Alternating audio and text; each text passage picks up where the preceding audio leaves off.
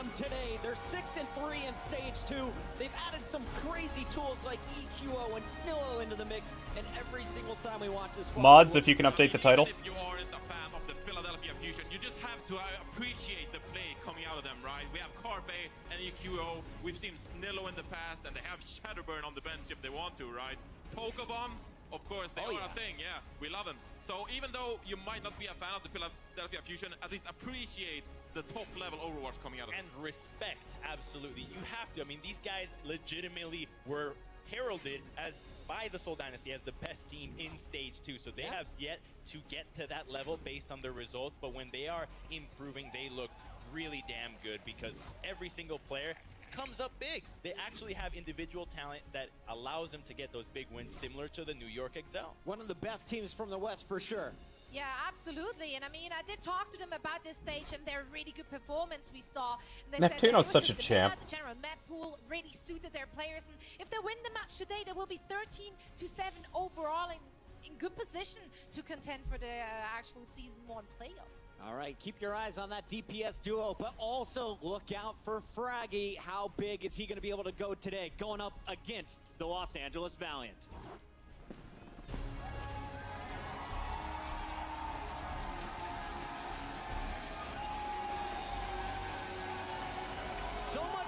The venue for this squad. I love the support these guys get every single time. They're 11 and 7 overall, just 4 and 4 here in stage 2. But you remember this week could be very different for them. We haven't seen them on Wednesday, on Thursday. They're coming in fresh.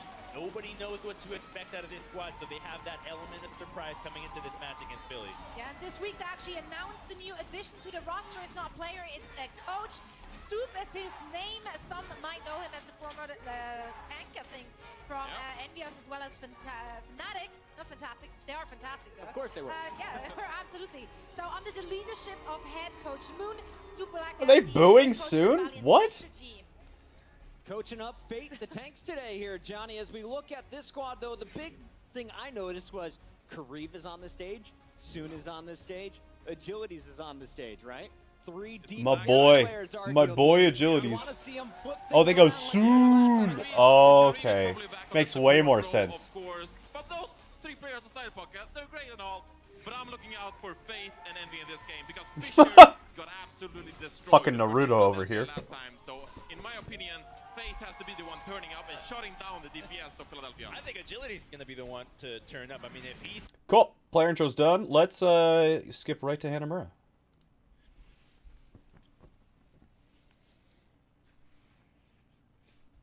Da, da, da. Excited to see what Valiant could do. Agilities has been performing well since apparently that faithful Let's see how well I know the meta. Let's see how well I know the meta. The defenders are going to be running Ana, Zenyatta, Winston, D.Va, Tracer, and Soldier, and the attackers are going to be running Full Dive, Lucio, Zenyatta, Tracer, Genji, Winston, D.Va. It's my bet. encounter in a Taco Bell drive-through in the rain or whatever that was. I, the, I'm the not sure. That's perfectly like natural conversation with the camera in I the right? back seat. it's like, hey man, you want to get a Crunchwrap Supreme and then you. Get How do you feel about the channel growth over the past few weeks? Whoa, Overwhelmed. We'll be completely man? honest. No kidding. We're gonna be completely honest. For that was a, that's an interesting question. How do you feel about the channel's growth over the past few weeks?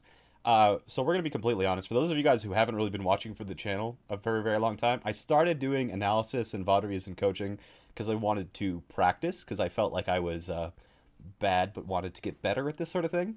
Um, so right now I feel like my popularity has um, outpaced my skill, so I'm kind of frantically uh, studying as much Overwatch League analysis and how other analysts are doing their stuff to trying to get as good as possible. So bear with me. I'm still learning, friends. So, for those of you wondering, Kariv in for the Valiant alongside Agilities is because he can play the Ana. He will probably play the Mercy on attack or point B defense. Meanwhile, they will be running a dive defense. So we've seen. Ah, this they're running Genji, not Soldier on defense. Okay. And because it's the Philadelphia Fusion, we should not expect anything. I was one character off. Oh, damn. If they do anything else, it will be a surprise. But they do it well. You know, Oh, they- that, that's they're- the key. Yeah, they they do they absolutely do it well. They rely on the individual ability of players like Carpe and EQO to make these compositions. One, two, three, four, five. What is this weird, like, transitional camera thing? Okay, so what did I guess that the compositions were going to be? Um, no name Twitcher, thank you for the prime sub, and 100 bits. Here's to being overwhelmed. Cheers, my friend. Um, so that'll be the those will be the last kind of cheers or subs or interactions I talk about during the map. So if you're new, uh, I'm not gonna recognize subs or donos or whatnot uh, in the middle of the map. Just if you're new here, that's kind of like the new rule we're working with. So I had predicted that the, the defenders, which in this case is the Los Angeles Valiant, were going to be running the Ana and the Zenyatta, the Tracer Winston D.Va, and then I suspected Soldier. Now, um, they're running agilities on the Genji instead of the Soldier. Now, this is probably specifically because of agility's hero pool. Soldier is not a character that agilities is well known uh, for playing, whereas he is an extremely talented Genji player. Now, the reason why I had predicted Soldier instead of the Genji is because Soldier gives a nice kind of protective bubble um, of Kariv and Unkoe in the back, right? So Ana and Zenyatta, both very diveable healers, uh, and they need some sort of protection, especially when Philadelphia Fusion, which is running exactly what I predicted, Lucio, Zenyatta, Winston, D.Va, Genji, and Tracer, this is full dive. This is classic full dive. It's pretty much four people dive, and then Lucio protects Zenyatta unless he doesn't need protect, and, and then he goes frags and whatnot, unless you're Jonah, blah, blah, blah, blah, blah. So we have this classic full dive, and in classic full dive here, buttons are hard. Buttons are hard. We've got uh, Carpe, EQO, Fragi, and Poko will all dive. So we have a four-man dive crew, right? And then Neptuno is protecting Boombox, uh, because really the only thing they need is Boombox staying alive to Discord things. So Neptuno, if you're new to dive, Neptuno does not heal these people. The only reason Neptuno exists is for the defensive support ultimate and his utility, primarily his defensive support ultimate. So Neptuno's job is one, keep Boombox alive, Boombox alive, Boombox alive. And thing number two is that he's got his ultimate. And pretty much other than that, that's Lucio's life. That's Lucio's life. So Boombox lands a Discord on somebody on Valiant, preferably Kariv or Unkoe, and then these four people dive in to kill them. So it's four people in the front line, two people in the back line for a 4-2 full dive from Fusion. Simple. If you dig, this is very simple, classic full dive. Now the Valiant here, as, they've got agilities, they got envy, they got soon, and they've got fate. So normally, when you're running defense like this, so this is 4-2 dive right here. 4-2 dive. Um, so what happens basically here is that we need something to protect uh, Unkoe and Kariv. Because if we've got two people here against the four-man dive of fusion, they are going to die. So Valiant needs to come up with some sort of system to actually defeat the fusion. And if you were running Soldier, so if Agilities was actually on Soldier instead of Genji, what you could do is have, uh, you could have the Zen, the Ana, and the, the theoretical Soldier kind of staying together. Now, this isn't, this is still only like three people, so it's not going to survive against a full four-man dive, but it will be a lot harder for them to take out. But Genji is not a character that can peel very easily. So, if this was Soldier, then we would likely see something either 3-3 dive or um, or kind of like 4 or 2-4 dive. So what you could do is that uh, uh, uh, uh Los Angeles Valiant are still going to have to take out Boombox. So there's two options here. Regardless of what option they pick, the Los Angeles Valiant are playing counter dive. Counter dive. So there's two options. Philadelphia Fusion is going to dive first. They're going to take the initiative because they're on the attack. Now, when the dive happens, Los Angeles Valiant has two options. First, they can counter dive to try and kill Boombox before returning to try and deal with the remainder of the fusion, or they can leave Boombox alive and then Fate and Envy can counter dive Fragi and Poko to try and uh, just meet the tank dive and then win the fight with the superior healing and damage of Kariv and Unkoe. So basically, the, the Los Angeles Valiant here, um, if they were running Soldier, would favor counter diving the tanks in order to protect Kariv and Unkoe. But because the Los Angeles Valiant is running Genji instead of Soldier due to Agility's hero pool, they're likely going to be counter diving Boombox. Now, if you saw the game where uh, the two supports from oh goodness, who was it? It was wasn't it New York who they hid both of their flankers in the bush uh, on Hanamura on the right side, and then these flankers kind of like came out and murdered Boombox. Uh, the problem here is that they need to be extremely decisive uh, in killing Boombox so that they can return to uNKOE and Kariv and try and keep him alive for as long as possible. So Los Angeles Valiant is going to play counter dive onto Boombox on Neptuno to try and kill them as fast as they can, and they're likely going to do this with only Agility's Soon and Fate, which leaves only Envy to protect Kariv and uNKOE. So that's how I think this is going to play out, but who fucking knows? Let's see it. Indeed. Philadelphia Fusion on the attack. LA Valiant on the defense. Here on the assault map to get things started out. Philadelphia just has to break through that doorway, and that's what they're going to do. They're going to go aggressive early. What are these weird, like, it's showing two scenes at the same time? What the fuck is going on? And I thought I took my glasses off for a second there, but it was actually just there. Yeah, yeah. we're okay now. We're okay. So, So right now, Fusion is just scouting, looking, scoping things out, seeing what the Valiant have, where they're positioned. Vision. Whoa. both of these teams firing through the doorway, trying to get enough chip damage to commit to a dive. You can see agilities on the high ground. There's the they're, they've spotted their target. They've obviously got a Discord on something, and they're going to dive in. They're gonna rush the back corner, trying to get to these supports. And Poko already gets demexed, so it does look like the Valiant are going to be doing the counter diving onto the tanks themselves. But Fusion just kind of walked forward and didn't dive on anything. Like Poko kind of went for, um, sorry, yeah, Poko kind of went for Envy and then kind of attacked Fate, but they just like kind of walked forward without actually a dive target. Right. So this is- almost instantly. That's going to not make it too easy for them to continue with this. And now he's dead. Soon finishing him off. He got that mech as well, and Fusion has Yeah, that was a pretty scuffed dive from uh, Fusion. They fucked that up hard. to back away. They can't make much out of this push. Now can escape? He's actually going to put a little bit more pressure on the high ground and going to get chased now, taken out. It did create a little bit of room though for Philadelphia to pick up a couple kills. Now EQO trying to capitalize on that, but again, they've both of these attacks they've been Sans one tank. So That was actually Yeah. a great bait from Fragi. The Philadelphia Fusion baited the DPS of the Valiant into or out of the sightline of the Valiant supports. So when they came in, they the, the Fusion collapsed on them, and that was going to be probably the end of this attack. well, they've got those attackers advantage. Okay, so what's going on here? Like the the fusion themselves, um, you know, they they tried to actually. Well, let's go back a little bit. Let's go back to that part where they punished their dive here. Do do do do do. On the individual ability. Oh, that's too far back. And I thought I took my glasses off for a second there, but it was actually just there. Yeah, yeah. we're okay now. We're okay. So Like double vision. Whoa. Both of these teams firing through the doorway, trying to get enough chip damage to commit to a dive. You can see agilities on the high ground on the left side. Yeah, so here's this kind of like scuffed dive. Is that I, like Poko is looking at that back corner where they expected the Ana Zenyatta to be, but the Ana Zenyatta has already relocated because that's like the obvious place for them to be. So you can see Poko is staring where obviously somebody called to dive, but he's seeing nothing. So he's going for the second ba- best target, which is the thing right in front of him, Envy, and then he turns to Fate, and then he gets demeched. So this, like, the call, the initial call for Fusion to dive on, somebody fucked something up.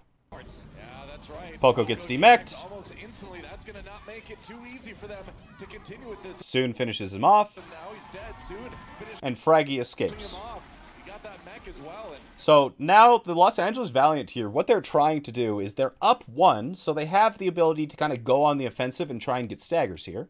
Fusion has to back away. They can't make much out of this push. Now And Agilities ends up in a very poor position. Agilities ends up in a position where Fragi can attack him without having burnt his jump. So this is going to force basically Agilities out of the fight. He's going to have to retreat. But he's going to have to retreat at the same time Fate is engaging. So Fate engages, and he engages at about 350 health. And he jumps in. Fragi does kind of try to retreat, but he gets taken out by Kariv, and he was discorded as well. But Agilities gets taken out because Carpe pursues. You know, Agilities was there too early. He starts getting damaged by Fate, who didn't have to burn an, an ability to actually start attacking him. Gets finished off by Carpe. And on top of that, Neptuno kills Fate, who dove in really low. So now it's 4v4. And the uh, the defenders here, the Los Angeles Valiant, uh, are in trouble because they don't have spawn spawn advantage. So Philadelphia Fusion, with the spawn advantage, are just going to take this as slow as possible. Even though they're the faster playing composition without the Ana and the uh, Zenyatta, they're going to play this slow because they know they have spawn advantage. So Los Angeles Valiant is going to have to make a play. So right now, because the advantage is even, it's 4v4. However, the, the Philadelphia Fusion, I mirrored, the Philadelphia Fusion has the advantage because of spawn advantage. So Los Angeles Valiant, in order to get the advantage back even, or preferably in their favor, they're going to have to commit an ultimate. And that ultimate is going to come from Kariv's Nano Boost. Philadelphia to pick up a couple kills. Now EQO trying to capitalize on that. But again, they've both of these attacks, they've been Sans one tank. So That was actually Yeah. a great bait from Fragi. The Philadelphia Fusion baited the DPS of the Valiant into or out of the sight line of the Valiant So Valiant's fine with giving them a tick because it's better to give up a tick than lose the point entirely trying to contest. Supports. So when they came in, They're just on the other side of the bell. Valiant's going to try and wait as long as possible before engaging here. And the fusion, uh, Neptuno has almost has barrier and Boombox almost has trance. So I really don't see this going too badly for fusion, especially since EQO already has blade. Um, so double support ult versus single support ult, especially with EQO having blade in the bag, this should go in Fusion's favor based off of Agility's mistake. So Agility's mistake, Carpe punishes, and Fate kind of goes a little bit too aggressive, and this is going to put Philadelphia on a really good footing here. they called the, the Fusion collapsed on them, Carpe just deciding to pulse bomb a wall. and that was going to be probably the end of this attack. well, those. Valiant is here. Here's the actual engagement that they need to, they, the ultimate that they need to kind of start things off. Kariv drops the uh, Nano onto Envy. You know, even without Nano Boost, D.Va is already really good at killing Winston. Fragi's in the backline, so they're going to kill Fragi here, because honestly, where the fuck is Poko? Attackers' advantages with the spawns, too. Valiant, though. There's Poko. On the envy as he tries to stand. There's the blade from EQO. Unkoe will have popped Transcendence. And, oh, they already chained. Uh, so they already used sound barriers. So this is actually not as bad for the Valiant as it looks because they chained um, sound barrier into Transcendence. So you can see that barriers still applied here. Actually, let's watch that again. Let's see exactly what happened here with the uh, Philadelphia Fusion's support ultimates. So when they came in, they called the, the Fusion collapsed on them, and that was going to be probably the end of this attack. Well, they've got those attackers' advantages with the spawns, too. Valiant, though. Nano boost on the envy as he tries to stand strong. Yeah, so they do chain it properly. They do chain those support ultimates correctly. On the point, EQO pulls out the Dragon Blade, though. Takes Agility's down as his first victim. And here comes a Transcendence from Boombox. Keeping Fusion up, but now EQO, 8 EQO's in HP, trouble, only nice. Both literally and figuratively. Fate finishing Boombox off as well, so Fusion getting a bit of time on the control meter, but not able to finish off the point just yet. So they're really, really honestly well played by Valiant, uh, and Fate comes in clutch there. So Philadelphia Fusion, they kind of rushed their uh, support ultimates. They like because they used both of them before Unkoe used his. Uh, it's kind of like who uses their support ult last that usually wins.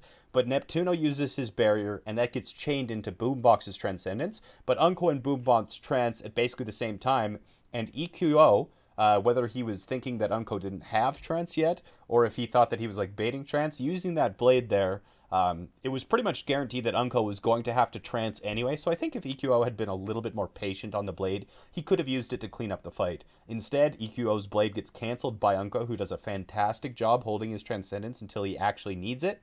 Fate uses Primal uh, because the the use of the support ultimate there put it kind of even. So Valiant, in order to win the fight, committed Primal. Really well played by Valiant here.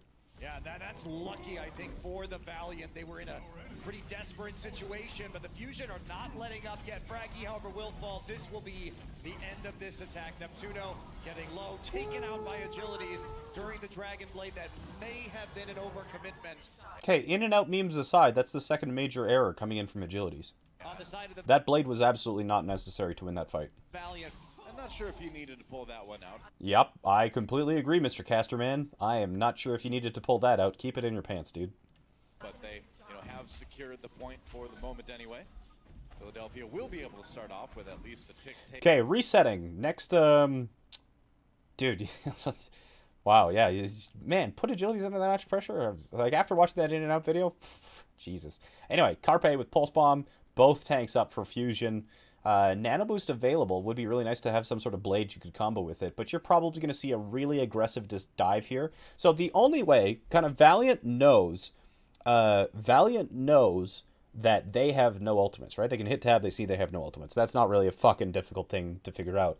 And they can suspect, considering they didn't see D.Va Bomb, they didn't see Fragi um, Primal, and you can just always assume that Tracer has Pulse Bomb, that they are at a severe disadvantage here. And the only way that the Los Angeles Valiant are going to get that advantage back is instead of kind of like waiting to be unengaged on, which would point they lose, they'll probably engage really hard with Nano onto Fate and try and just murder people as quickly as they can. Because if that fight gets won based off of uh, Kariv's Nano going onto Fate, it'll bring the rest of the ultimate charge on their team up. However, they don't have support ultimates, but both tanks can kind of sustain themselves with their own uh, ultimates, right? D.Va gets a second chance at life by bombing, Fragi gets a second ch- chance at life by primaling. So I would suspect to see Nano onto Fate, diving Boombox with the coordination of Soon and Agilities. And if they can pull that off, they gain Discord advantage and they should be able to clean up the fight. But outside of that, if they don't pull off that specific win condition, Valiant lose the point right here, right now. Nearly got that second one. It was actually really close. Here we go, Carpe sneaking around on the flank again, trying to get oh, the pulse bomb. Is he gonna get anything? Yes, he Oh, will. A bit too close to that one. Good start for Philly. Fate taking a lot of damage from that self-destruct. Soon got caught by it as well. Yeah, Carpe's Pulse Bomb loses them the Discord advantage, which is their win condition, and why they would have committed the Nano onto Fate. They did commit the Nano onto Fate, but Poko's like, eat my bomb, bitch, and that puts him down to like 50 health, and then he gets punished by Carpe. So this is lost. Carpe with the finishing blow, and Philadelphia in prime position now to take point A. They should have this one. Yeah, there was no peel for the supports from the Valiant. The rest of the team was following behind a That's pretty fucking dumb. There's no peel. It was a Pulse Bomb. How the hell are you supposed to peel a Pulse Bomb other than Defense Matrix, right? Come on. Come on, son. Come on. You could have said that Envy wasn't there to, you know, Defense Matrix, but you can't peel a Pulse Bomb. Um, before we get into the next point, do you think running agilities and Soon has been a mistake for LA? No, I think agilities and Soon have been doing great. Kariv's always been a great DPS, but he's also a fantastic support. Uh, as a general rule, when chaining support ultimates, does the order make much difference? It depends on the uh, ultimates on the other side. So if they have burst, then you use sound barrier. If not, then you chain trance into sound barrier. If you have to. So trance first, unless they have burst damage, and then you go barrier.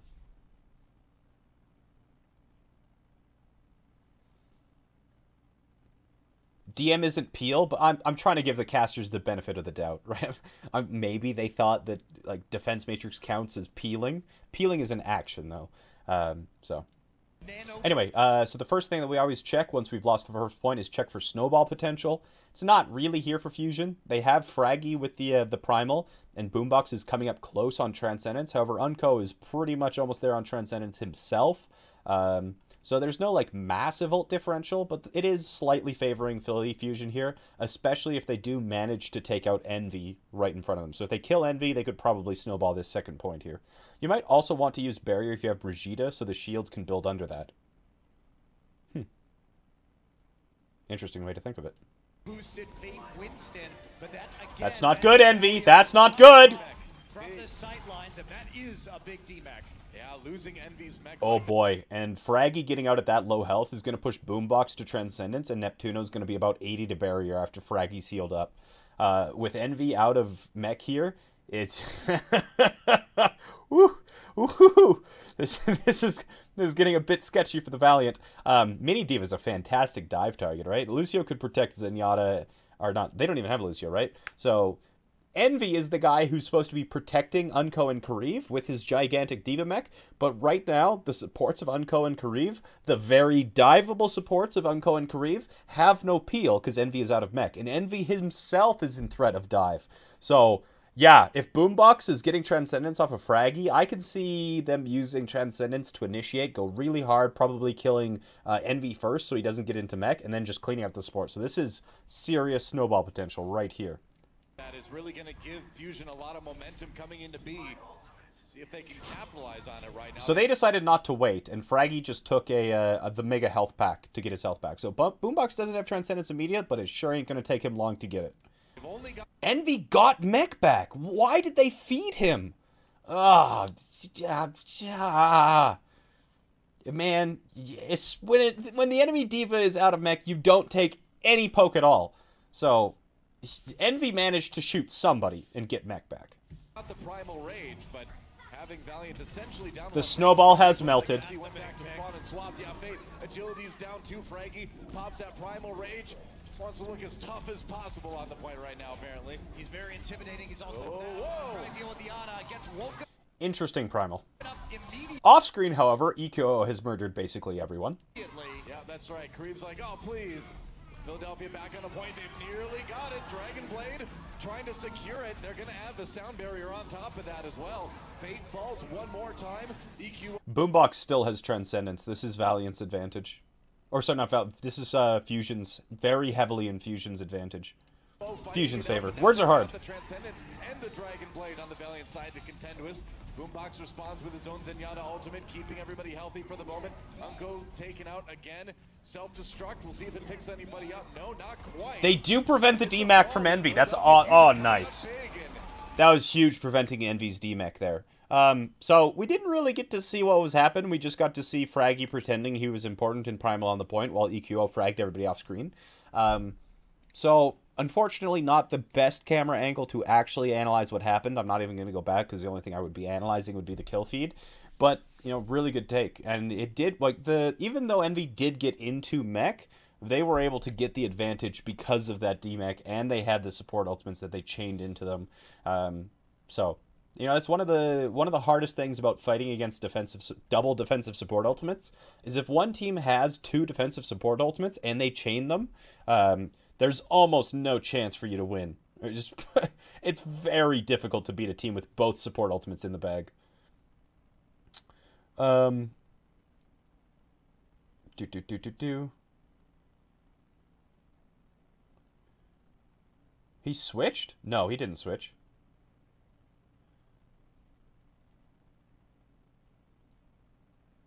Did he switch?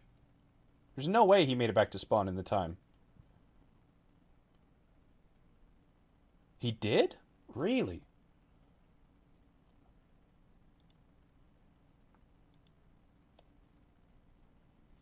is a big D-Mac. Yeah, losing Envy's mech like that is really going to give Fusion a lot of momentum coming into B. See if they can capitalize on it right No, you're right. I missed that. I missed that entirely. See? Wood tier wood, wood tier analyst. now. They've only got the Primal Rage, I should have caught that. but having Valiant essentially down one tank is pretty big. Looks like Envy went back to spawn and swap. Hmm. Like I, it's the it's the right choice from Envy, but uh, especially when you know the snowball is happening, um, if you were going to be doing this, I don't see why they were like holding the high ground and why they wouldn't have backed down to try and like turtle by the spawn door before they kind of push out with their D.Va. Because didn't Fate get dove on the high? Yeah, so they burn Fate, who is still holding the high ground there without Envy. Hmm. Let me see that again. It changes things now that I know that he switched. Is a big Because I thought he was standing up on the high ground. I thought, if you can see, I thought that this guy right here was the mini D.Va. But I guess that's soon? Yeah, losing Envy's mech like that is really going to give Fusion a lot of momentum. Yeah, that's soon up there. See if they So normally I would expect a tracer uh, to be on a flank here and not kind of up the high ground. So I mistook soon for Baby D.Va, but Baby D.Va is switching at this point. And here we're seeing this is really questionable. This is the part that's really questionable about it is that you have Unkoe on the high ground right here when the person who is in charge of keeping Unkoe alive is in spawn. And Philly Fusion, they know that Envy is out of mech, and so they're going to be diving really early. So like soon should be in the back line trying to you know harass boombox or neptuno not there's no real point for him being here agilities is being agilities at this moment but Unkoe is in this location here on the high ground when Kariv is on the low ground here so they're not even in line of sight of each other if if unkoe gets dove here Kariv can't help him So, and Fate is off screen slightly here. Capitalize on it right now. They've only got the primal rage, but So- one tank is pretty big. Looks like Envy went back to spawn and swap. Yeah, So Agilities off screen dies to Boombox, but Agilities I think is pretty much the only person on this team who actually did what he was supposed to. In the fact that if they are coming strong, if their front line is stronger than your front line, you have to attack where they are not strong, their back line. So if Agilities had taken out Boombox, you know, Boombox off screen is just a fucking fragger, right?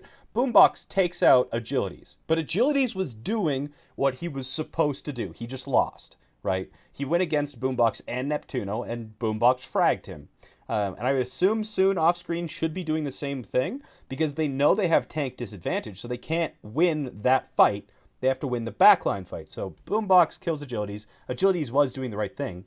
And then Fate gets fragged by EQO, and because of the spectator camera angles, we have no fucking idea why. Um, but I really don't like Unkoe's positioning here, and especially since he wasn't in line of sight for assistance from Kariv, and Envy was in the spawn here. So I think Valiant kind of fucked this one. Agility's down two. Fragi pops that primal rage. Just wants to look as tough as possible on the point right now, apparently. He's very intimidating. He's also Oh, now whoa. trying to deal with the Ana. Gets woken up immediately. Yeah, that's right. Kareem's like, oh, please. Philadelphia back on the point. I also don't know why Fragi didn't use his. Uh, he had his jump. I feel like this is weird. D- Fragi definitely could have killed him. Right? So we're here. He's very intimidating. He gets He's slept, but he's and then he gets woken up. Here, he has jump. Look, he has jump available. And Kariv is, but it, like if he jumps at him, yes, he would normally shoot over him. But if he jumps right now, he'll hit the spawn door, drop right down, get the landing damage, and maybe knock Kariv away from the spawn door. And he doesn't even attempt to use jump. I feel like if he had jumped immediately at the spawn door, he could have knocked Kariv back and killed him. I feel like this should have happened.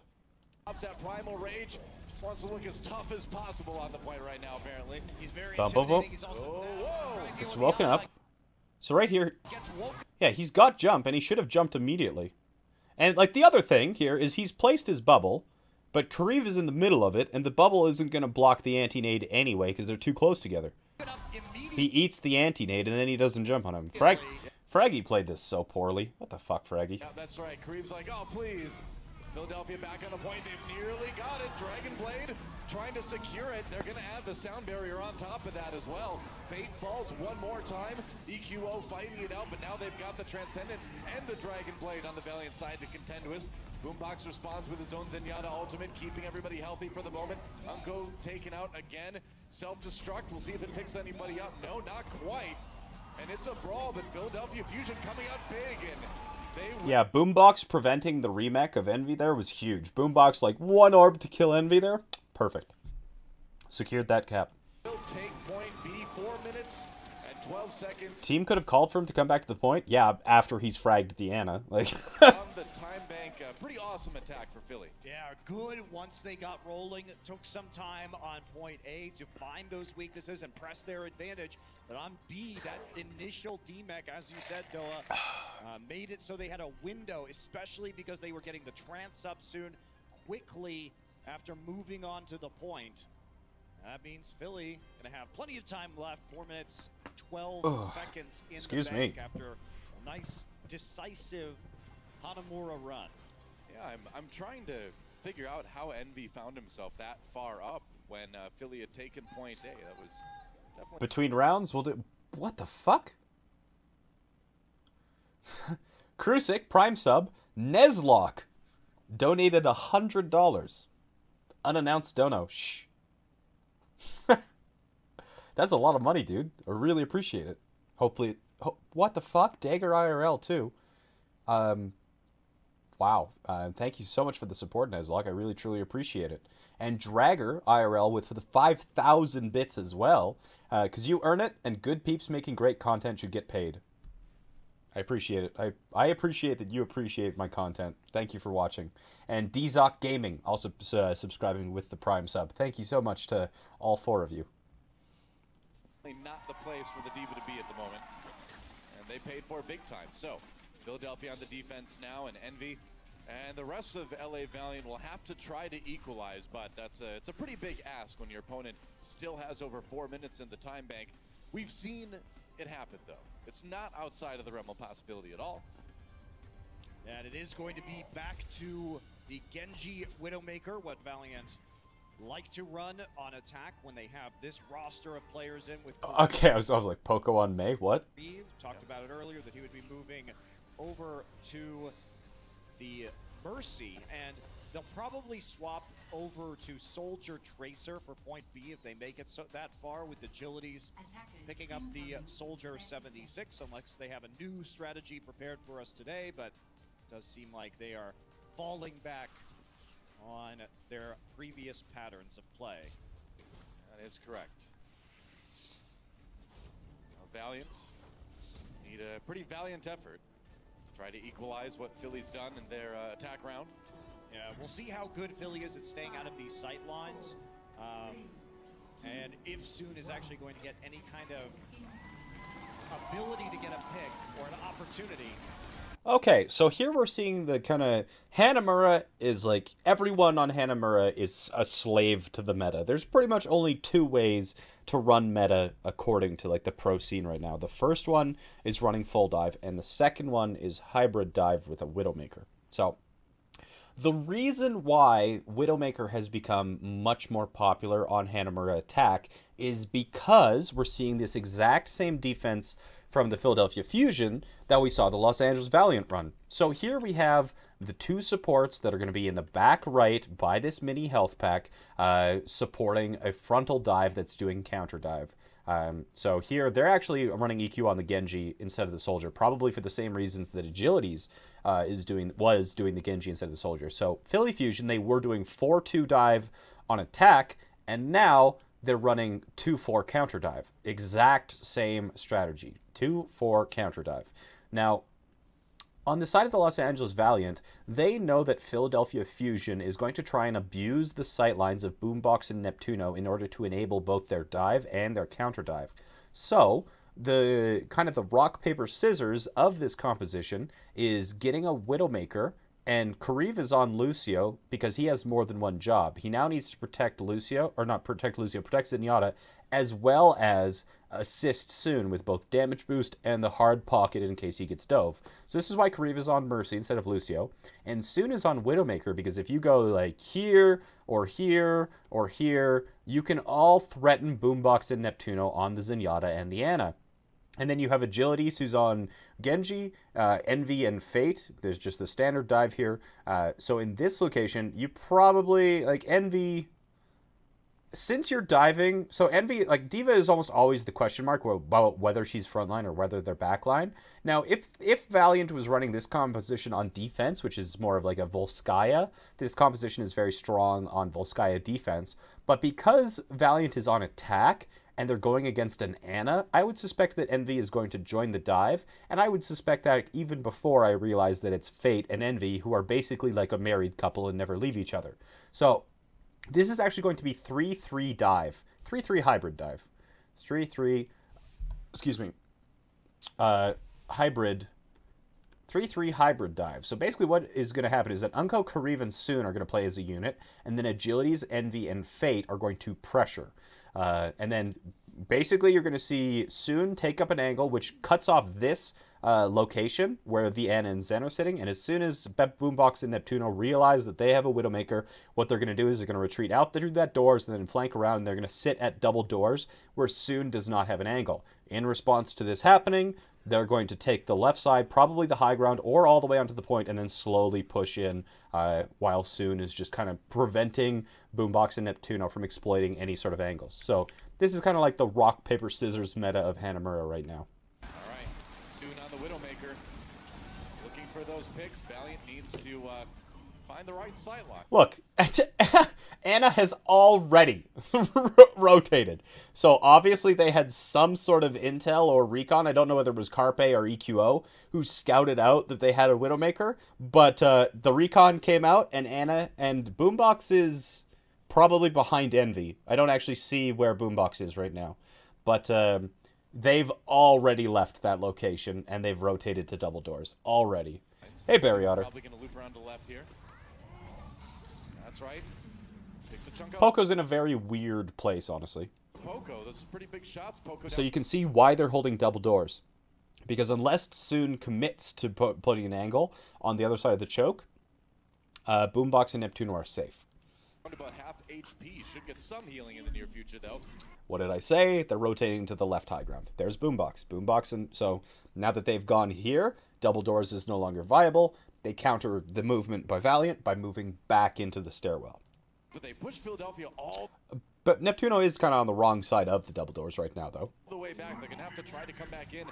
Oh, Neptuno crossed. Soon didn't think he was there. Neptuno actually got across okay. house. You can kind of see Come on, Neptuno. Basic positioning errors, my friend. Through the wall there. Yeah, what they're doing is So they've rotated back to the stairwell. they're rotating over onto the point to provide soon with room. room. Carpe is sneaking up behind him, but he's And they're rotating back to Bell.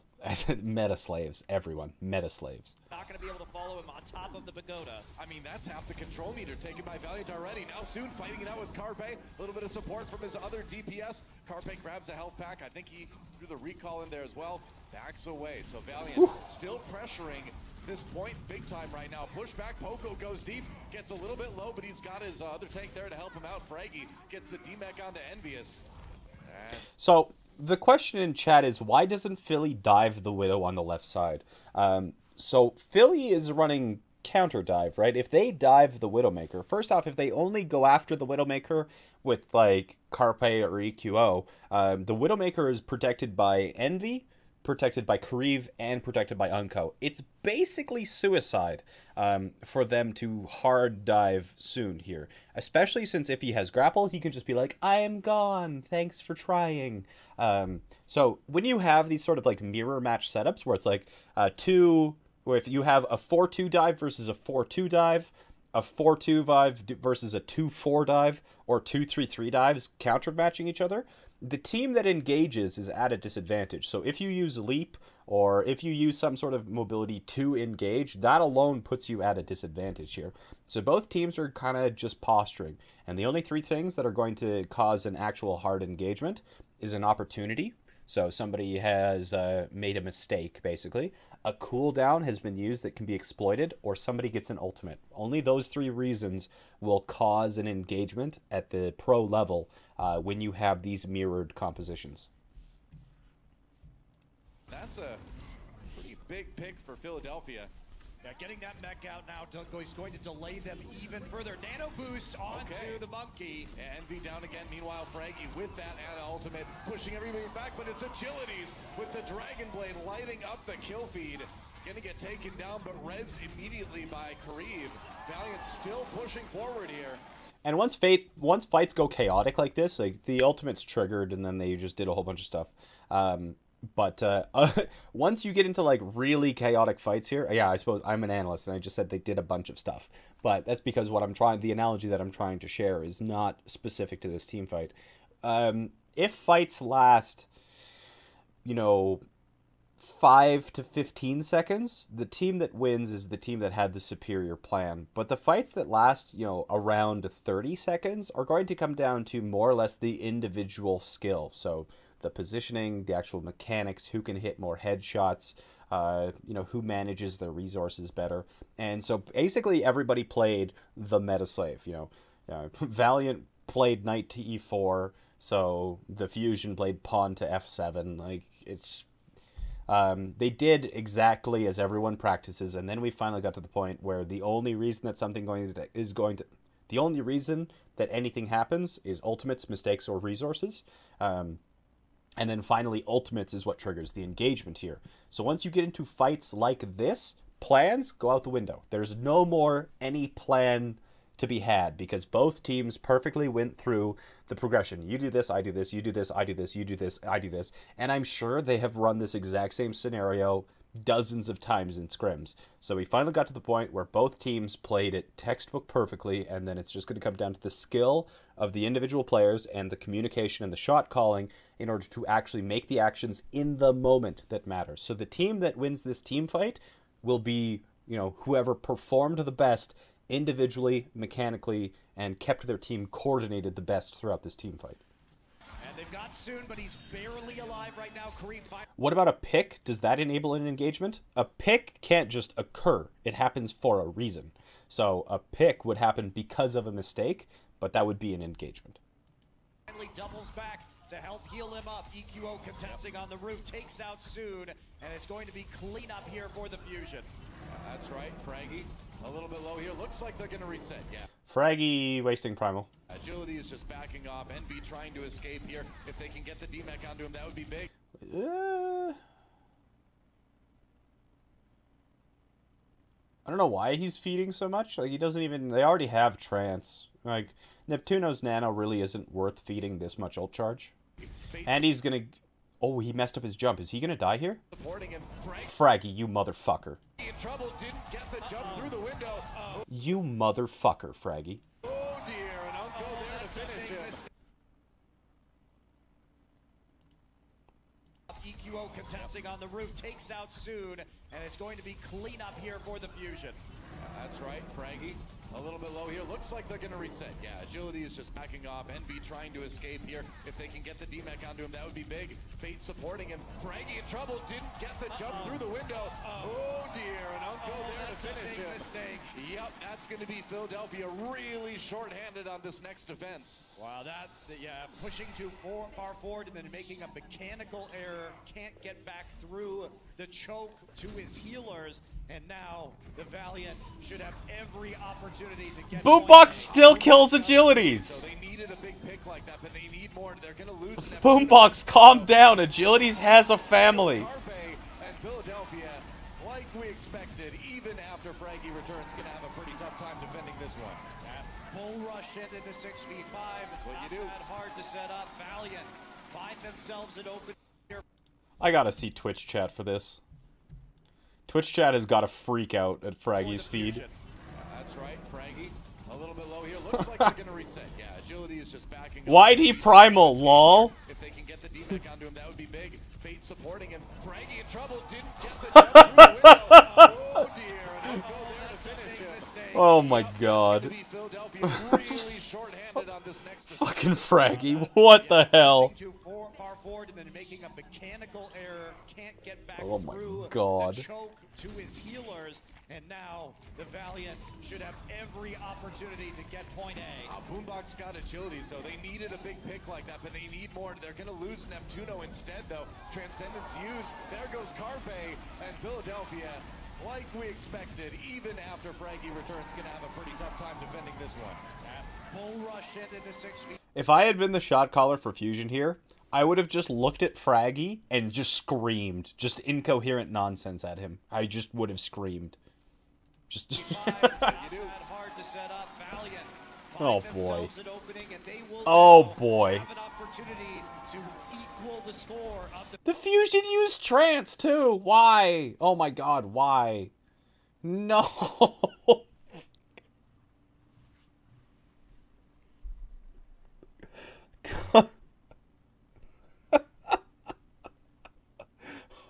why? Like this is so bad. They, they lost their defensive support ult. Agilities is coming up on Blade. Maybe Boombox is at this point so unafraid of the agilities that he's like, so what if you have Blade? I'll just shoot you in the head again, bitch. Like, but Unkoe has trance. Kariv is gonna get Valkyrie before Boombox can do shit. We've got a snowfall alert. Snowball incoming. That's those little overextensions, right? It was Envy overextending on the point B defense that gave Philly the momentum to take it. And now it's Fragi overextending on the uh, defensive attack a little bit. That gives point A over to the Valiants. Well, had he had he actually landed those jumps properly, he wouldn't have been in that scenario. So that's just a, that's a, a basically an unforced error, right? There's no there. real reason for Valiant to be waiting this long. Ooh, down. soon kills EQO. Heal agilities, please! Back. Still gets a couple slashes in. Maybe gets the D-Mech. Onto Poko looks like it did. Boombox down as well. Valiant with a lot of power coming into point B right now. Fragi returns. Getting pushed back almost immediately though. Gotta get back to spawn. That's one tick already for the Valiant. Nano Blade. They're doing it, man. Oh, EQO down too. Valiant still pushing in. Poko kind of on his own. Now you need to stagger. Now you need to buy time. If you're the Fusion, just Carpe missed his pulse bomb, so uh, that was like the only chance that they had to kind of turn things around was Carpe nailing the pulse bomb on Unkoe or Kariv, and he missed. So this should go Valiant's way. try to delay this for as long as possible, but Valiant was such a huge advantage. Like, who in the world is going to deal with soon? Yeah, and right Gotta now, be QO. Oh, Carpe still gets Unkoe. What the fuck? Outside of the main point, so Carpe may be the one to save this for the Fusion. Poko has got a chance to get reback right now as the self-destruct. Oh, the Valiant comes through. Neptuno went for the very aggressive sleep dart, but didn't end up landing it. Valiant still handling some of these respawns. EQO finally with a kill onto agilities here, but they get Poko in return. Envy can't quite stay in the mech, it looks like. No, and Fate, a Are you like how on earth did the Valiant possibly lose this fight? Like Oh my goodness. So this is kind of the the reason why um the casters originally had suggested that uh you know, that's kind of a rhetorical question. I know why they didn't finish this out here. A, because Soon didn't his, his, hit his shots, and B, you had, you had talked about it, but it's it's almost it's almost painfully obvious to anybody who's watched Hanamura at the pro level any more than like three times that you're gonna have a tracer or a soldier, something really high damage. This like this agilities on Genji and this soon on uh, Widow here is really low damage output. And the only reason they were doing as well as they did was because they had Discord advantage. But even with Discord advantage, agilities and Soon can't pump out consistent damage here. So they can't kill the fusion fast enough. So after Boombox eventually does get killed by Carpe, um, not Boombox, after Unkoe does get killed by Carpe because Kariv didn't keep him alive or something. It's off camera, so we don't know why Kariv didn't keep Unkoe alive after the pulse bomb miss. But Unkoe goes down, and after that, their already pathetic DPS is abysmal, and Fusion actually does manage to retake. And it wouldn't have been that bad if Soon had actually managed to hit something, um, but he didn't. So let's watch it again, and you'll see. Uh, I'll try and figure out at what point what Kariv was doing when Unkoe died, but uh, yeah, their just lack of DPS was very, very apparent in this fight. maybe gets the D-Mech onto Poko. Yeah, Soon missed like every shot that would have counted.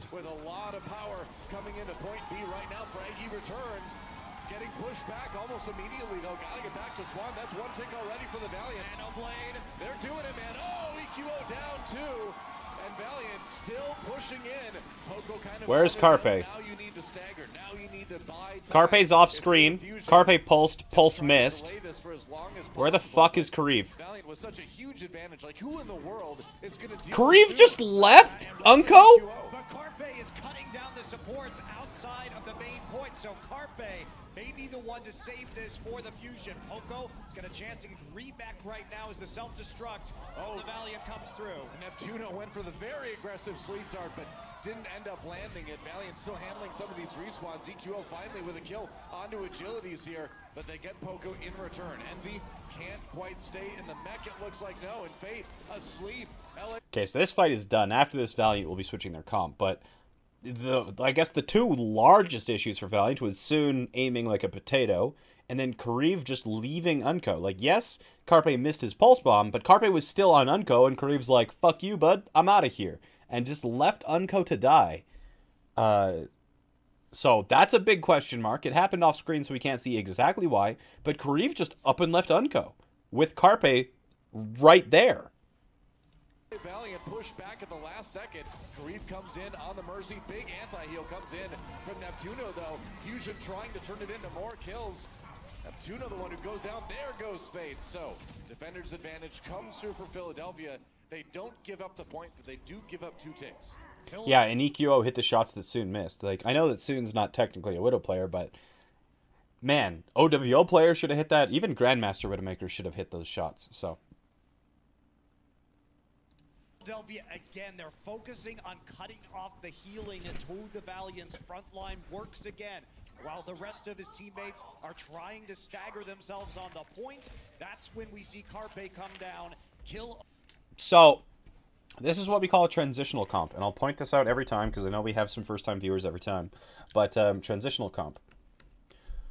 Transitional. So the reason that this is called a transitional comp is because this is full dive, but jokes we have a Mercy instead of a Lucio.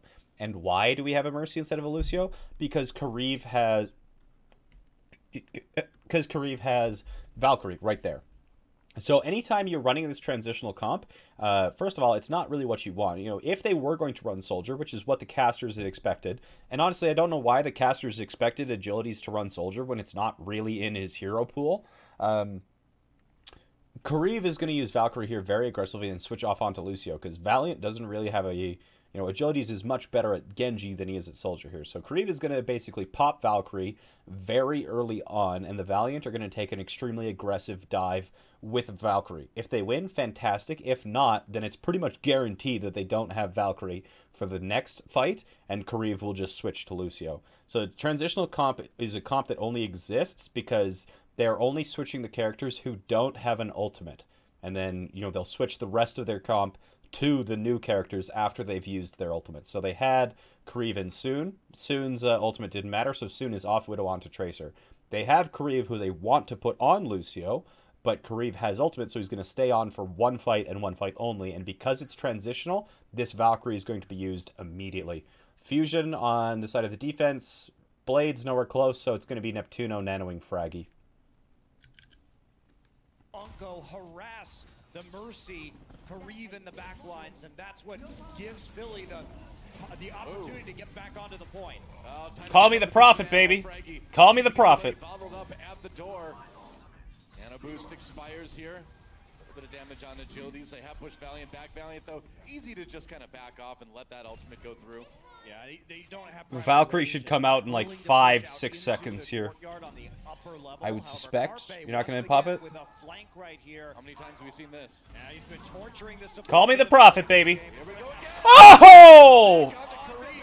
Can man. He just used the Mercy ultimate. That one's got to hurt. Unkoe goes down as well. Philadelphia eliminating both supports early. Carpe and EQO strike back for the moment, but it's not going to do Valiant any favors. Fusion will continue to hold. And Kariv now has had enough of this. Finally, they're going to move over agilities to the Soldier 76 and they're going to pair it with the Ana. So, so they do put agilities on Soldier. So I had suspected that they were trying to transition onto full dive, and I think I think this is actually the first time I've ever seen Ana Zen offense. I don't think I've seen this. So, don't call me the prophet. I assumed that Kariv was going to be the only one switching. Because if Agilities was going to go on to Soldier, Mercy is perfectly. It Mercy has great synergy with Soldier because Soldier can get the damage boost. Um, like Nano Blade has a good synergy, yes, but Nano or sorry, Nano Visor has a great synergy, yes, but only during Nano Boost. Whereas Kariv on the Mercy can give Agility's damage boost throughout, and then still have a support that can be used for sustain. Whereas on the attack, since you don't want to be losing anybody, you generally want to sustain alt uh, because these like the nanovisor doesn't usually wipe people unless they're on the point and can't take cover. So a bit of a questionable comp. It's certainly a weaker comp. Like maybe they're going for the nanovisor to close things out, but Ana Zen Ana Zen offense when your win condition, when part of your win condition on 2CP is make sure people don't dive, die, having three very diveable characters on your team, that is a risk and a half. So I don't like this composition coming out from the Los Angeles Valiant here. Philadelphia Fusion with a biotic grenade for some of these dives, and Kariv will have some form of crowd control to help himself out. So it's more of a poke composition now for the Valiant. They will not be diving in. It's about chunking somebody out. Well, they've got a big ultimate advantage, too, coming into this. I guess that is an assumption. I don't actually know if Kariv plays Lucio. I just assumed that it was in his, his hero pool. Somebody correct me if Kariv doesn't play Lucio at all. Four and Fragi and EQO probably the only ones that are gonna. But it's it's not really like Lucio has a very high skill ceiling. A pro player not being able to flex on Lucio is a big question mark. Have it on the Philly side. I suppose Nano boost for Neptuno maybe soon. Yeah, Valiant, uh, before this fight starts. Should have the edge. I think should have the edge. That is. Sorry, I didn't do an alt check here. Unkoe has trans, Kariv only has now. So Valiant has five coming up on six ultimates. Uh, Boombox is only halfway, but they have Nanovisor here. Not Nanovisor. Uh, Philadelphia Fusion have Nanoblade, and that can kill through Trance. Uh, so they'll definitely be using. Uh, Philadelphia Fusion will use Nanoblade here, and Valiant, the, like Unkoe. Hopefully, Unkoe realizes that um, Nanoblade is going to kill his team regardless of him using Trance. So if Nanoblade comes out, what I would like to see from the Valiant uh, is that Unkoe does not Trance and pretty much just takes the L. Those missiles, Dragon Blade comes out for. Uh, well, I thought I heard a Dragon Blade. Fragi's primaling because he hasn't fed in the last two minutes, so he's getting antsy. Right uh, I think these are they're just buying time because they know how many ults the Valiant have. Oh. All right, Neptuno down. That's not what I expected. They nanoed Winston, and then Unkoe does trance. And they probably nanoed Winston here in panic because Neptuno died. Uh, so what I would have liked to see from the fusion here is that they took the initiative and um, uh, dove like even when you're on defense you don't have to wait for the incoming attack. If you have the advantage you should take the fight to the attackers on your own terms here. But fusion kind of like fucked around and sat in the back line just jerking themselves off. And neptuno gets dove before fusion can actually use their advantage against the valiant. Neptuno panic nanos uh, Fragi, and Fragi goes in, but they knew that Unkoe had Transcendence, and if they didn't, they're dumb, and they should have known. Kariv also nanos somebody? I don't know who's nanoed right now, but Kariv also should have held his nano for agilities because agilities nanovisor is A, almost ready, and B is part of the win condition and probably the reason they're running Ana Soldier in the first place. So both Anas are a big thonker right now. Unkoe's like, sure, if you want to throw the game, you can throw the game. I'll just trance here, no big deal. Um, however, this does leave the problem about EQO is going to be be, be blading. However, uh, Fragi, or not Fragi, Fate has Primal, so they still have a counterplay to Blade in that Fate can just beat the shit out of EQO. Um, so basically, if Valiant is going to win on this push right now, it's going to be on Fate just just getting in EQO's face. And ideally, he wants to get in his face before he blades, right? Because Boombox is the only one, the only healer alive from the Philadelphia Fusion. So if Fate finds EQO and gets on him and starts damaging him, and he can chase him around, like EQO dash away, Fate will pursue. And if he blades, he's going to blade at low health because Boombox alone can't out heal Fate, let alone anyone else also killing EQO. So Valiant off the back of this, you know, counteracting the nano with Transcendence need to be going forward, and Fate needs to get in EQO's face to shut down the Fusion's win condition, and after that, they should be able to win this. Valiant starting things off in a hurry. There's another nano boost onto Fragi. Got the trance. coming in with the Dragon Blade. Beat him out! Beat him! Oh, man, and everybody on Fusion taken out. That's going to be Valiant completing. I don't think the blade would have mattered because they probably would have C9'd anyway. But uh, EQO, instead of uh, getting outplayed, decides to dash into a wall. Woo! We're gonna end it with a minute 25 in the time bank. So, not the greatest attack for Fusion at the end. There were so many mistakes from both teams here. Holy smokes! Um, like when you watch a game like a New York game, like a New York versus London game, or like New York versus Seoul, you don't see mistakes like this. You just the like the this the difference in skill between the high tier teams and the middle tier teams and the bottom tier teams is just fucking absurd. There's so many mistakes coming out from both teams here. For the defense, but uh, still a much better time in the time bank on the Philly side. Yeah, we talk about the individual skill of these fusion players though, and there were some noticeable mechanical errors that were yeah. allowing openings for the Valiant. Regardless of whether that Dragon Blade was effective, it looked like Valiant were going to take. Sado's a main tank. I think Fragi is, like, in my opinion, and right, I'm a fucking outsider.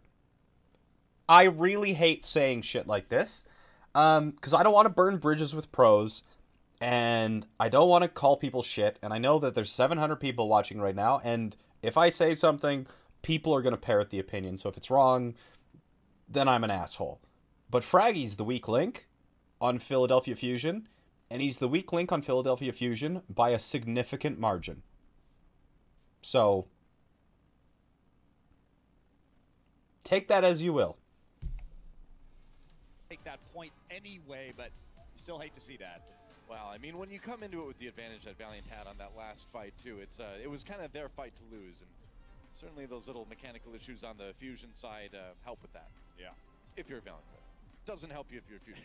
it definitely does not. Not so much. So nice swap up there at the end, though, for the Valiant, trying something new, and you could see what Philadelphia was attempting. Fragi goes in with the Primal Rage to delay them as much as he can. Then they nano boost him because they realize they're at a big ult deficit. So just trying to force them to use some of those ults or at least delay the point even further. And it'll be a minute 25 here. And look at that beard. How can you hate that beard? Maybe he's this is a maybe he's moral support. In overtime. Man, you're right. It's it's crazy how often we see the Valiant in overtime when it really comes down to the high pressure situations in these maps. That's when this team Uh, because it's the playoffs today, I'm only reviewing one match. So I'm reviewing the Philadelphia Fusion versus the Los Angeles Valiant, which is this, and then after this, I'm reviewing one map from the New York Excelsior versus the Dallas Fuel game. I'm reviewing Lijiang. We're not reviewing the entire series uh, because we won't have time. Just straight up, we won't have time.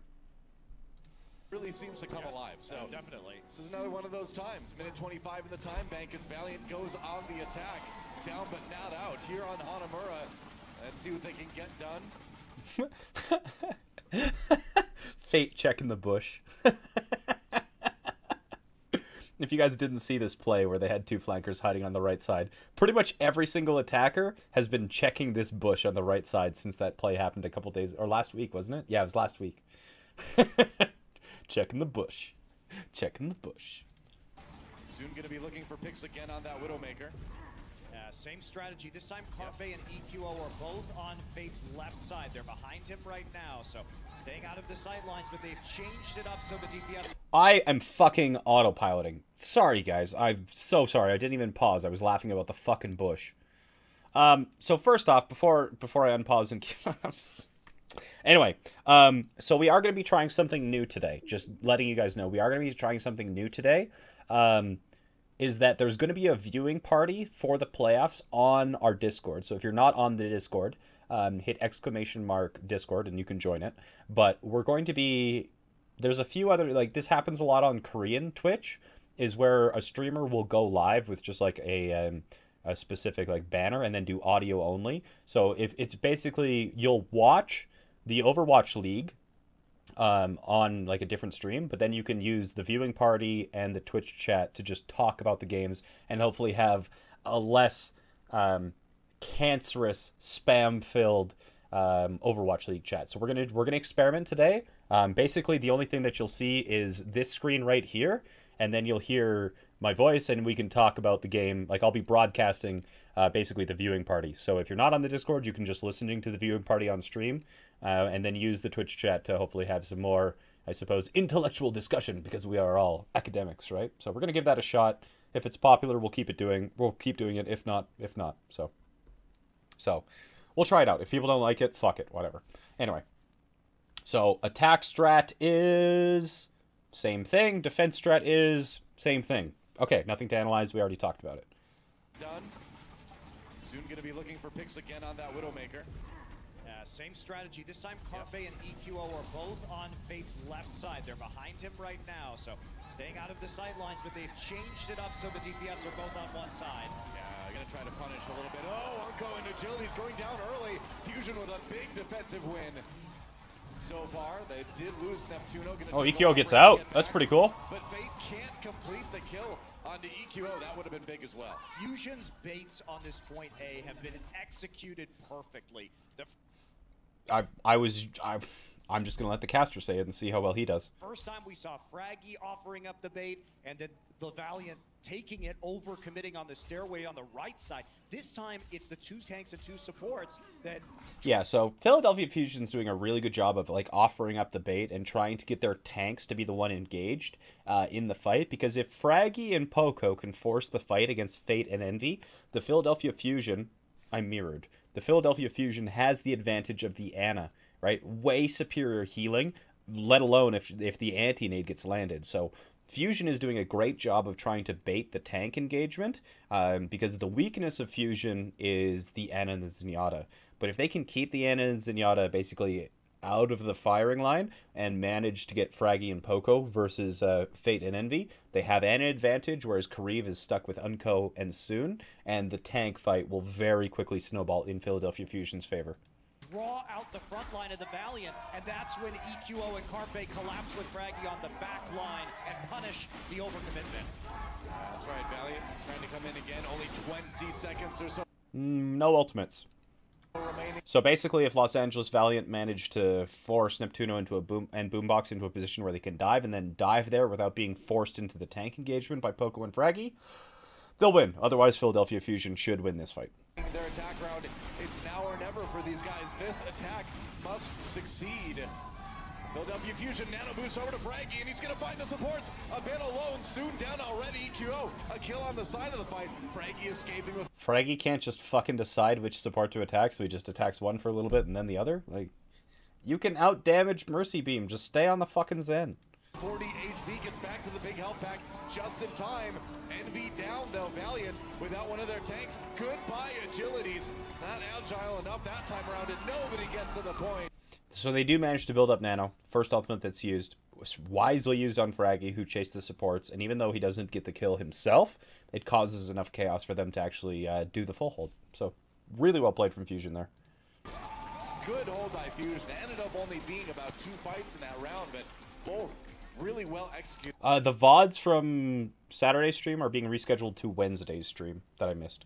On the Philly side. I'm impressed Yeah, with Nano you can. Yeah, with Nano you can absolutely outdamage Mercy's beam. with how Philadelphia's communication is de- developing and how they've realized the Valiant supports have been alone for most of this match. Philly They're best DPS duo? And Envy to overcommit to EQO them and Carpe? Is that even a question? supports As a result, you saw it again there. And we'll see what Philadelphia can do. I think Shadowburn lacks the aggression that to EQO provides. Single tick to win Hanamura. It's kind of tough for the Valiant because you feel like on a map like this, you're kind of playing Philly's game, right? You're you're using their comp, but they seem to kind of just be better at it than you are. Well, I think that's the issue with the Philadelphia Fusion in general. If you're trying to plan against them, it's Yeah. not a surprise. Yeah, Shadowburn's got name recognition, but I think EQO is just objectively the better Genji player, especially in the current meta and the style of Genji. Like if we were seeing Deathball like a Zarya Reinhardt, and then the Genji player for some reason was meta with a Rein Zarya comp, then Shadowburn's playstyle would probably be superior. But in this like very aggressive dive meta, EQO's playstyle is superior. What they run, they run a ton of dive. They diversified it a little bit when we saw them play. Best the two off tanks, Neko and Zunba, probably. and, uh, I don't know. I'm not really up and up on like the rankings of off tanks. part, It's dive for this team. They have that, but it's I don't- I haven't- don't think I've ever watched uh, Snillo. I don't think I've ever watched Snillo. Overwatch teams. The reason why Yeah. teams perfect it is because it can be used anywhere on any map. And Philly's kind of taking that to the nth degree, right? It's the old phrase where it's like, I, I don't fear the man that's practiced 10,000 different kicks. I fear the man that's practiced one kick 10,000 times. And I think it was Abraham Lincoln who said that, but it, it sure is true today. Pretty sure I got that quote right. I'm sure you did know. Okay, so first off, four minutes to get a like a third of the point capture, one tick. Uh, this should be fusions. Philadelphia Fusion Full dive from the fusion, exact same comp from the Valiant. Boy, are we meta slaves. We meta slaves now, boys. on the attack here playing. What else but the dive? EQO and Carpe coming in. Do you think Philadelphia has a decent chance at taking down London today? It's not outside of the realm of possibility, certainly, but that's really going to be up to how many mistakes Fragi makes. on Tracer. Lots of time for them to get that single tick on point A. That's all they need to do to win this map. A very crucial series, and Agility's down already. Great Back to in and out for you, boy. Eliminating Genji on the Valiant side early. Valiant needs to get in here, man. They cannot give up a single tick. And they're going to try start to dive the back right now, Just wrapping zoning. around against It's a zoning with game. Sleep dart hits him, but They're right there, man. That's it. It's, it's just uh, Philly playing a simple zoning game. What an anticlimactic way to end that. It's just kind of like agilities feeds, and then they're all off the point. what a fucking game. Okay. Okay. Okay. Um, yeah, I'll be, I'll be, I'll be right back. We're gonna take a quick commercial break while we're switching uh, to our analyst desk.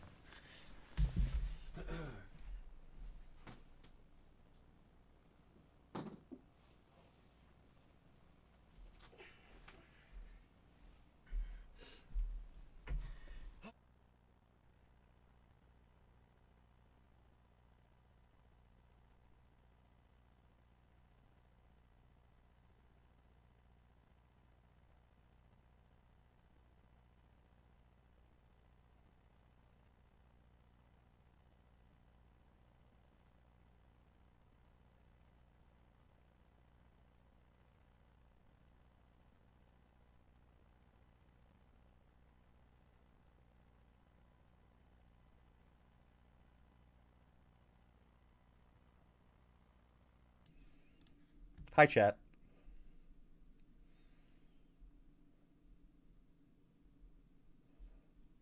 Hi, chat. How you doing? Can I get a Jane Wood in the chat for my subs, my lovely supporters who support such a NA production? Okay. Um. Well, that was a really interesting map. Let's pass it over to our analysts. Thanks, Jayne. It's here, Jayne, on the analyst desk, unmuted so that you guys can actually hear my fantastical opinions. Now, we just saw Hanamura between the Los Angeles Valiant and the Philadelphia Fusion. However, we're seeing that both teams, neither of them are very creative, not iterating, not running anything that we've seen before, basically being meta slaves. Both teams know what the other is going to do. It's the standard rock, paper, scissors uh, that walks through. Both teams just know what's going to happen. They've practiced before, they've scrimmed before, and it's happened. The only teams that are winning are the teams that are making the fewer mistakes. However, mistakes are something that neither team is in short supply of. Fragi certainly feeding more than usual, agility's being caught out, as well as the Los Angeles Valiant having a large number of macro level plays, the first of which, and the most critical of which, caused the snowball on point B after Envy got demeched. The questionable positioning from Kariv, as well as the actions from Soon, uh, and Agility's unable to take out the backline as their only hope for salvation, caused them to almost lose the point had not. Uh, the sorry the mercy leaving unkoe basically to die in the backline without that discord presence their low dps between the genji and the widowmaker caused the philadelphia fusion to be able to stagger back onto the point and prevent the final capture. So we'll have to see how these matches develop, but so far, neither team is showing us anything that we haven't seen before, and really the winner is being the one who is fucking up the least. So as we move into the second match, we'll have to keep an eye out for if these uh, teams have anything in their back pocket that we haven't seen before, or if we're going to see which person's going to be spending the most time in in and out after the game. But back to you to move into the second map. Thanks, Jayne. Get out of here.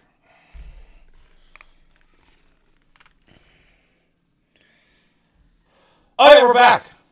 Oh, oh my god, and I'm doubling up too.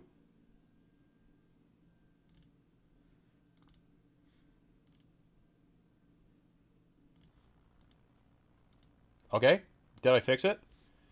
How did I possibly... NA production, baby.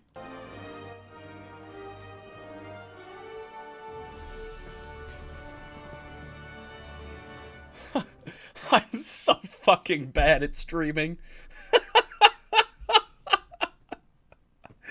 oh, the only thing that I'm worse at. oh my god. Bad at analysis and worse at streaming. Jesus Christ. Why do you guys watch this shit show? Fragi comes from Frag, which is. I honestly don't care. Let's go to the next map.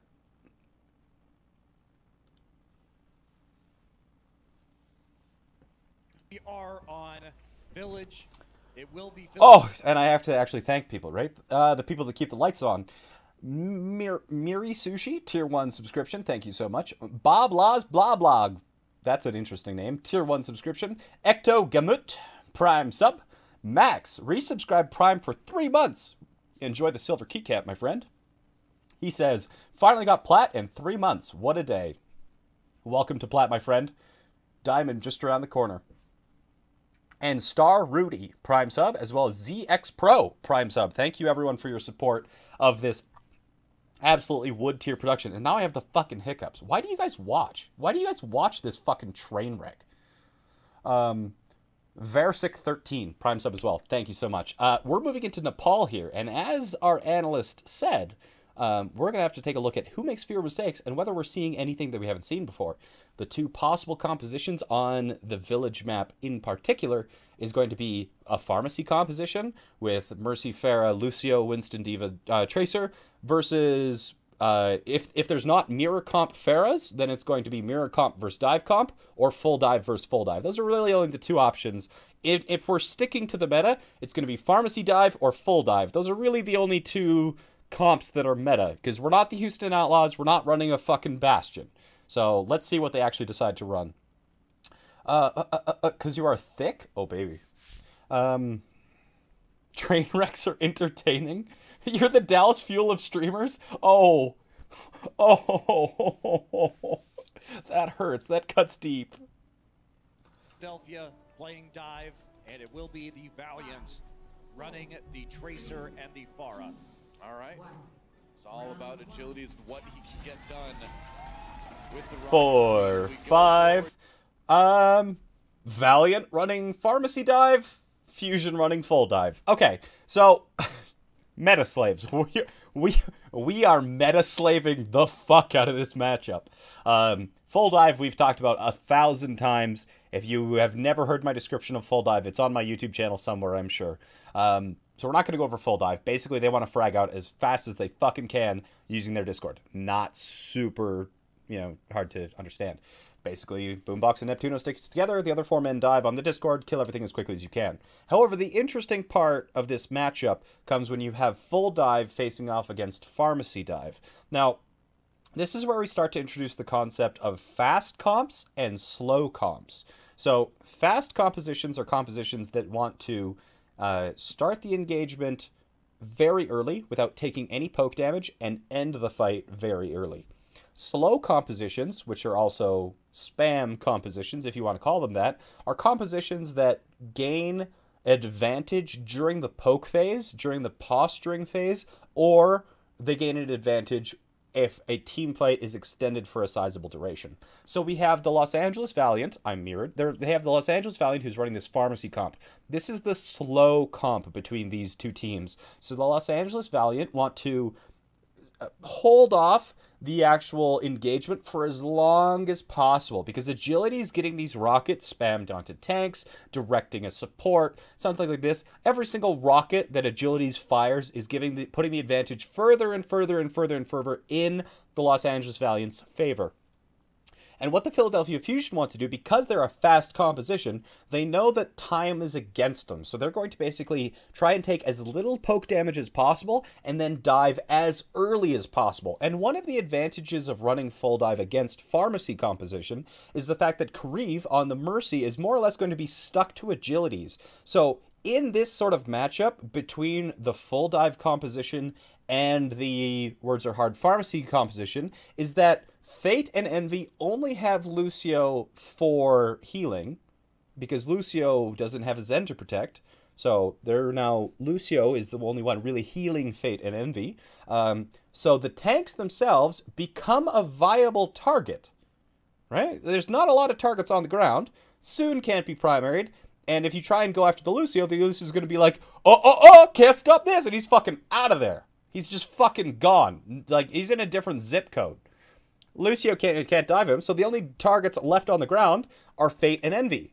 So if Fate or Envy ever use a mobility like their leap or their jump, then they can be discorded and killed very, very easily. Um, so basically, Fate and Envy know this. Fate and Envy know that if they use their leap or their jump, that they are they become dive targets. They're tanks, but they become dive targets the moment that they use leap or uh, jump. So what you're going to see here is that Valiant's going to want to take this really slowly, and Fate and Envy are not going to dive offensively unless they see a really good opportunity, or if Agilities lands a, a direct on somebody. So if Agilities lands a direct on like Neptuno or something, boom, they're going to be there. You know, they're going to be like white on rice all over that, finishing up that kill. So Valiant isn't going to dive until they see like a really good opportunity. Whereas Philadelphia Fusion, because the time is against them, they're probably going to have to take whatever they can. You know, they're going to take the best targets because they have to play super fast. They don't have the opportunity, they don't have the luxury of waiting around for the perfect engagement. So, I was actually talking to Taimu about this when he was in the stream, but he puts this matchup at the pro level as 50 50. Um, so we had a nice long discussion about this, but the matchup here is probably one of the most even and interesting matchups because it's not 2-4, it's not it's not a 2-4 comp versus a 4-2 comp. It's not 3-3 versus 3-3 where we have this really dumb setup on Hanamura where both teams kind of like get into position and then they just kind of slap each other. Like, "No, go away. No, go away." It's not that. This is like really high intensity. Fusion knows they're on the clock. Valiant wants to play this really safe and beat them based on uh, positioning and make them force the dive. And this is one of the most interesting matchups you can have in the current meta of Overwatch, and the real mastery is going to be the shot calling, the target calling, and how the macro gameplay uh, is conducted. That was a bit of an extensive explanation. I hope you guys don't mind. Let's get to the map. Here on the village, Valiant rushing in, and Agility's already trying to cover that doorway that Philadelphia is coming out of. They're going to go in for the very aggressive dive. Whoa, that is a bunch of kills already. Envy and Verbo going. You blink and the dive already happened. Look at that. Done with the Rocket Queen as we go forward here on the village. Valiant rushing in, and Agility's already trying to cover that doorway that Philadelphia is coming out of. They're going to go in for the very aggressive dive. Whoa, that is a bunch of kills already. Envy and Verbo going down. And man, they're just like, you know what? You can only fire rockets so fast. We're just going to run right past you. Yep. Well, they played that perfectly for the exact explanation. You saw Fusion. They obviously saw the opportunity, and they pulled the trigger right away. I mean, they blitzed the opposite room and said, okay, we're just going to ignore the Pharah. Just we're going to take it, out man. your tanks instead, and now we're just Oh. going to take the point. So Agility's sad and alone right now. Get out of there, Maybe EQO! we're Coming back to join him, but it will be too late to take the point. Nice. Really well played by Fusion here. Alright, you're just going to get in there and get wrecked, right? Fate, Res, Valiant not giving up just yet here. Philadelphia Fusion already building that control percent here on our King of the Hills style Nepal. Oh, a lot of damage. Jesus. Onto agility. is connected. Oh, he almost got that. Holy smokes. Tough to do that with the Genji. Yeah, they've been losing the ground war this entire time. Boombox is going to come back with a transcendence, but it is going to be a fool's errand as he has forced. Whoa! So the only real thing there is to mention about that is you noticed how long that fight extended for. Um, EQO couldn't finish off Agilities. Agility stays alive. He still keeps, uh, you know, providing that value. And during the longer, drawn-out team fights, the Valiant have a very significant advantage, especially since during this fight, Fusion wasn't able to follow discorded targets.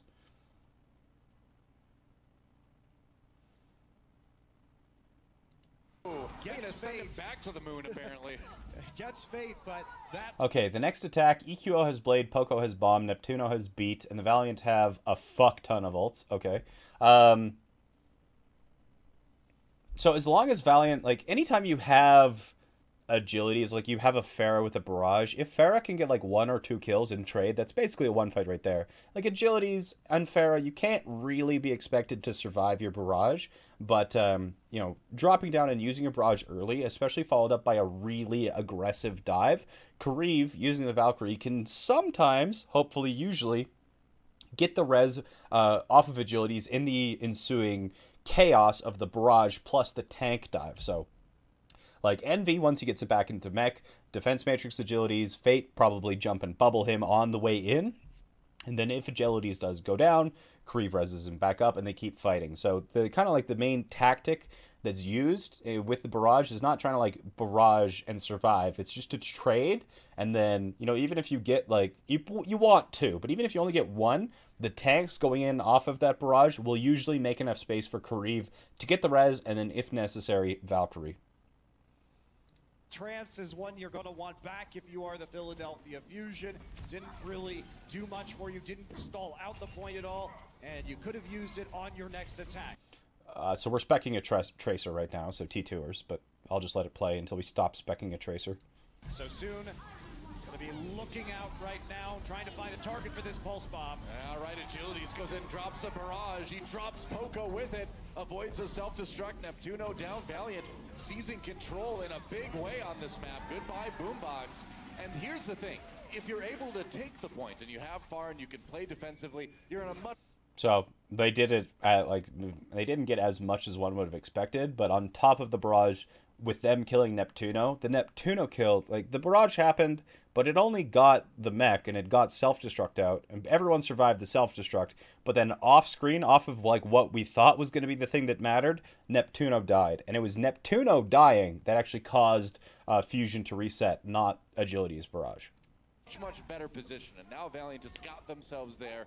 So will they be able to hold it? That's yeah. the question. It's all about controlling that space, and there's not an opportunity for the Fusion. Yeah, if you're new to the stream, pretty much as soon as they spec a Tracer, I just, I just kind of give up. I've stopped trying to analyze things from the perspective of Tracer. It's fucking impossible, man.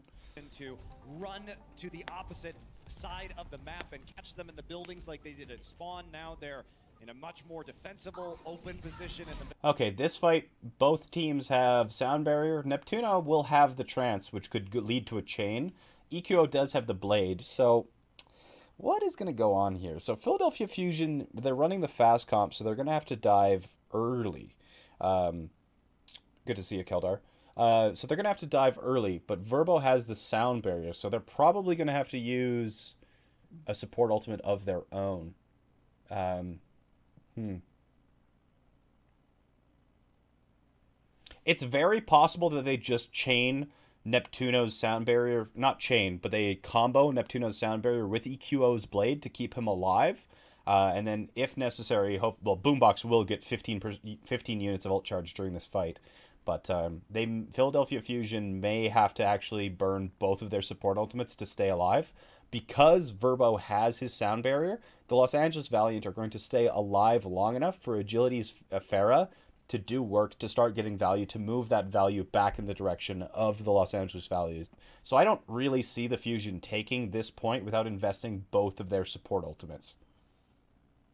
Middle of the map where the Pharah can cover all of the allies. That's right. Ooh, soon you can tell he was thinking about that false bomb, but Poko right there, gonna throw it in anyway. Boombox avoids a lot of that damage. They dropped the sound barrier on the Philly side. So they dropped the sound barrier, but they didn't combo Blade with it. Maybe they're looking to do Trance Blade? But Valiant is really low here, uh, and Verbo still hasn't popped his ultimate, and the point is flipping. So somebody's contesting. Hunting for a chance to use that dragon. Verbo gets Fragi. Where the hell was Fragi? The Pharah can cover all of the allies. Yeah, that's right. Ooh, soon you can tell he was thinking about that false bomb, but Poko right there, gonna throw it in anyway. Boombox avoids a lot of that damage. They drop the sound barrier on the Philly side as well. EQO hunting for a chance to use that Dragon Blade, and he may find it right here. Mercy. So they do get the swap, so they're gonna fight this out. Um, but are they gonna invest the ultimates? Verbo still has barriers, so I think investing because you like EQO is not going to be able to pull this off without the assistance of Boombox's uh, Transcendence. And assume like EQO is also if to get enough value is going to have to take out Kariv and Agilities, uh, like unless it would be super risky to Transblade here, super risky. I think they'll just suicide on the point to try and buy as much percentage as possible and then reset. So probably target Verbo. Here, Philadelphia Fusion's best play is probably save their ultimates, hard dive Verbo to try and bait the sound barrier, and then attack next round with the the blade and combo it if you feel you need to. But I don't know. I don't know what. And the other thing is that not only do I not know what's going to happen next, but this is technically part of the same team fight. Um, so there was no shot calling. There's no planning. The, like the plan does not exist because chaos has already ensued. So this is going to be on individuals making the decisions on whether or not they ult, unless there was a call specifically for no ults or regroup or die on the point. So I there's like four or five different possibilities here, and let's just see which one the fusion picks in trouble. Can he get the finish? Oh, he's getting low on health as well. Boombox does commit trance. EQO still not blading. And this is really out of character for EQO. EQO is normally very blade happy, but he's holding this. Carpe drops. So really, like the benefit here is that Fusion is just getting free percentage. But I am surprised that Boombox decided to commit the trance to this fight. Like with Fragi down, especially, he's only getting like half of the value out of trance that he could have and he didn't use it to combo. So question mark. Still alive, and that could be big. Envy gonna get DMAC by the pulse bomb from Carpe. A little bit of wall art being done by EQO. But meanwhile, Valiant oh. winning this fight. Like, it's not the worst thing ever at this point. I was thinking that using the blade in the trance would be bad because Verbo could cancel one ult with two, but EQO at this point trades the blade for the barrier. So at this point, it kind of worked out. Like, this isn't as tragic as it could have been, but he's still not going to kill the pharmacy. Anyway, the Dra- Please be right with that prediction. Yeah, okay, good. I was like, this is EQO I'm talking about. He could very well kill that pharmacy. it's over, man. He held it for so long, and I don't think that was a right. Why does EQO keep targeting Pharah? A matter of pride? I don't know. It's not. The, it's certainly not the best decision. Like if he pulls it off, he looks like a god, but it's not the best decision. It's not the way you should be playing this. time to finally use it? I mean, the plus side is you could say, okay, we got the sound barrier out in a situation where we were going to be struggling anyway. Sure. But Fate is still here. He still has the primal rage. They have such great And it finally swaps. So I don't know why Fragi didn't just fucking die on the point like a man. Like, they were getting free percentage anyway. But hey, you know, Agilities used Barrage, Verbo used Barrier. So Los Angeles Valiant had to use two, three. They had to use three ultimates to retake a point, which they just gave up for free. So, like, Fusion fucking up, Valiant fucking up. There's mistakes on both sides of this fight, pretty, like, quite extensively. great control over this point right now. They flip it back.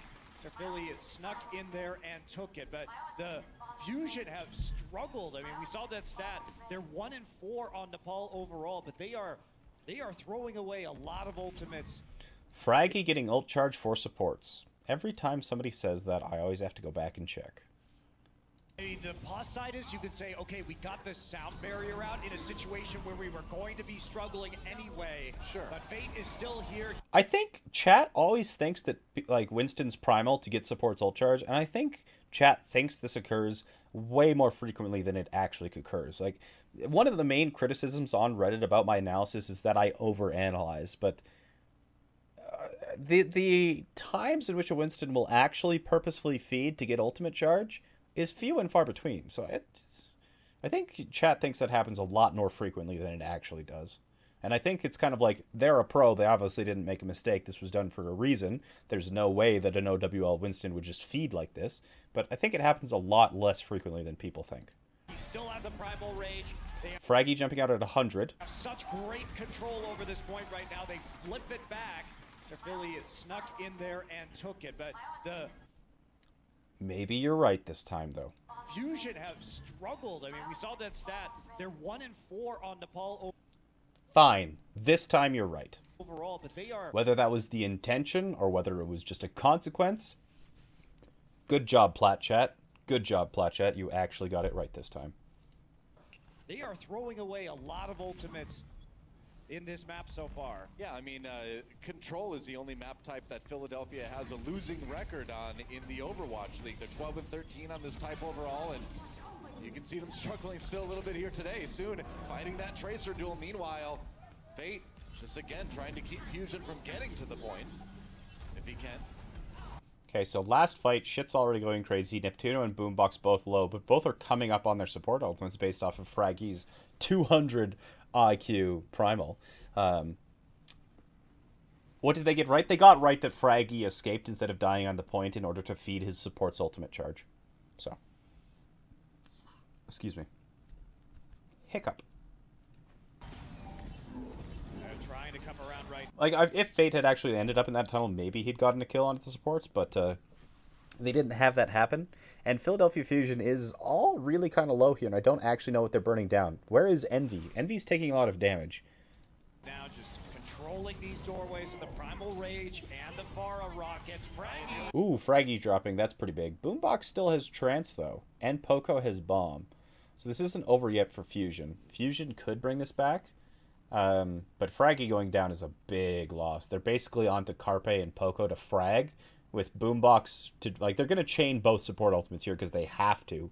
It's overtime, um, and honestly, they have a pretty good chance of winning this, especially if they take out Verbo. Nice. They take out Verbo. Yeah, I think Fusion will win this. Fusion should win this. from Soon. Over Overtime expiring already. Carpe is going to try to keep it going, but shorthanded are the Fusion. Oh no. they they stacked support ultimates. How many fucking mistakes can you make in a game? Jesus Christ. They stacked trance and barrier. Like stacked them. They don't chain them. They stacked them. Boombox is in trance right now and Neptuno dropped barrier. This is fucking diamond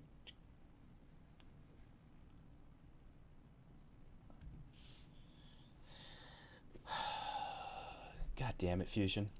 As they come in, they've got the sound barrier though. and They've got bait, so maybe an opportunity to flip this thing around. It looks like they will. So Valiant takes it to 99%, but Like, they were gonna take it whether they chained it or stacked it regardless.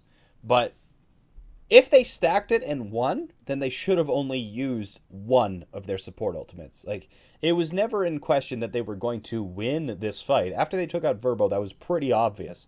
Um, and like, and honestly, as long as the supports themselves weren't in trouble, if Poko was being the one in danger, let's play this game. Let's let's see what actually prompted the support ultimates in the first place. overtime expiring already. Carpe going to try to keep it going, but short. Like neither of the the supports were actually threatened, right? Let's play this back one more time. So, watch the support's health of Boombox and Neptuno here. Overtime expiring already. Carpe is going to try to keep it going.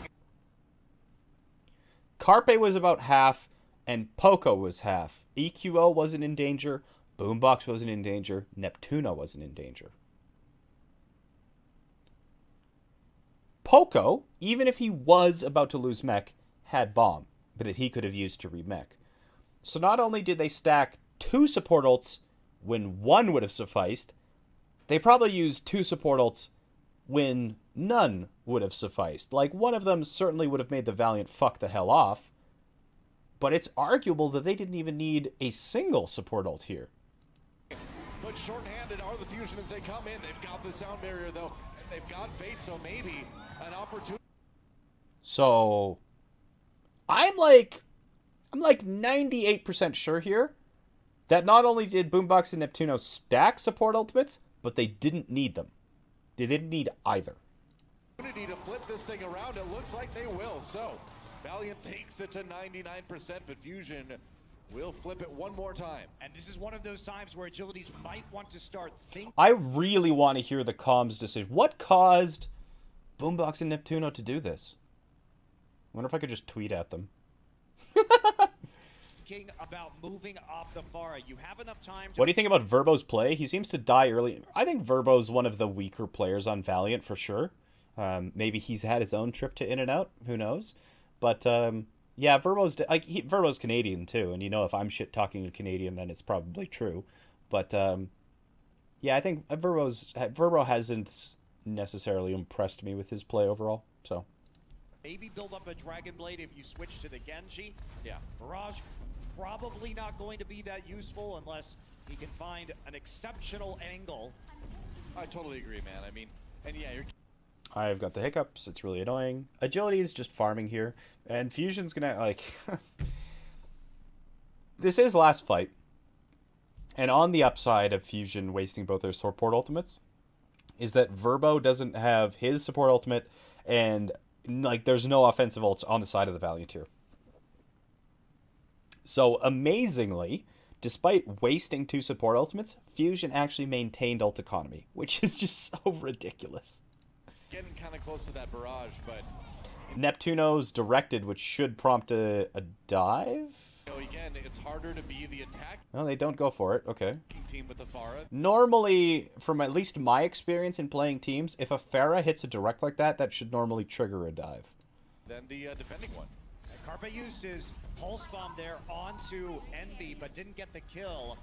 And, here, Agilities is just poking, building up charge. Every charge, every rocket that he hits while damage boosted charges up Kariv's um, Valkyrie. So Valiant's taking this really slow, which is nice to see. But they should know that the fusion doesn't have any support ultimates. So I'd like to, I would like to see them pressuring a lot harder than they currently are. now that means that Kariv and Verbo going to have some more ult charge to work with as they look to drop in. Oh, goodbye, Neptuno and Boombox. No more supports for Philadelphia Fusion. Verbo falls as well. Philadelphia in big trouble here. Val- What did I say about Barrage, right? Uh, You use Barrage early, especially when you have Valkyrie, so you can trade and res. Winning this fight in a hurry, but it is 99%. So Kariv decides to res Verbo instead, thinking that he's more valuable than Agilities, which is probably right in an overtime situation. Um, EQO's pulling out his blade here, but he's at 150 and doesn't really have support. So Fate should be able to take care of EQO here. EQO, he can end it himself right here with a good Yeah, that's just, Blade doesn't give you any more survivability. Sorry, you're dead. Dragon Blade, but it's not going to happen. Valiant taking the fight, and as soon as they deal with Carpe, and as soon as they deal with Neptuno, and I Nice. think that's going to be about it. Valiant knew that Boombox and Neptuno used their support ultimates. They did hard dive the supports to clean them up, and after that, Fusion just got fucked.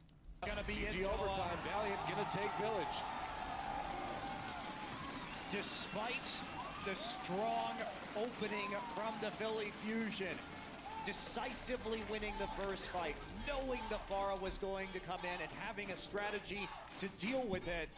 Once Valiant got control of the points again, it was some mistakes in communication led to some bungled ultimates from the side of the Fusion. Yep.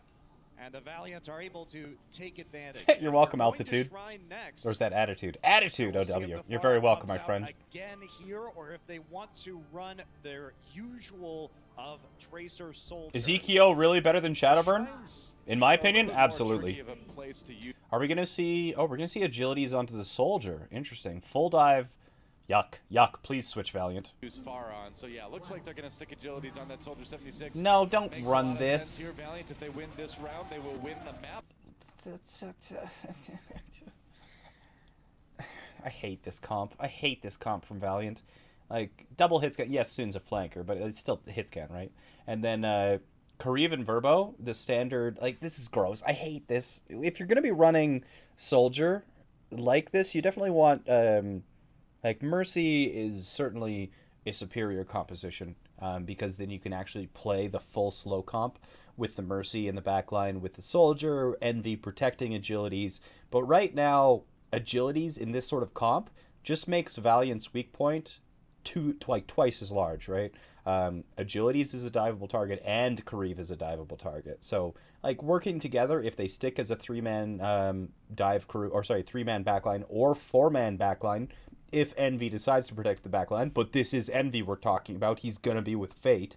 So, we're gonna have a three man backline of Verbo, Kariv, and agilities against full dive from Fusion. Uh, so unless Fusion like fucks this up or doesn't find an opportunity to dive, uh, Fusion should just roll them here. So uh, if you are going to be running this slow comp, you want to be running, you want to fully commit to the slow comp. They're kind of like half slow, half fast, and they suck at both. Fusion's going to play fast as long as they take the fight on their terms. Fusion should just roll this. Tie up this series. Fusion would prefer that doesn't happen. Going to try to win it, swing it back their direction, playing that classic dive like we kind of assume they always will. Yeah, it should be a slow push in here from the Valiant. They're starting to get control over the sight lines on the point. Yep. Now. Now Valiant is playing this pretty smart. They've taken the position because they want to be the ones that are taking the ground just with the W key, just by walking forward and giving agilities these really nice sight lines. And where on Village is the sight where on Village are the sight lines the nicest? At Elephant. So Valiant have managed to take Elephant, you know, successfully without much contest because Fusion, knowing they're playing fast, fast does not mean dive immediately. Fast means see what they're running, see where they're running it, make sure everybody's been positioned, and then quickly kill them. It doesn't mean go immediately. It means when you do decide to go, they all die immediately. So Fusion's playing this really smart. They're slow, they're scouting, they're looking to see where the Valiant is, what they're playing, and Valiant's like, we're slow, we want this position, we want these sight lines, then we're gonna set it up. Yes, it's Shrine, that's what I meant. You know what I meant. To find an opening in the back or on one of the flanks with their dive. That point unlocked. Uh, so at some point, Fusion is going to have to commit to this one. Philadelphia is there already, trying to flip it here. Valiant push back a little bit. Oh, but they do get the kill on EQO. Valiant loses Envy's mech, though. That's going to be a problem. Agility slowly working his way forward, but it's going to be Philly that gets the point first, and they're getting the kills, too. So Valiant just... So the one thing that I don't like about Los Angeles Valiant is the fact that they didn't even attempt to contest the point. Now, this is actually interesting. This is going to be a little bit harder to explain what exactly happened here because you actually saw both teams playing slow, even though one was playing a fast comp. Let's take a look at this again. This is interesting. This is like the most interesting thing that's happened in this series so far. Find an opening in the back or on one of the flanks with their dive. So what's going on here is that Fusion has um, uh, Fusion has decided that they have not found um, a suitable area or opportunity to dive. But the point is unlocking. And Agilities is holding outside at Elephant, and there's these nice kind of walls around the side here. So Philadelphia Fusion's, or sorry, Los Angeles Valiant's tank, Fate and Envy, should have just taken this location um, so that Philadelphia Fusion couldn't take it. But Philadelphia Fusion, realizing that they don't have a very good dive opportunity, decides to take these positions that reduces Agility's um, sight lines. Now, Fraggy almost drops down here, but they do manage to actually take positional advantage on the point here. And again, in the same sort of composition where especially a slow comp, if a slow comp engages first, if they engage with a disadvantage, Philadelphia Fusion, once again, without actually winning a team fight, manages to put the point flip in their favor. So I really like this. I really like how they did this here. Is that they played slow against a slow comp uh, based off of superior positioning. So. That point unlocks. Philadelphia's there already. Cheers, hydration bot. Push back a little bit. Oh, but they do get the kill on EQO. Valiant loses Envy's mech, though. That's going to be a problem. Agility slowly working his way forward, but it's going to be Philly that gets the point first, and they're getting the kills, too. So Valiant, despite the measured attack, is going to have to take a break and reset Agility's. Also, can I just say how pleased I am that Valiant got fucked here, because their comp is dumb. Their comp is bad, and they should feel bad for attempting to run this on, uh, on Shrine. Taking a dive. EQO sacrifices his life, but it comes at the price of both of the tanks from the Valiant. Yeah, you heard me, Coach Moon. Your comp is bad and you should feel bad. Was pushing the point aggressively in spite of having the lower amount of poke damage, so it's probably a situation that should never have developed in the first place for the Valiant. But here they are, trying to retake now, yep. and Agilities is going to switch to the Genji. Okay. Soldier Dive is a thing, yes, but not with Lucio Zen but not with Lucio Zen. Um, and now Agilities has swapped off Soldier back onto Full Dive. So now we're playing Mirror Full Dive. Um, so there's not going to be a lot to analyze here. It's going to be uh, a lot of posturing here. And then if there is going to be a dive, we'll have to see whether the counter dive is back onto sports or onto the tanks. There's not a lot of ways that Mirror Comp Full Dive can go. Trying to match Genji or Genji v Genji against EQO. Valiant coming in, Carpe sneaking around the back of the fight. He's got Kariv a little bit where he wants him. Has to recall though after taking some damage. Valiant trying to push him from the same side that they tried to push in before. Yeah, but this is Philly dancing around the point now. Valiant not finding an opportunity to commit. There. Barriers coming out from Neptuno. EQO has Blade, not using it. Um, the barrier alone should trigger some sort of ultimate um, in response from Valiant. Probably a barrier of their own. But like EQO can't really blade here until they get both support ultimates. Um, so like if he wants to get kills. So EQO could like there's a couple options here. Barrier from Fusion will force out one of the support ultimates from the Valiant, most likely Verbos. So barrier will probably answered with barrier. But then fusion has the advantage here in ultimate. So they can either use blade to force trance, and then as long as EQO EQO doesn't die, then they can use boombox's trance in order to sustain them for the victory. Alternatively, they can trance to, to sustain while they chase after Kariv, uh, and then Kariv will pop his transcendence to stay alive, and then after Kariv's transcendence goes down, they can blade to win. But honestly, it's probably safer because the person who uses their support ultimate second has the advantage. So using Boombox's ultimate to force Kariv's ultimate puts Philly at a disadvantage. Where if so prediction. Calling my shot.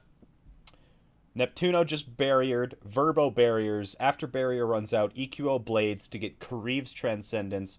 After Kariv Transcendence ends or partway through it, Boombox activates his Transcendence, and the Pulse Bombs will likely go onto tanks. Here's the sound barrier. This is the all-in moment. Yeah, here's a commitment, and they get Verbo right away. Or Verbo will just fucking die. Transcendence comes out a little bit late from Kariv there. Uh, Pulse Bomb doesn't get the kills for Carpe, but they are still edging out Valiant in this fight. There's a nice one onto Agilities here, and back on the point as Valiant tries to flip it, but Philadelphia's not going to let him. This round has been pretty one-sided so far. Yeah, it has been. Fusion bullying the Valiant off the point every time. They waited for the sound barrier, quickly engaged, and there was nowhere for the Valiant. But downside of that, Fusion did for some reason they used their second support ultimate again. But um, you kidding me? To go because they were caught on the side of the map against the drop off. Neptuno and Boombox getting back just in time, as we can see on our map overview there. How about, yeah, they're going to come in with a sound barrier, so this is the Valiant's time. They have to win this fight. Yep, certainly do. Nearly 90 Woo! fusion already. EQO really low. Ooh, that was a close call. He has that Dragon Blade. They cannot lose. Okay, let's like the last one. Oh, never mind. Fragi's just primaling Kariv. Okay, okay. So if Fragi gets Kariv here, basically this will be the the point for Fusion. Right up, straight up. Before the fight begins. Meanwhile, Fragi just goes ahead and uses the Primal Rage. Keeps people zoned out a little bit, looking for some knockoffs. On to oh, man! Kariv so close to getting knocked away.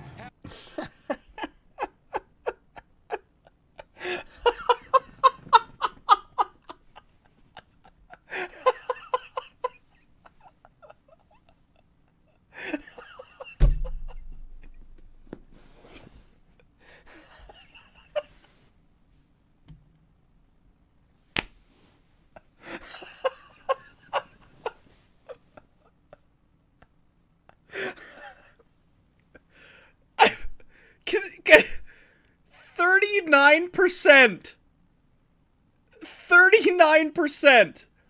That is what Kariv's Transcendence started off at. And Fragi failed for so long to kill Kariv that he built up 60% of his trance and then escaped. yeah, they're going to come in with a sound barrier, so this is the Valiant's time. They have to win this fight. Yep, certainly do. Nearly 90% for Fusion already. EQO really low. Ooh, Okay, he hits the right click, but He has that Dragon Blade. They cannot lose him before the fight begins. Meanwhile, Fragi just goes ahead and uses the Primal Rage. Keeps people zoned down a little bit, looking for some knockoffs.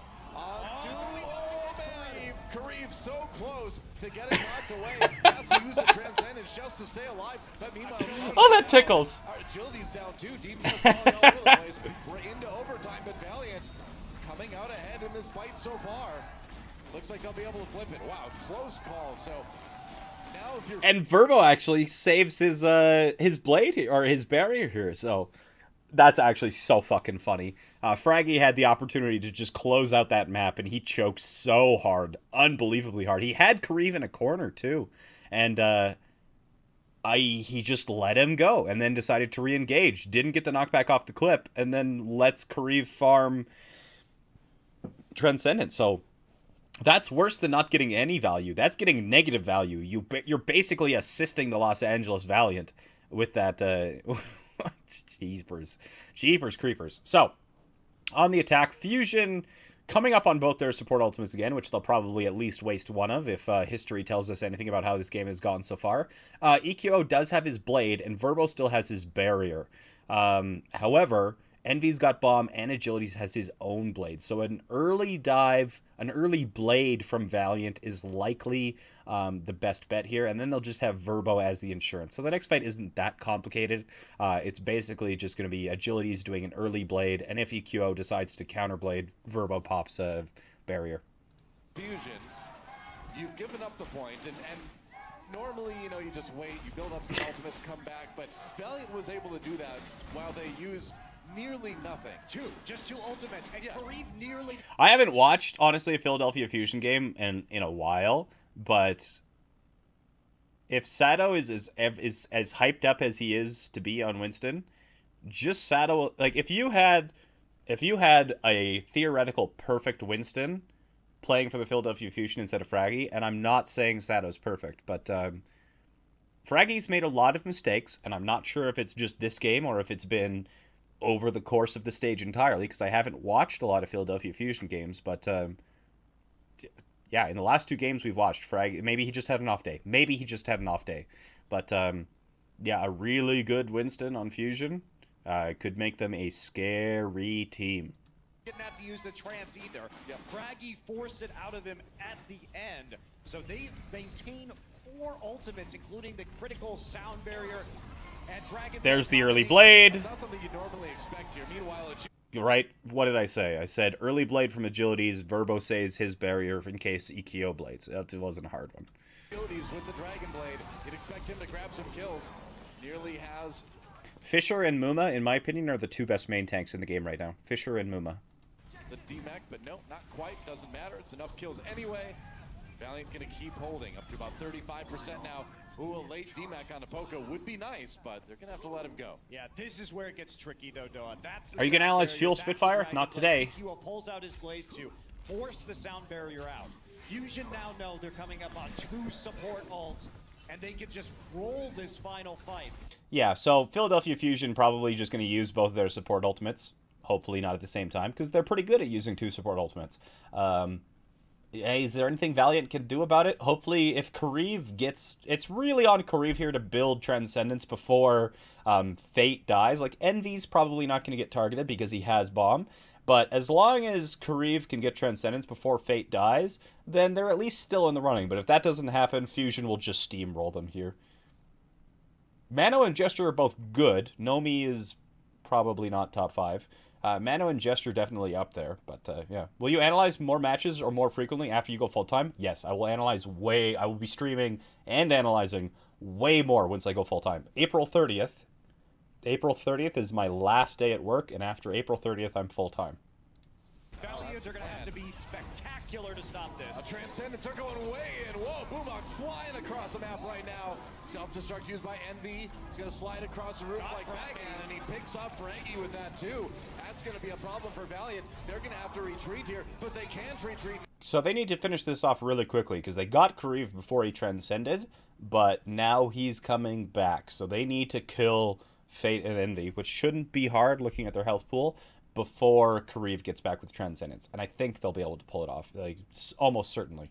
Now, if the point gets flipped, that's going to be Fusion taking the round. And Carpe's going to fall, so it's actually four members of the Valiant still around right now. It's just Poko and EQO, and they never got the point actually to flip over in their favor. Oh, so it was so close, but now Valiant is going to get probably near 99 themselves.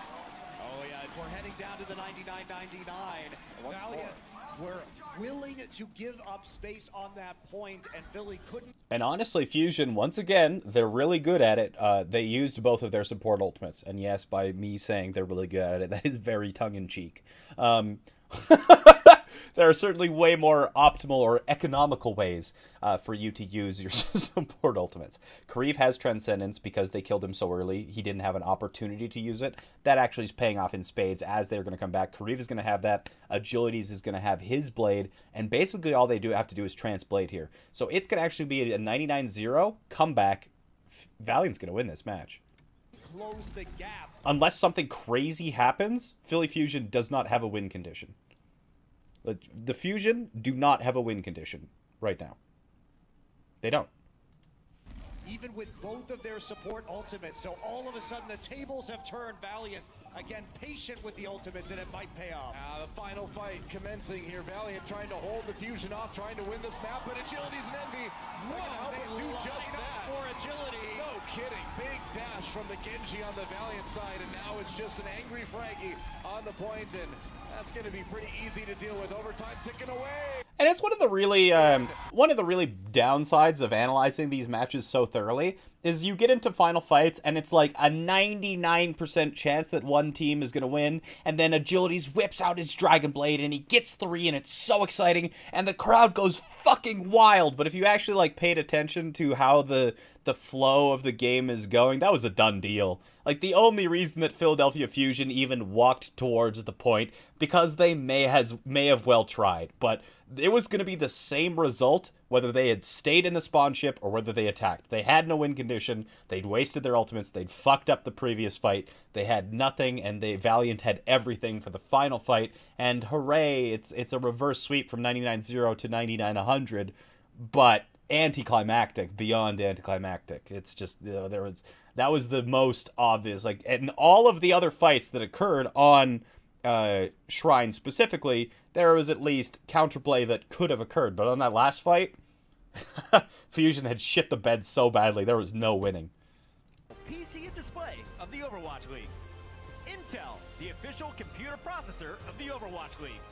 And by T-Mobile, America's best unlimited network.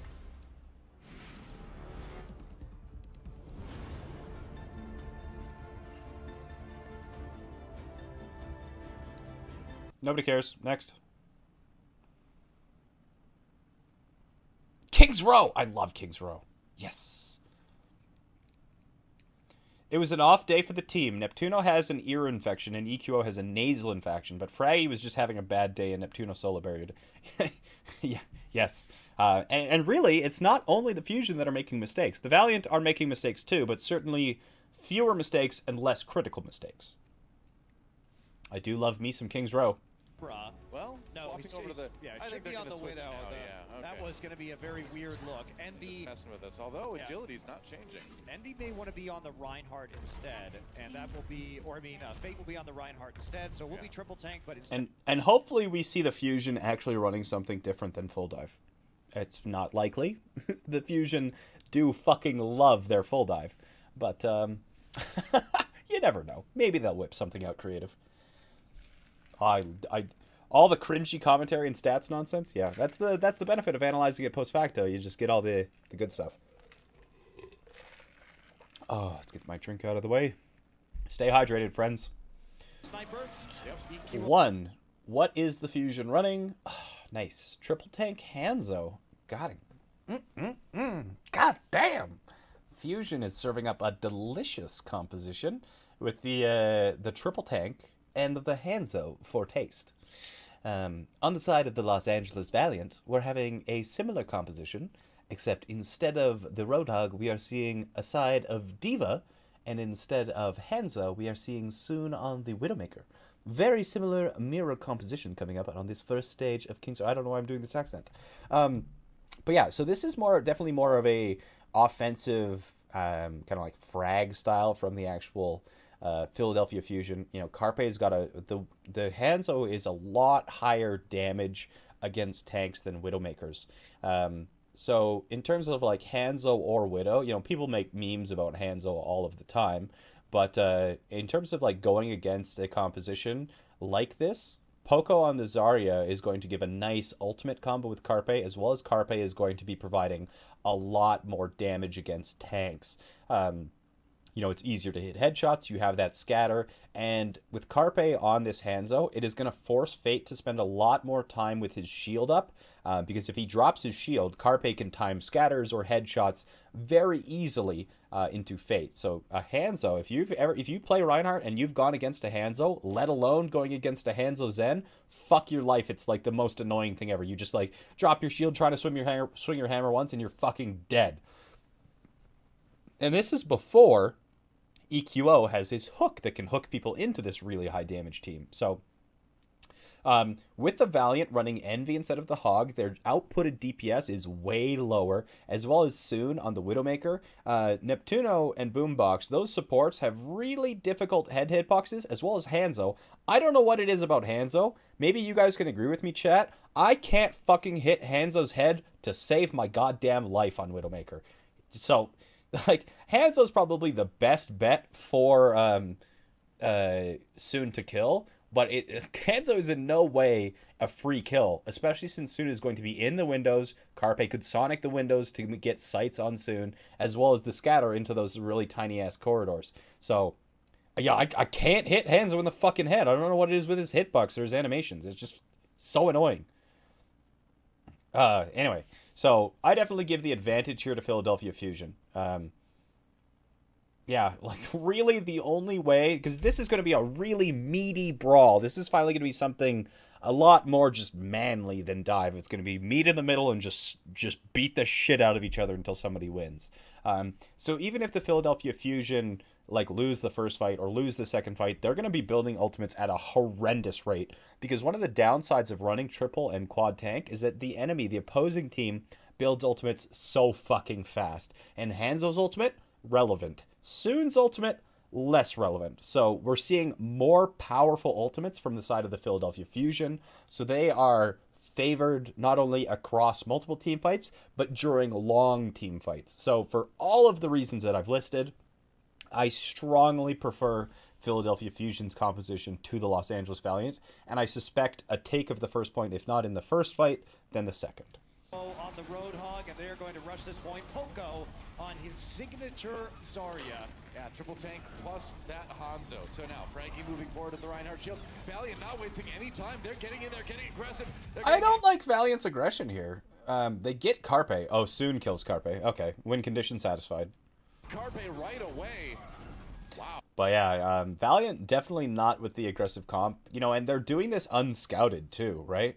Uh, this is prior to um, you know, they did this pretty much. They were going to do this regardless of what the enemy was running, trying to get ult advantage in their favor, uh, instead of you know the downside of the triple tank being that you normally feed a ton of ult. So they move forward, try and catch them off guard. Yeah, soon does manage to nail a shot onto Carpe and is already at 50% ult charge, so he's hitting a lot of shots. But it looks like he nailed Poko. But um, yeah, so I don't like this aggression from Valiant. I can see why they did it, but you know, this is this is hindsight is 2020. So I've put glasses on. I saw the past. I had perfect information. So the only reason I do not like this action from the Valiant is the fact that I knew what the Philadelphia Fusion was running. In terms of like a set play or a game plan, um, this is a perfectly acceptable strategy from Valiant against pretty much any other composition. It would have worked uh, would have been a good idea. And they're not going to get punished for it, right? The, the Valiant, uh, especially with Envy being able to defense Matrix Fate and agilities with the bubbles, it's going to be almost impossible for the Fusion to actually punish any of the Valiant players. So that's not the problem. The, really, the only, the, the smallest issue with them being this aggressive is that Philadelphia Fusion actually does want this exchange of ult charge because it very heavily favors them. Oh, that was a move I don't think Philadelphia was expecting. Right hey, Caramel. No, you don't expect that. Carpe going to swap now to the Widowmaker. Soon on that hero wants to take the duel. But a surprising aggressive play. And oh, oh right Ryan. Charge. That must have been a scatter. Or Carp? No, it wasn't, because Carpe was on Widowmaker now. He decided to take the Widow duel. So I don't know what burst Fate down so hard. What burst Fate here? The Widowmaker. See soon on that hero wants to take the duel, but a surprising aggressive play. Hmm. I guess everyone just focused him. Envy didn't get the defense matrix up in time and Agility's bubble wore off, but that's a huge trade. Oh, right on Ryan. Charge. Yeah, Fate taken out though. Poko right there. Help keep Frankie alive as well, and now Valiant push all the way back. Uh, that Reinhardt. Uh, but still, with Envy's defense matrix on Fate, like that was chunk damage. So it means that Envy didn't have defense matrix on Fate. So maybe it was just really poor timing. He deactivated it and he was in the actual cooldown.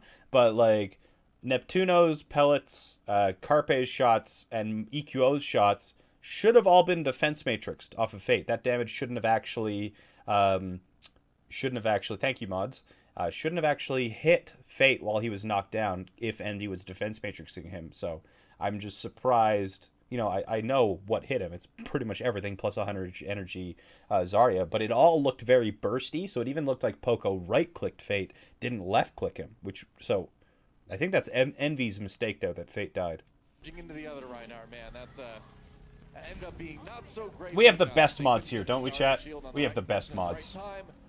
And it looks like that's just going to be nearly point A until Valiant comes back in. Gonna try to it's a take nice down play Goodbye from Yeah, Graviton Surge though. They're going to pair it with that Coalescence, and that, I like Poko Zarya so far.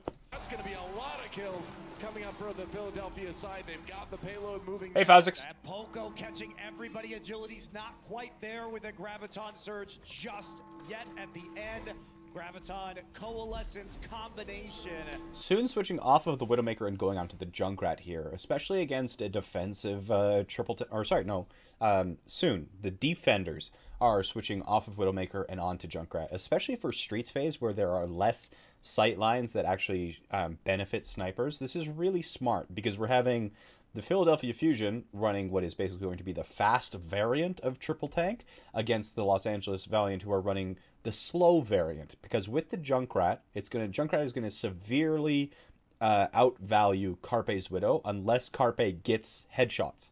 Uh, but they have, you know, the ge- the map geometry that favors the Junkrat as well as just straight up Fragi's shield. Um, so Valiant certainly with the the nice switch, the stronger compositional switch here, uh, and I wouldn't be surprised if Carpe switches off, but he may just be looking for some early picks because they will have some time before the first fight happens here. And in this first fight, uh, the Los Angeles Valiant have two really strong tank ultimates. Um, they could combo uh, the the bomb itself with grav or hammer, or they could just walk forward and just run them over with simply W key and you know unhindered aggression. Whereas the attackers just used coalescence and uh, graviton, but they still have hammer. So there's going to be a nice little hammer down duel. Um, that'll probably be the first fight. Will be the exchange of hammers. Um, Neptuno has his sound barrier. Verbo does not. Is there any, really anything else we need to consider here? Yeah, with Neptuno on sound barrier, I will probably see a hammer battle. Agilities without something to combo um, with agilities. Like the bomb is okay, but you know Fragi can still block the bomb uh, unless he's it's unless the bomb is placed perfectly. So I think Grav will probably uh, be held because it, without anything, any specific follow up, killing through barrier is going to be rather difficult. will end the Valiant. They were grouped up trying to contest the point. It was their last opportunity to hold them at point A. It will not be successful.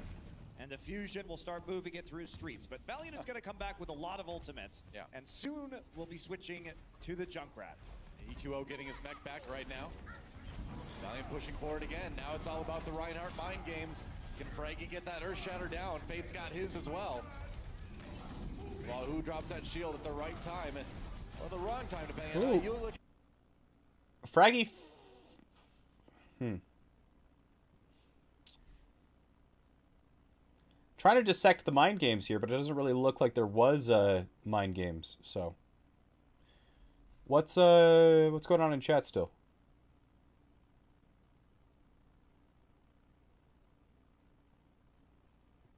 Anyway. right now.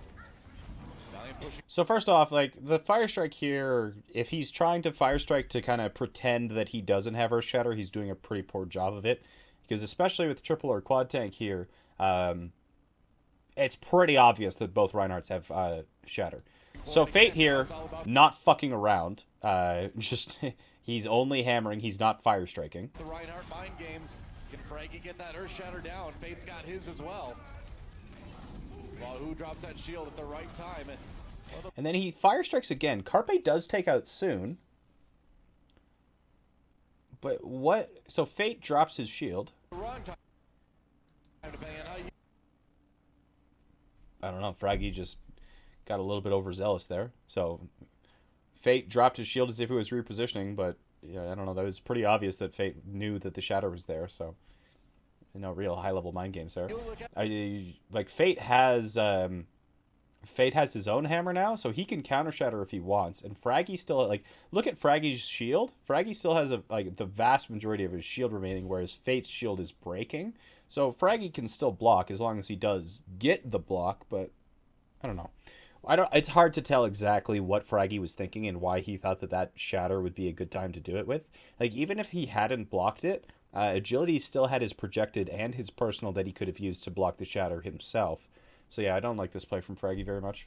Oh, the mind games won this time by Fate. He's going to counter Earthshatter. Yeah, and then Fragi puts him in himself in a position where Fate still has a clear line of the back line. So, yeah, this is just bad from Fragi. Fragi get that Earthshatter down. Fate's got So, like, if well. you miss your Shatter and you know the opponent has Oh, Shatter, you have to move to block. time. Or the wrong time. Shatter. He's going to counter Earthshatter. Fragi dashing back to try to get. And I, did something boop him? Did Verbo boop um, Fragi out of the way? I think Verbo booped Fragi out of the way. Where is Verbo? Where is Verbo? right now. Valiant pushing forward again. Now it's all about the Reinhardt mind games. Can Fragi get that Earthshatter down? Fate's got his as well. Who drops that shield at the right time or the wrong time, depending on how you look at it. Oh, the mind games won this time by Fate. What knocks? What knocks Fragi so far? I, I feel like something knocked Fragi out of the way, but I don't know what, and I don't know where Verbo is. Verbo beat Fragi? He got booped. Like I thought it was Fate swing, but Fate swing shouldn't knock him that far, and like I, I, you know, my initial thought was that it's Fate swing that knocked him, but it knocked him a long fucking distance. No, it's it's not a mine because Soon is dead. No, it's not a concussion mine. Soon is dead. Yeah, but if if Verbo booped him, Verbo would have had to been like behind the payload to get him knocked in that direction. I don't know. It must have been it must have been Fate's hammer, but the only reason that Fate's hammer would have knocked Fragi that far is if Fragi was already himself moving in that direction, right? So, how the boop works, and this is why I'm confused, is how the boop works is if you're already moving in this direction and you get hammered in this direction, that momentum will be added. But if you're moving in this direction and the hammer hits you in the opposite direction, then you're basically going to be knocked back into the same position. And what Fragi should have been doing is moving, let's go to blackboard. Not whiteboard, because that hurts my eyes.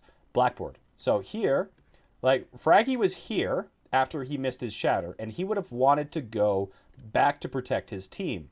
But Fragi got knocked a really fucking far ways in this direction, which implies he was already moving in this direction when Fate's hammer hit.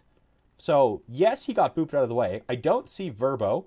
Um, mods! Um, I don't see Verbo. Uh, so I don't think he was boobed. I think it was boobed.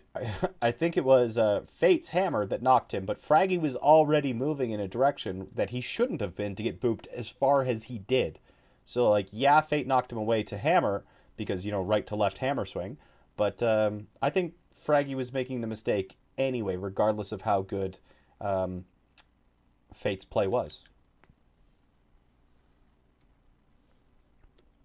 He's going to counter Earthshatter. Fragi dashing back to try to get to his team again. Just keep swinging away, and they've got Fate low health again. Valiant has to fall back.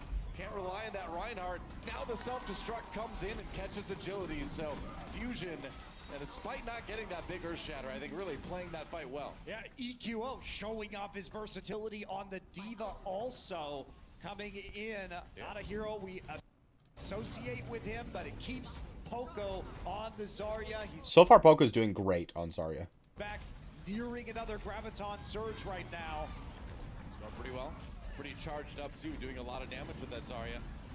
Fate walking in, he's been solo help for so long. Love it. Surge against the wall, and they're gonna just charge Frankie right through it. Another coalescence, pairing the ultimates again, and they are gonna push the Valiant way, way back. They Fusion's looking really strong. Like, Fragi made a mistake, but they survived and then counter pushed off of uh, Carpe getting the shot onto Soon. So, take point B with ease, and they're already trying to spawn camp on C. And that's right, Neptuno, the one on the payload. Shraggy gonna be hiding. EQO 8 Grav.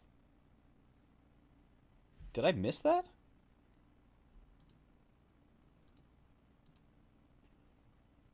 Oh, you're right. I missed that entirely. Wood tier analyst over here. Shatter Fragi dashing back to I was too distracted by mods having to mod chat here. to get to his team again. Just keep swinging away, and they've got Fate low health. This is why I love having chat here, and because like I'm streaming to get better at this analyst stuff. So if I miss something, somebody in chat caught it. That's awesome. So agilities, he grows right here, 10, 13. you look at. Oh, mind this time by Fate. He's going to counter Earth Shatter. Fragi dashing back to try to get to his team. Oh wow. Um, so I don't think it was actually that smart of a play from EQO here. If you look at EQO, uh, he DMs just as soon as he gets unstunned, which is kind of a normal reaction for a D.Va player. You just got stunned, you and your backline is taking a shit ton of damage, so as soon as you get up from being stunned, you should just defense matrix. So I think this is a mistake from Agilities. If he was going to grab and he knew that the hammer was not enough to kill everybody, he should have grabbed before EQO got unstood, unstunned, and had the ability to stand up. So this is more of Agility's mistake rather than EQO's big brain play. again. Just keep swinging away. They've got Fate low health again. Valiant has to fall back. Can't rely on that Reinhardt. Now the self-destruct comes in and catches agility. So Fusion, and despite not getting that big Earth Shatter, I think really playing that fight well. Yeah, EQO showing off his versatility on the D.Va also. Yeah, uh, Cash Cab. Agility's definitely made a mistake. EQ aided on accident. I, I agree. Coming in, not a hero we associate with him, but it keeps Poko on the Zarya. He's back nearing Good catch, though. I'm glad you pointed that out. I missed it. Going pretty well. Pretty charged up too, doing a lot of damage with that Zarya. I love corner grabs like this. Wall, and they're gonna just charge Frankie right through it. Another coalescence, pairing the ultimates again, and they are gonna push the Valiant way, way back. They take point B with ease, and they're already trying to spawn camp on C. Nothing Right feels better than a one team wipe off a Halo. grav. Shraggy gonna be hiding with the shatter. You have to check this corner. This is a trick. It's Oh boy. Oh no, the meme hammer! Oh my god, I love it! The sound barrier from Verbo. For a ride to a place he doesn't want to go. He doesn't live. Neptuno gets the kill there. Valiant not losing as many people as I thought they would from that one, but Sorry, I'm just in. I'm like, I'm fanboying, man. This is just fun Overwatch to watch. I I find dive boring as fuck to play and watch, but just the the just the just the bashing on each on each other. These like you know using these team wide ultimates where everybody is like on a hair trigger because one mistake from any individual leads to a team wipe. Like having Grav in play on both teams, having Hammer in play on both teams, just makes everything so exciting because individual errors can cause just absolute disaster or can absolutely clutch victory. It's just so exciting. And oh, I just I love sorry, so sorry that I I stopped being all super professional analyst, but this is just good Overwatch. This is just good Overwatch right here. With the shatter, you have to check this corner. This is a trick. It's Oh, like like this ha- like the, the, they don't have a lot of follow up here because Carpe's still on the Widowmaker, but this hammer definitely starts moving things in the right direction. And Verbo does manage to land the barrier that's going to keep Valiant in the fight, but they're going to use barrier um, when Neptuno still has his. So this Frankie used Frankie's ultimate. It's not going to be a team wipe because the fusion doesn't have the follow up they need, but it is going to get Verbo's barrier, and Neptuno has his barrier in reserve. So they should be able to keep fighting this. Oh, here we go! Shatter! That's a big three-man Earth Shatter. Frankie coming through. They've got the sound barrier from Verbo, but they're gonna take Verbo for a ride to a place he doesn't want to go. He doesn't live. Neptuno gets the kill there.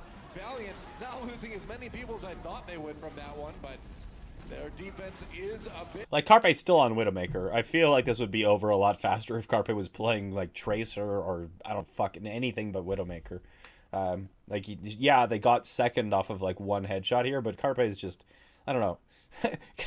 Carpe's sitting in the back going, "You guys have fun. I'm gonna go pew pew pew." He's like pew pew, and everyone's like, "Yay, hammers!" Graviton surges, literal black holes, and Carpe's in the back like pew, pew pew, pew pew. Carpe's anti-fun. disheveled right now. And they're going to be pushed back. This sound barrier invested by the fusion. Why didn't Lucio die? He had barrier. Verbo dropped barrier before Fragi pinned him. They get no value out of it. Now Reinhardt's falling soon, coming in with a lot of damage on this Junkrat. and That's going to be enough to cause Fusion to reset. Wow, that was There was a great shatter from the fusion. Yes, he barriered right before the barrier, train or the and char- or, or, and yeah, yeah. No, he he barriered right before the pin happened. We've seen the Philly supports this match be a little quick, a little Soon realized he concussion mined right into a predictable arc in front of Soon and just like shakes his camera around to make sure that he can't get headshot. That was actually pretty funny. Watch this again. Soon's like, I'm gonna concussion mine up to this. Oh fuck, there's a widow, and you can just see him shake like crazy. Just watch this again. Cause fusion to reset. Wow, that was Shatter did miss the. Lucio, yes. A pin does shake. Avoid the headshot. A pin does 50 on pin and 300 on contact with the wall. Here's the I win button coming out from soon. Um, Fate has a shatter of his own, and sights are out for Carpe. could have just backed off and pushed in with the sound. Oh. Boom. And it didn't happen. So now they find themselves without a critical support one more time. Um, now Fragi. So now we're back to the Reinhardt mind games. Who's gonna shatter who? The next fight's gonna be one off of shatter. That's right. Agility, so he's got the ultimates. He's got that Graviton Surge ready to go. Boombox very close on the other side to his Coalescence. Valiant gonna charge in. Nearly DMEC Coco there. They've got the push back. Yeah, there's a big Yeah, and this is something. This is fun. We we have reached a learning opportunity. We have, we have we have achieved learning opportunity status. We have finally found something uh, that you you sitting right there enjoying this stream can actually take back to your ranked games. And you know, I don't usually recommend to people uh, to watch the Overwatch League in order to actually uh, improve their own personal gameplay. If you are interested in uh, wanting to improve your own personal gameplay, you know, if you wanted to learn Reinhardt, for example, and you're a fan of Fate, what you would do is you would probably want to watch Fate's personal stream so that you could kind of see his first person perspective or you know if he's an english speaker or somebody who uh, interacts with chat a lot you could talk to him about how he's playing or what he's playing and this is what i do. If i want to learn like the really high level of playing a hero i will go into a pro who plays that hero uh, the stream and i will ask them questions i'll hang out i'll like watch for a bit and if they do something i don't uh, understand i'll donate some bits and ask them a question and then that's kind of how i learned the really really high level heroes so if you are wanting to learn from these sort of uh, broadcasts and whatnot, it's best to kind of see somebody who does really awesome in the Overwatch League and then go like find their Twitch or their YouTube and see how they play. But in terms of a macro level here is Philadelphia sorry, Valiant here is on the defense and they got a pick off onto Carpe, I think it was, and then they're pushing forward here. And chokes themselves are more or less mental barriers. And you know, the payload is over there, but there's five just ult charge shaped opponents in front of you. So Los Angeles Valiant is using the speed boost because Fusion doesn't have Neptuno right now, and he just recently died. But now that they have Lucio advantage, they can chase the attackers pretty much all the way back to their spawn point. point, and this is really good to do. Um, because especially if you need any sort of ultimate charge here, uh, you'll get ultimate charge from actually pushing them back to their spawn, or at the very least, you'll buy time. So the general rule is, as long as you have killed someone within the last 10 seconds, keep pushing forward, even if you're on uh, defense. And especially since we know the Philadelphia Fusion is not running a tracer or anything that backcap, we can just pretty much fucking leave the payload where it is and just crush them all the way back into their spawn. So you're just gonna see these guys just fucking crush them. Kill on Neptuno. The Lucio down for the Fusion side, and that allows Valiant to save those ultimates and hold on They could have pushed that farther. for just a bit longer. But look what the Fusion's doing. Poko does have grav. Oh boy, oh boy, two hammers and two gravitons. We're into maximum excitement territory. Get your poggers ready, my friends. This is gonna be nuts, regardless of what happens. Um. Oh boy. Oh, get get your poggers ready, chat. Um. So, gravitons usually precede hammers because after um a, after a graviton comes out, you need something to counter it, uh, or in like you need something to actually finish them off here. So the mind games is if you have a Reinhardt who has hammer stuck in graviton, the opposing Reinhardt cannot swing on that Graviton without risk of his entire team being hammered. So, um, that can kind of be like mutually assured destruction, where if, say, agilities, let's say, let's say, let's make a prediction. Uh, let's say agilities grabs the fusion.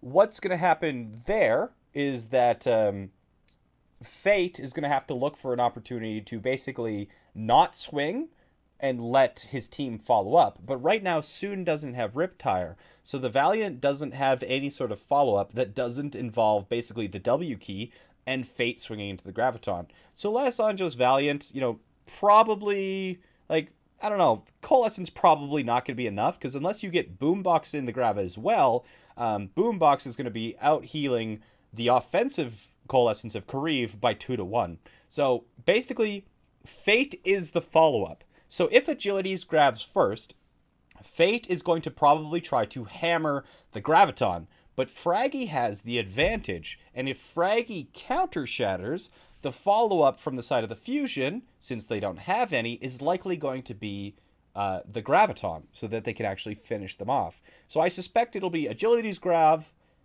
um, especially since they're on defense. Um, there'll be Agilities Grav, Fate will look for the hammer. If he gets it, it'll be a team wipe, and then Fusion will come in on the offense with both of theirs. If not, Fragi will counter shatter, and the follow up to Fragi's counter shatter will be Poko's Graviton, and then both coalescences will likely be used at some point during this team fight.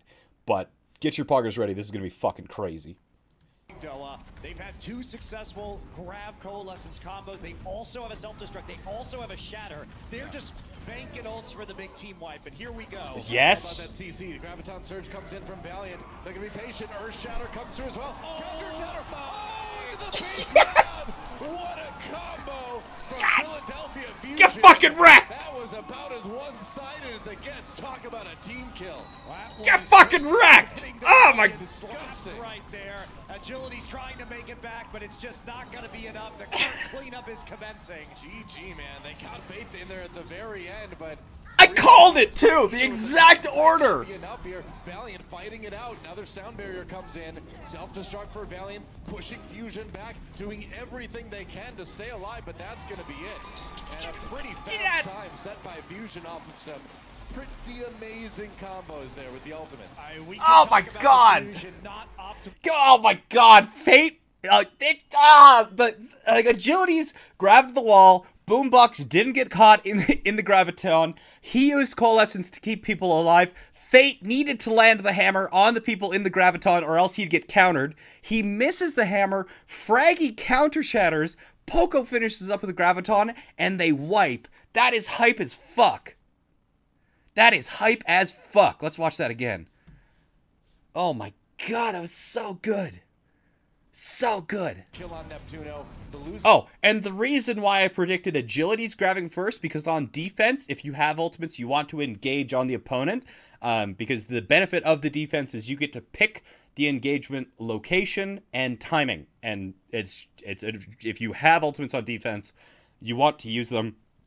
You don't want to get engaged on. It's just it's common sense, at least in like masters and grandmasters and top 500. Uh, at the lower elos, I know it certainly doesn't happen that way, but at the higher elos, if you have support, like if you have offensive support elements as a defensive team, you want to pick the time and place at which the team fight happens as to benefit you. Down for the Fusion side, and that allows Valiant to save those ultimates and hold on for just a bit longer. But look what the Fusion's doing, Doa. They've had two successful grab coalescence combos. They also have a self-destruct. They also have a shatter. They're just banking ults for the big team wipe, and here we go. That's all about that CC. The Graviton Surge comes in from Valiant. They're going to be patient. Earth Shatter comes through as well. Oh! Counter Shatter. Oh, the big grab. What a combo from Philadelphia Fusion. That was about as one-sided as it gets. Wow. Talk about a team kill. That was How did Fragi like fly across the map? Like, did Fate's hammer just again knock him pretty much like just across the street? He st- he just straight up teleported out. Uh, Where the fuck happened to Fragi? also have a self-destruct. They also have a shatter. They're just banking ults for the big team wipe, and here we go. Unless Fate swings right to left at the exact same time Fragi is trying to get out of. That's all about that CC. Grav. Surge comes in from Valiant. They're be patient. Earth What the fuck sends Fragi so far? Oh, I bet you it was a concussion mine. If Soon gets a fuck ton of ult charge at the same time that Fragi gets knocked out, it was a concussion mine. Save those ultimates and hold on for just a bit longer. But look what the Fusion's doing, Doa. They've had two successful grab coalescence combos. They also Let's slow this down.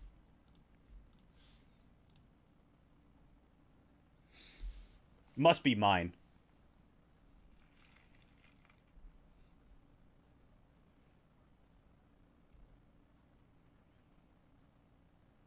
He agilities grabs into a pipe so that EQO can't eat it. Bang. Gets Neptuno and Fragi. Boombox is using Coalescence, which forces Fate to go for the Shatter. Fragi waits, trying to block it. Shatter misses. Fate goes to swing. What? What the fuck? I don't think it was a concussion mine.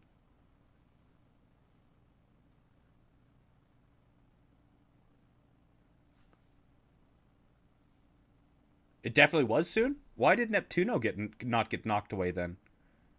Yeah, but didn't it go 83 to 94 after Fragi already got launched? So Soon's at 70 here. Where is Soon? Soon.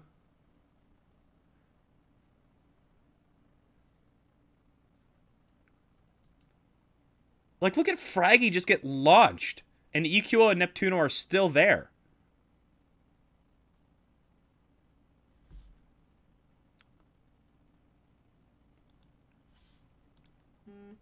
Was it a concussion mine? But then why did it only launch Fragi?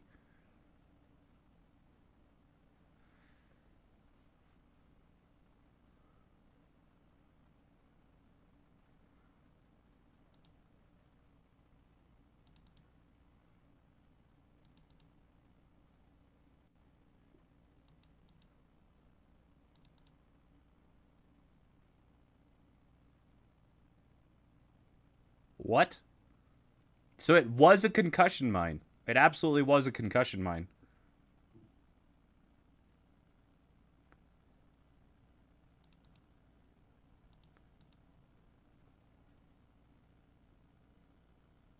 Did Nep like soon must have stuck it onto some really fucking weird geometry where it only knocked Fragi out. I'm so confused.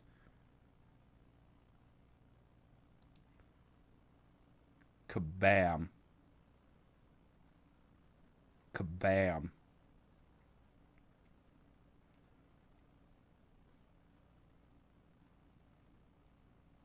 Huh. Interesting. I don't think we'll ever come up with a 100% answer of what happened, but, uh, loud. One-sided as it gets. Talk about a team kill. That was just getting the Valiant scuffed Disgusting. right there. Agility's trying to make it back, but it's just not going to be enough. The cart cleanup is commencing. GG, man. They got faith in there. And like the other weird thing is that concussion mine is not omnidirectional, right? Concussion mine is not omnidirectional. Concussion mine will always launch people at exactly 45 degree angles.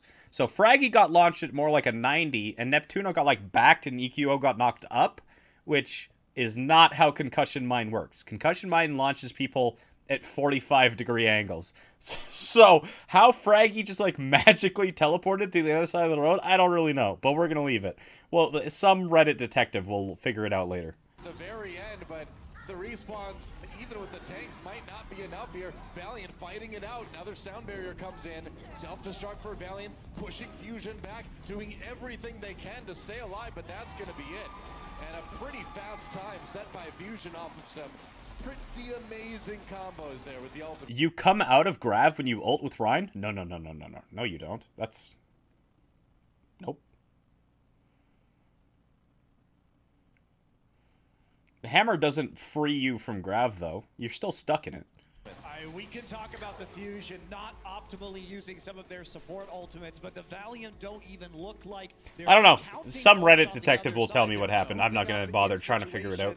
where they are very vulnerable to these massive combos. You know, and sometimes when you see Philadelphia playing this dive so much, you forget that Fragi, you know, was known as this awesome Reinhardt before the dive meta kind of really evolved. And it's fun to get him to get to see him bring that out again on maps like Kings Row. Uh, he's certainly one of the top Reinhardts that we have in this league, especially when you play around him. He hates using that shield, loves creating space by walking forward and swinging with that hammer. And we saw the shatter straight into the splatter at the That's end right. He didn't charge out though, because if he charged out, he wouldn't have hammered. of Kings Row. Oh, kidding. You can at me all you want with your theoretical explanations, but I've, I've moved on.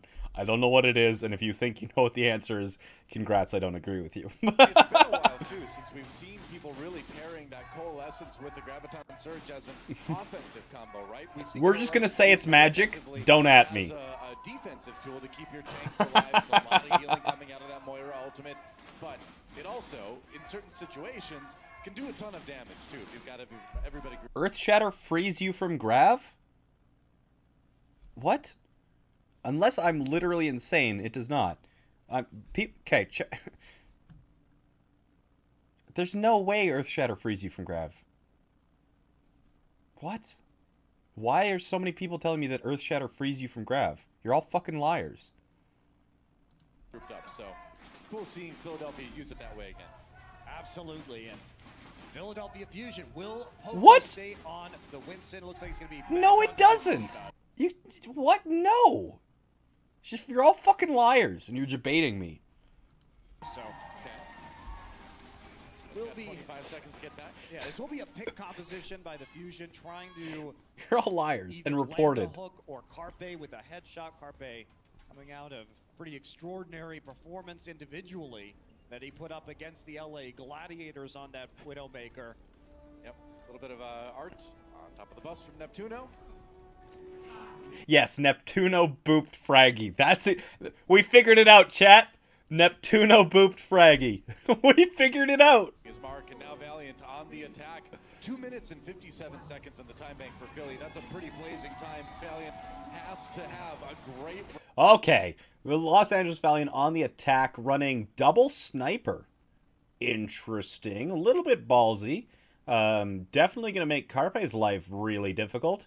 Um, also going to make their front line a lot weaker compared to the Philadelphia Fusion. So um, Valiant's going to have to take this slow, not because they have a slow comp, but because they don't have any sort of advantage. Um, like Carpe is definitely going to have his uh, work cut out for him, taking out agilities and soon. But honestly, Carpe doesn't even have to take that duel. Um, like taking that duel would kind of be unnecessary because if both snipers can't get anything done, um, then Phil- Philadelphia Fusion can just hold the point with the superior tank comp. Like EQO, Fragi, and Poko together trumps Envy and Fate, especially since uh, Neptuno and Boombox are running the Lucio and uh, Moira heals compared to the combo from the Valiant of Verbo and Kariv on Lucio and Nano respectively. Like, Kariv doesn't even have that many nano targets. He could nano Fate to keep him alive, or he could nano Hanzo uh, into Dragoning to Grav and sort of like canceling out a Transcendence. But Fusion doesn't even have a Transcendence, so nano Hanzo doesn't make any sense at all. You could nano Envy to get Grav faster, but that assumes that uh, the first Grav kind of didn't actually win the first point in the first place. So I question the pick of Kariv on Ana.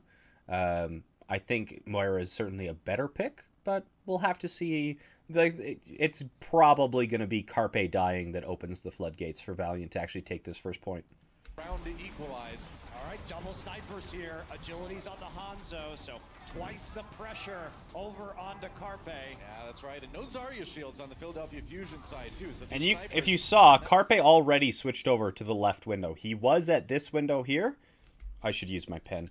Carpe was here, sees the double snipers. He's like, I am the fuck out of there. And he's on this right or this left window here where the attacking snipers don't have line of fire on him. They're really smart from Carpe.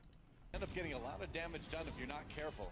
So Fragi knows that he has more room, and the reason why is it's slow to break down his barrier with the Hanzo and with the Widowmaker. That said, they do a lot of damage to just him without his barrier anyway. Agility's at the high ground, but Carpe right there, he's ready. Carpe through the uncontested hotel. Like that's the one of the really major problems with the Valiant's double sniper composition, um, triple sniper composition if you include Ana, is that hotel is just such a perfect flank route for defenders. Carpe uses it perfectly. Soon doesn't react in time, takes out uh, agilities, and that's a reset. Got Kariv as well. Now soon trying to go to work on that Widowmaker. Takes a chunk out of Carpe, but without the rest. Man, and if you're if you ask me, uh, how like who wins in a sniper battle between Carpe and Soon? It's gonna be Carpe nine times out of a ten. His team, he has to back away. Maybe not quite fast enough. Who barely gets out. And the other problem with running the double snipers, though, is you just don't have as much, as many bodies on the point itself. Yeah. So when the Philadelphia Fusion Boombox has uh, coalescence, and they'll probably use that early to just body the Valiant's front line. Back themselves around the side of the hotel, Soon was playing behind the statue, and so he didn't have a sight line that allowed Carpe to take the 1v1 in snipers against agilities. And be fully charged. That's a lot of damage coming out of that Zarya right now. Soon Soon. though. Oh man, Poko finishes him off. Fragi taking some damage. I think they used like I I I literally just said that they were probably going to use coalescence to kind of just body the front line, but they didn't let Valiant actually commit to the attack before attempting that. So it's kind of like the same thing with Supercharger, for example. If you use Supercharger before the opponents have actually pushed in onto you, then they're just going to sit back and wait Supercharger out. Uh, Fusion used Coalescence too early. They used it before Fate and Envy had actually committed to an engagement, so they were like, okay, and just backed out. And if Fusion had tried to punish through the choke point, that would have been a rather large mistake. And now, Valiant have so many ults, it doesn't really even matter. Fusion doesn't have, um, Neptuno hasn't built Barrier yet, so unless Valiant fuck this up really badly by, you know, like Fate, the Hammer duel is always unpredictable. It could go either way. Um, but they've got Grav Dragon here, so they've got Grav Dragon. If they hammer, they don't even need to use it. They can save it for streets. They have uh, Nano Boost to keep the front line alive. Uh, there's a lot of options for Valiant here. I would like to see them try the hammer first, and if the hammer doesn't work, then they can grab uh, Dragon. But if Fate lands a hammer, there's no real need to use anything else other than that. Able to back away. They've lost soon though, so that's so much less pressure. Cheers, hydration bot. From the Valiant side, and already getting a bit delayed here on A. Envy nearly paying for his peak with his life, but he'll live for now. All right, so Dragon Blade coming, uh, or uh, Dragon Strike rather, coming up with the Graviton. This is the combo that has to work here for the Valiant. And he can't get it circling, and there it is. All right, Dragon Strike comes through. Is it going to be enough damage? You bet it is. EQ and Fragi. Did they nano Dragon? What did they nano? A bit delayed here on A. Envy. I'm turning up the volume to hear alt lines. With his life, but he'll live for now. All right, so Dragon Blade coming, uh, or uh, Dragon Strike rather, coming up with the Graviton. This is the combo that has to work here for the Valiant. And he can't get it either. circling, and there it is. All right, Dragon Strike comes through. Is it going to be enough damage? You bet it is. EQO and Nano Dragon, baby. They fucking did it. Yes. yes. Fragi. brought low Yes. On the point are the Valiant. Going to be very tough for Fusion to push him off of it. Envy sticks the Graviton into the inside of the hotel to catch people on the outside of those It wasn't a Nano Dragon? It wasn't needed. No, it wasn't needed. They totally Nano Dragoned. What? Are you lying to me? I thought for sure I saw Nano Dragon. or, uh, Dragon Strike rather coming So, first of all, Nano Dragon is a legitimate strategy because Nano Dragon will burn through Transcendence and Barrier. That's like the main reason you use Grav Nano Dragon is because it's like, fuck your support ults, we've got an electric dragon, motherfucker. it's Zapdos up in this bitch. Um, they absolutely Nano Dragon. up with the Graviton. This is the combo that has to work here for the Valiant. And he can't get it either. circling, and there it is. All right. There's the Hansel voice line. Hey, Dragon Strike comes through. Is it going to be enough damage? You Glowing is. Hanzo! That was absolutely a Nano Dragon. Get off my dick, on chat. the point are the Valiant. Going to be very tough for Fusion to push him off of it. Envy sticks the graviton into the inside of the hotel to catch people on the outside of those walls. Now Fusion going for it though. They're committing the sound barrier to come back in. Earth Shatter right onto Poko though. Nobody defending him here. Fragi wades in. Fate has to be a bit careful. Philly not done yet. They're going to use their own sound barrier. So Fusion draining ultimates out of the team in green. Oh, that's And terrible. Oh. Fusion. Oh man, I thought with uh with Fate getting hooked there that the bomb was gonna actually uh, slam, but Poko does get taken out. So this fight surprisingly is actually still pretty even here. So how much damage is Nano Dragon? Oh my god, I uh, I don't remember. Shit, I think it's 300 because I think Dragon is 200 DPS, Nano makes it 300. Yeah, I know barrier wasn't. I, I am aware that barrier was not activated, but that is the logic behind giving Hanzo Nano Boost into a Graviton, is that you can more or less ignore support ultimates. Man. They might actually be able to turn this one around. Agility's Oh boy. right now on the Genji, but EQO will push the members of the Valiant back, and this defense is going to hold. Oh, Carpe killed both supports as well on the Valiant side, and That was really good. Like, uh, it's unfortunate Agility's um, not agilities. Envy. It was Envy, right?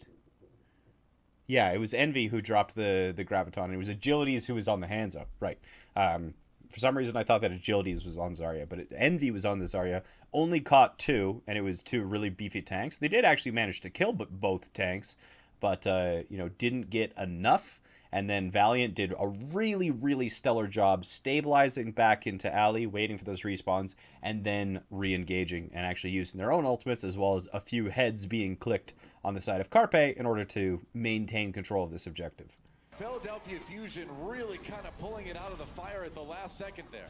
Uh, they did with the self-destruct. They were able to stall out long enough. Great timing on the re-engage around the sound barrier, knowing where their allies were and that Fragi was going to get back in the nick of time. Yep. Really can't cut it any closer than that. Arbe, ooh, nearly gets a shot reflected into him. Yeah, a little bit scared there if you're the Widowmaker. Yeah, Coalescence coming out right now just to Big push hook. them back, and there's a hook. Ooh, that is really rough for Valiant to lose Fate like that, and now, yeah, you can just charge in. You might be able to finish off Envy. He gets soon, and so And we're seeing the again the defending team with this aggression when they have the advantage and they're in no risk of dying. You get those 10 seconds before the enemy even has the possibility of regrouping, and you just move forward to crush them back into spawn. Those staggered kills making a big difference now that Valiant has less than a minute in their time bank. And look how they're using the hook. So the Coalescence, if you're the Reinhardt, you will drop your shield because there's no point necessarily to having it up, and you need to retreat faster around that corner. Sure. And that pun is punished by the hook. Oh, again, Come Fragi, the sneakiest. Oh, Reinhardt oh, oh, in the oh, oh, oh, oh, oh. He gets bounced around a bit. Is he gonna complete the survive? charge, but they do the kills they. Like, if you're gonna fall for the meme shatter twice in a round, really? Making a big difference now that Valiant has less than a minute in their time bank. And look how they're using the hook. So the Coalescence, if you're the Reinhardt, you will drop your And, and if you are a Reinhardt player, like this is done all the time, and a lot of people, you know, think this is stupid or bad banners, but this is like if you can land a free Earth Shatter, it's so powerful. This is and, and like if especially against a Reinhardt who likes to do this, if you get caught out by it once, sure you made a mistake, but after that, if you don't see a Reinhardt on the front line, you should be like, where the fuck is he? No point necessarily to having it up, and you need to retreat faster around that corner. Sure. And that pun is punished by the hook again. And Fate actually managed to like. Can we talk about how fucking sick that block was from uh, Fate? Fate actually does a perfect 180 to block that shatter. Look at Fate's reaction time here. This is legit crazy. Using the hook. So the Coalescence, if you're the Reinhardt, you will drop your shield because there's no point necessarily to having it up, and you need to retreat faster around that corner. Sure. And that pun is punished by the hook Oh, again, Come the sneakiest Reinhardt in the world. He gets bounced around a bit. Unbelievable. Like, and Fragi almost gets punished by uh, Verbo, um, or Fragi does actually get punished because he couldn't get out. Um, but Fate blocking that and then Verbo booping uh, Fragi into a wall to fuck up with his charge. Like, wow. Some pretty impressive reactions coming out from the side of the Valiant there. attackers, but another hook for Envy. sleep dart though. Meanwhile, Agilities with the Dragon Blade out finishes Poko off. So Valiant with one last chance to take this one, but they're gonna do it in overtime. This is where they thrive, and they've got the Graviton. Wait a second. Did Agilities just die to Mini D.Va? Another hook for Envy. Sleep dart though. Meanwhile, Oh, he was at 8 HP. Never mind. While agilities with the Dragon Blade out finishes Poko off. So Valiant with one last chance to take this one, but they're gonna do it in overtime.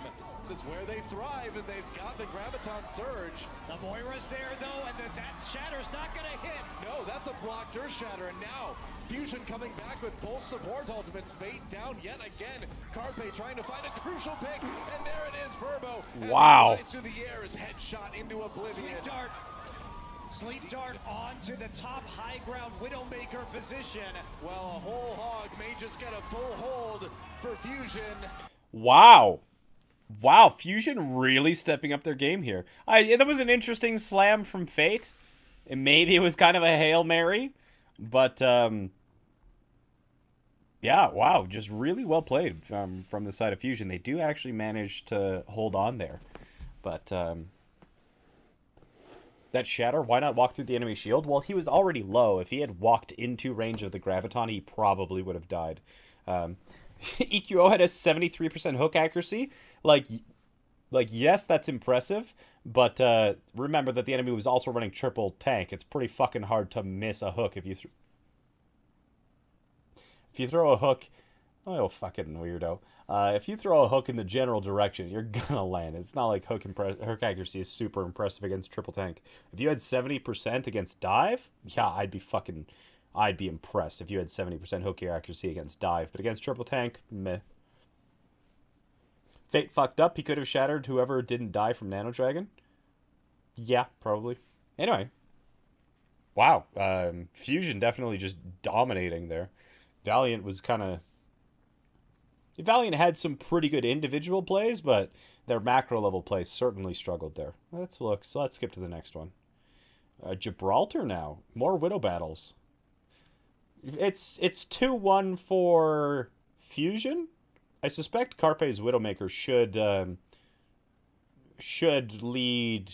This should be three one Fusion, shouldn't it? What we're seeing today from the Fusion. I feel like Carpe's Widowmaker is just going to be such a huge advantage on this map.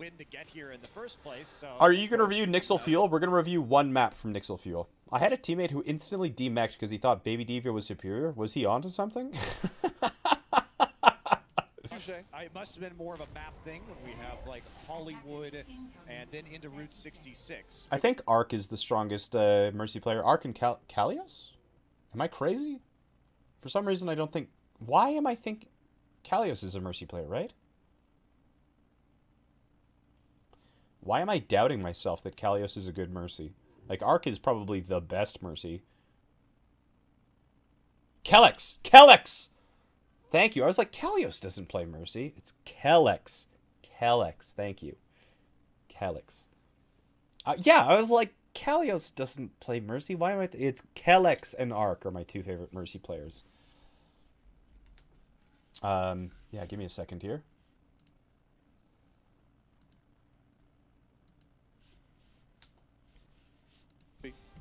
Philadelphia Fusion, still waiting. Yeah, to see where Kalios is they're going to D.Va. I knew something was wrong. I was getting my K's mixed up.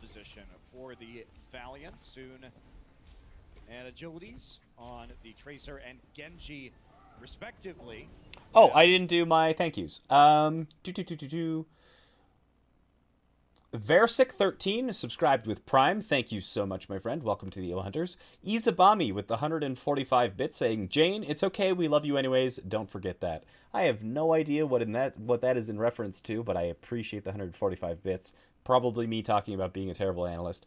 But uh, anyway, uh, and then Schmooze donated $10. Thank you so much, Schmooze. He says, I've learned more watching you for the last week than I have from any other Overwatch channel, streamer, or source. Hope your stream continues to grow and grow. You deserve it. Thank you so much, Schmooze. I appreciate it. Um, I am going full time uh, on April 30th, so all the support really, truly helps since I am going to try and make uh, a living off of Overwatch coaching and analysis at some point, trying to you know make it into the Overwatch League as a coach and an analyst. So I really, truly appreciate all of the support uh, from everyone, If you can't uh, support the stream, that's perfectly fine. Um, your viewership and you know just learning is more than enough for me. Uh, Hops resubscribed tier one for five months. Five months. He's the first five months uh, subscriber. So Hops coming out here with the the stream has only existed for five months, and we sit at like 900 viewers. Pretty crazy.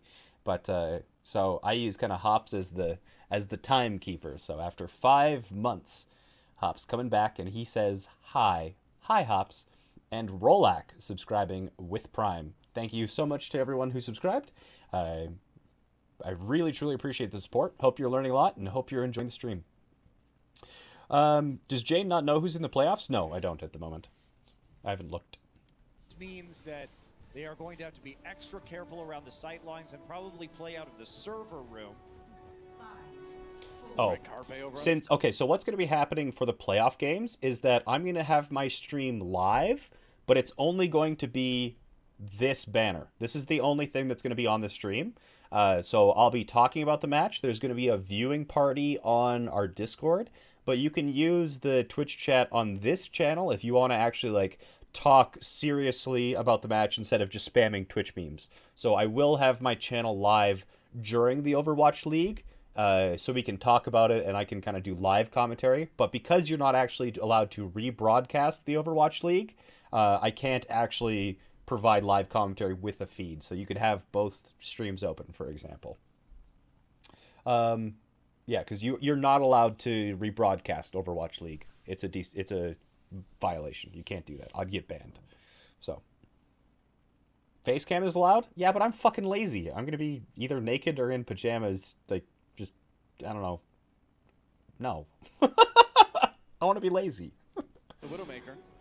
Poko going to be checking with an arrow right now. Yep. The voice chat will be on Discord. The um the text, the like the actual discussions. You don't have to join Discord if you want to, but the actual like typing chat will be in Twitch. Um I'm naked. The more reason to have face cam.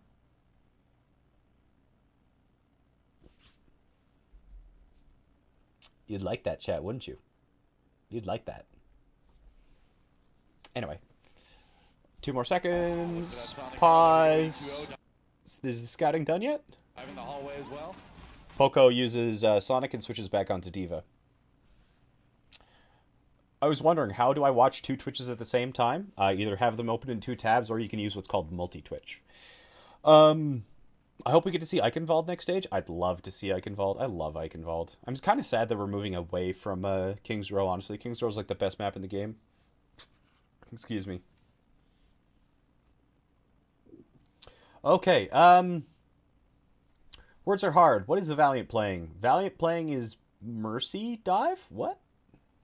Interesting composition. We talked about it before, but um, anytime you're running the Mercy, you want it to be with some sort of uh, more like longer range character that can actually benefit from uh, your damage boost. So Kariv running the Mercy here is a bit of a question mark. We'll have to see how exactly he does operate um, with this. Because normally you'd want Lucio, who does a better job of actually protecting Unkoe, but I don't know. Maybe they're going to do something that we don't expect. So this is kind of like full dive, but with Kariv on Mercy instead of Lucio, which is interesting. I'll have to. I don't know what the plan here is. Like if Kariv was on Lucio, I'd say it was full dive. Uh, and if like Agilities was on Soldier or something, it'd be modified, like a hybrid dive. But the Mercy and the Genji together is just weird and strange, and I don't like it. Um, Philadelphia Fusion running, they're running hybrid dive, and they're running with EQ on Genji and Carpe on the Widowmaker.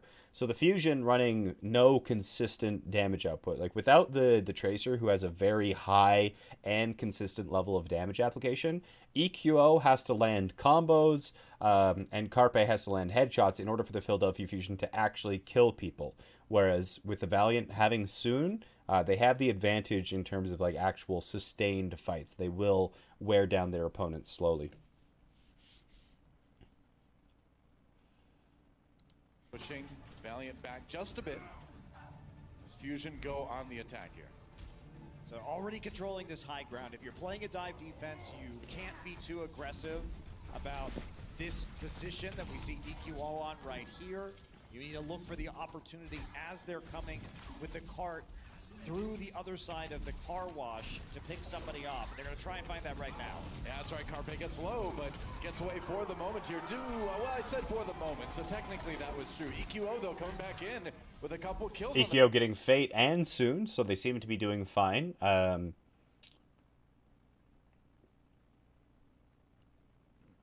yeah, if, like, unfortunately, that was a pretty big T tours. Considering during the fight, all we saw was um, Carpe running away from the team fight. So let's just uh, just appreciate Overwatch League and or spectating here for a second. With the cart through the other side of the car wash to pick somebody off. They're going to try and Thank God I know what the hell's going on. Slow, gets away for the moment here. Do well, I said for the moment, so technically that was true. EQO though coming back in with a couple kills on the Philadelphia side. Uh, side. They're going to keep the payload moving for now. And the problem is you can dive Carpe, but he's just going to get rezzed if you fail the dive, and they Yep. traded two for one. So this is a disaster for the Valiant. No ults available because that was a really early fight, and no ults available here with Fu- uh, Fusion uh, attacking as well as Carpe on the Widowmaker set up with sightlines on these doors. Unless uh, Fusion pulls off something crazy or like EQO feeds or something, this should be a pretty quick cap for the Fusion here. They got back far enough. To come in with the res EQO with the big reflect there. Valiant still bottled up. Now they go for the dive here. EQO Dragon Blade got it ready to go. Unkoe down already. Somehow Fragi managed to find him in the back of that fight. And the Dragon Blade for EQO cuts down Kariv. Also protects Fragi a little bit longer. But man, it's all Yeah, it's probably a good idea for EQO just to use that blade to secure the push. Uh, I don't really have it. I don't feel like that was wasted. Like, yes, they got two, but they also lost two um, with Fragi and Carpe. So EQO pulling out the blade just to finish them off. Good trade. Nothing super exciting so far. all about that Dragon Blade for Philadelphia. And there's just no realistic way for Valiant to deal with this. I'm just using Twitch. though, And the reason why is that you can't put pressure onto Carpe, who's standing in the server room, because you have to play the cart at the end uh, with this comp, and you have to try and get the dive done. And unfortunately, they just end up trying to play the server room after stalling out the cart. They Yeah. use their movement abilities to get back there, and they are doubled back on by the fusion and cut down. Okay, they're actually getting a very significant amount of payload distance before the uh, Valiant actually regroup to engage them, uh, which is really good. They they only have one on, so they're not pushing for distance because the high ground control for the fusion um, is really really important. If you lose the high ground control on Gibraltar, you're just gonna eventually lose control of the payload or the, uh, the like the point itself. So with the actual delay in how long it's taking the Valiant to actually regroup for the next fight, um, they could have had three on, or they could have at least had more people on for more distance. But honestly, just getting it past halfway or around the corner beneath the Orca is uh, more than enough here. Now, the Valiant do have Kariv uh, with his Valkyrie, but Carpe has like Carpe is a sniper, so it's gonna be really hard for Kariv um, to Valk openly. Now, uh, Agilities has Blade, and but Boombox does not have Trance, but he's close. But again, we have perfect intel, so we have perfect information here. Um, Phasix, thank you so much for the 98 viewers. Welcome, my friend. I hope you had a good stream. Isn't 98 viewers a little bit low for you, Phasix? So I'm going to plug this guy because I love Phasix, and he's been a friend of the stream since we were pretty tiny.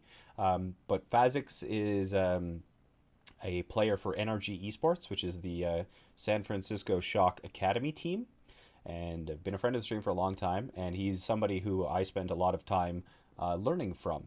So Phasix plays support uh, for NRG Esports. He streams at a very high level, consistently top 500, if not like top 200. And he does a fantastic job of narrating his gameplay and talking about the decisions he's making.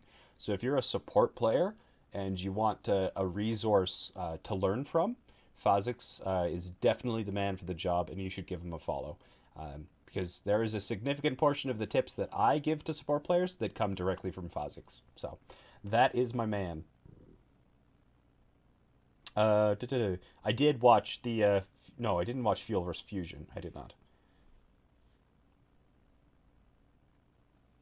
Okay, let's keep watching. Damage boost for Carpe. Here and there from the Mercy, of course. Neptuno going to use that uh, Valkyrie. As Valiant thinking about coming into attack, but Valiant just going to back away and say, hey, go ahead, float around for a little bit.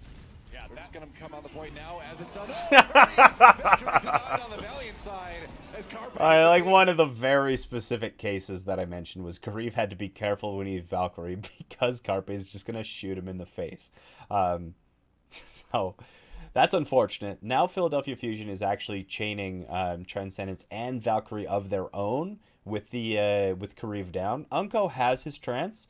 Um, so I, I probably wouldn't use it. I'd try and back off and then recontest with it. Um, because dropping here, like Valkyrie, if you use Transcendence at this point in time, it's probably just going to delay the inevitable. Because uh, Agilities isn't going to be finding any kills with Boombox and Transcendence. So Agility is going to have to go down. Soon has a Poison Mine on him. So I'd like to see the flankers kind of back up. I'd like to see Fate retreat. And again, I don't know where Fate is. I know that he just dove in pretty aggressively about three seconds ago. So Fate's probably in too deep. And even if he tries to escape, Fragi and Poko are going to pursue. So this is definitely a bad position for Valiant. Is that if Unkoe doesn't trance, Fate's gonna die. If he does trance, well, he's probably gonna delay the inevitable, and Kariva's not gonna be back. Whereas, like, best case scenario for Valiant, um, they use their tank ultimate. So Fate hopefully gets primal before he dies and uses it. So hopefully they use their tank ultimates uh, to actually support and sustain them during this fight, and Unco doesn't uh, use his transcendence. So that's what I'd like to see, but this is not. This is a bad situation for Valiant to be in. That headshot just opened things wide open for the fusion. Headshot. They're to use a trans. Why is Ana Zen dominant on Hanamura defense first point? Because of the long sight lines. Descendants now have to back off and win this fight first, and they will. Philadelphia responding so well to this dive. They just back up, let it come into them, then they take advantage of it. Unkoe plays it well, doesn't uh, use his trance. Fate survived. He did manage to escape. Envy dies though, uh, but Envy also has bomb. So I, I like that Unkoe did control the urge to trance and saved it. So they'll actually have Transcendence on top of two tank ults to actually hold them on this back point. And considering the clock right now is at 4 minutes and 15 seconds, Valiant needs all the stall they can get everyone kind of being a little bit out of position again. The mind games have been spectacular from Philly tonight, so they use it, and the Valiant are like, okay, go ahead. Best maps for Trip and Quad Tank would be Horizon Lunar Colony and Kings Row. We're gonna dive afterwards. That's when they hold the Transcendence in reserve, and Carpe just deletes Kariv out of the sky. That's right. Kariv is not having a good game. again, Hard dive coming into the backline does manage to take out Boombox, so they knew that Zenyatta didn't have trance because he had used it to block Agility's blade. So this really hard backline dive, pretty much to the point of suicide, coming out onto Boombox, is a good plan. Um, now, Soon is low, and EQ is about to get his Swift Strike, so he could be in trouble, and the payload's only like two meters away. So there is the danger of a back cap here, but uh, it's a pretty low percentage chance of happening with Fragi about to die, and Neptuno will probably die in short order after that. So Valiant should have control of this point. Yet another Dragon Blade. Unkoe does drop though, so Fragi actually putting in a lot of work this fight, and it's a lot more even. Well, I don't know. Both supports are down from both teams. Envy still has his bomb though. Um, like and payload it did get pushed a little bit. It's now at 1.5 meters. I don't, I don't know. Boombox down, Valiant diving again. Nikyo has to pull out the ultimate to try to keep this payload oh. moving. Low health and Fate's gonna get him anyway. So Fate and Agility still there at the end. Poko once again a fade away kill. He oh, doesn't get oh, Agilities, and now he may be debacked.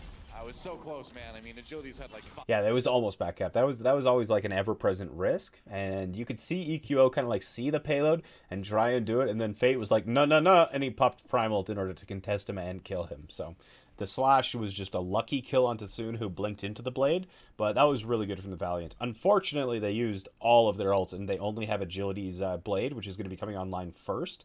Um, however, on the side of the Philadelphia Fusion, no support that could be blocked that, and nothing that they can really use offensively in order to try and take them out. So this point here, uh, the Fusion's attack, which has so far been really efficient off of that early first point take on the first, is you know, Fusion have the possibility of getting stalled out here um, pretty hard. You know, Carpe is not going to have nearly as nice sight lines on the second half of this second point.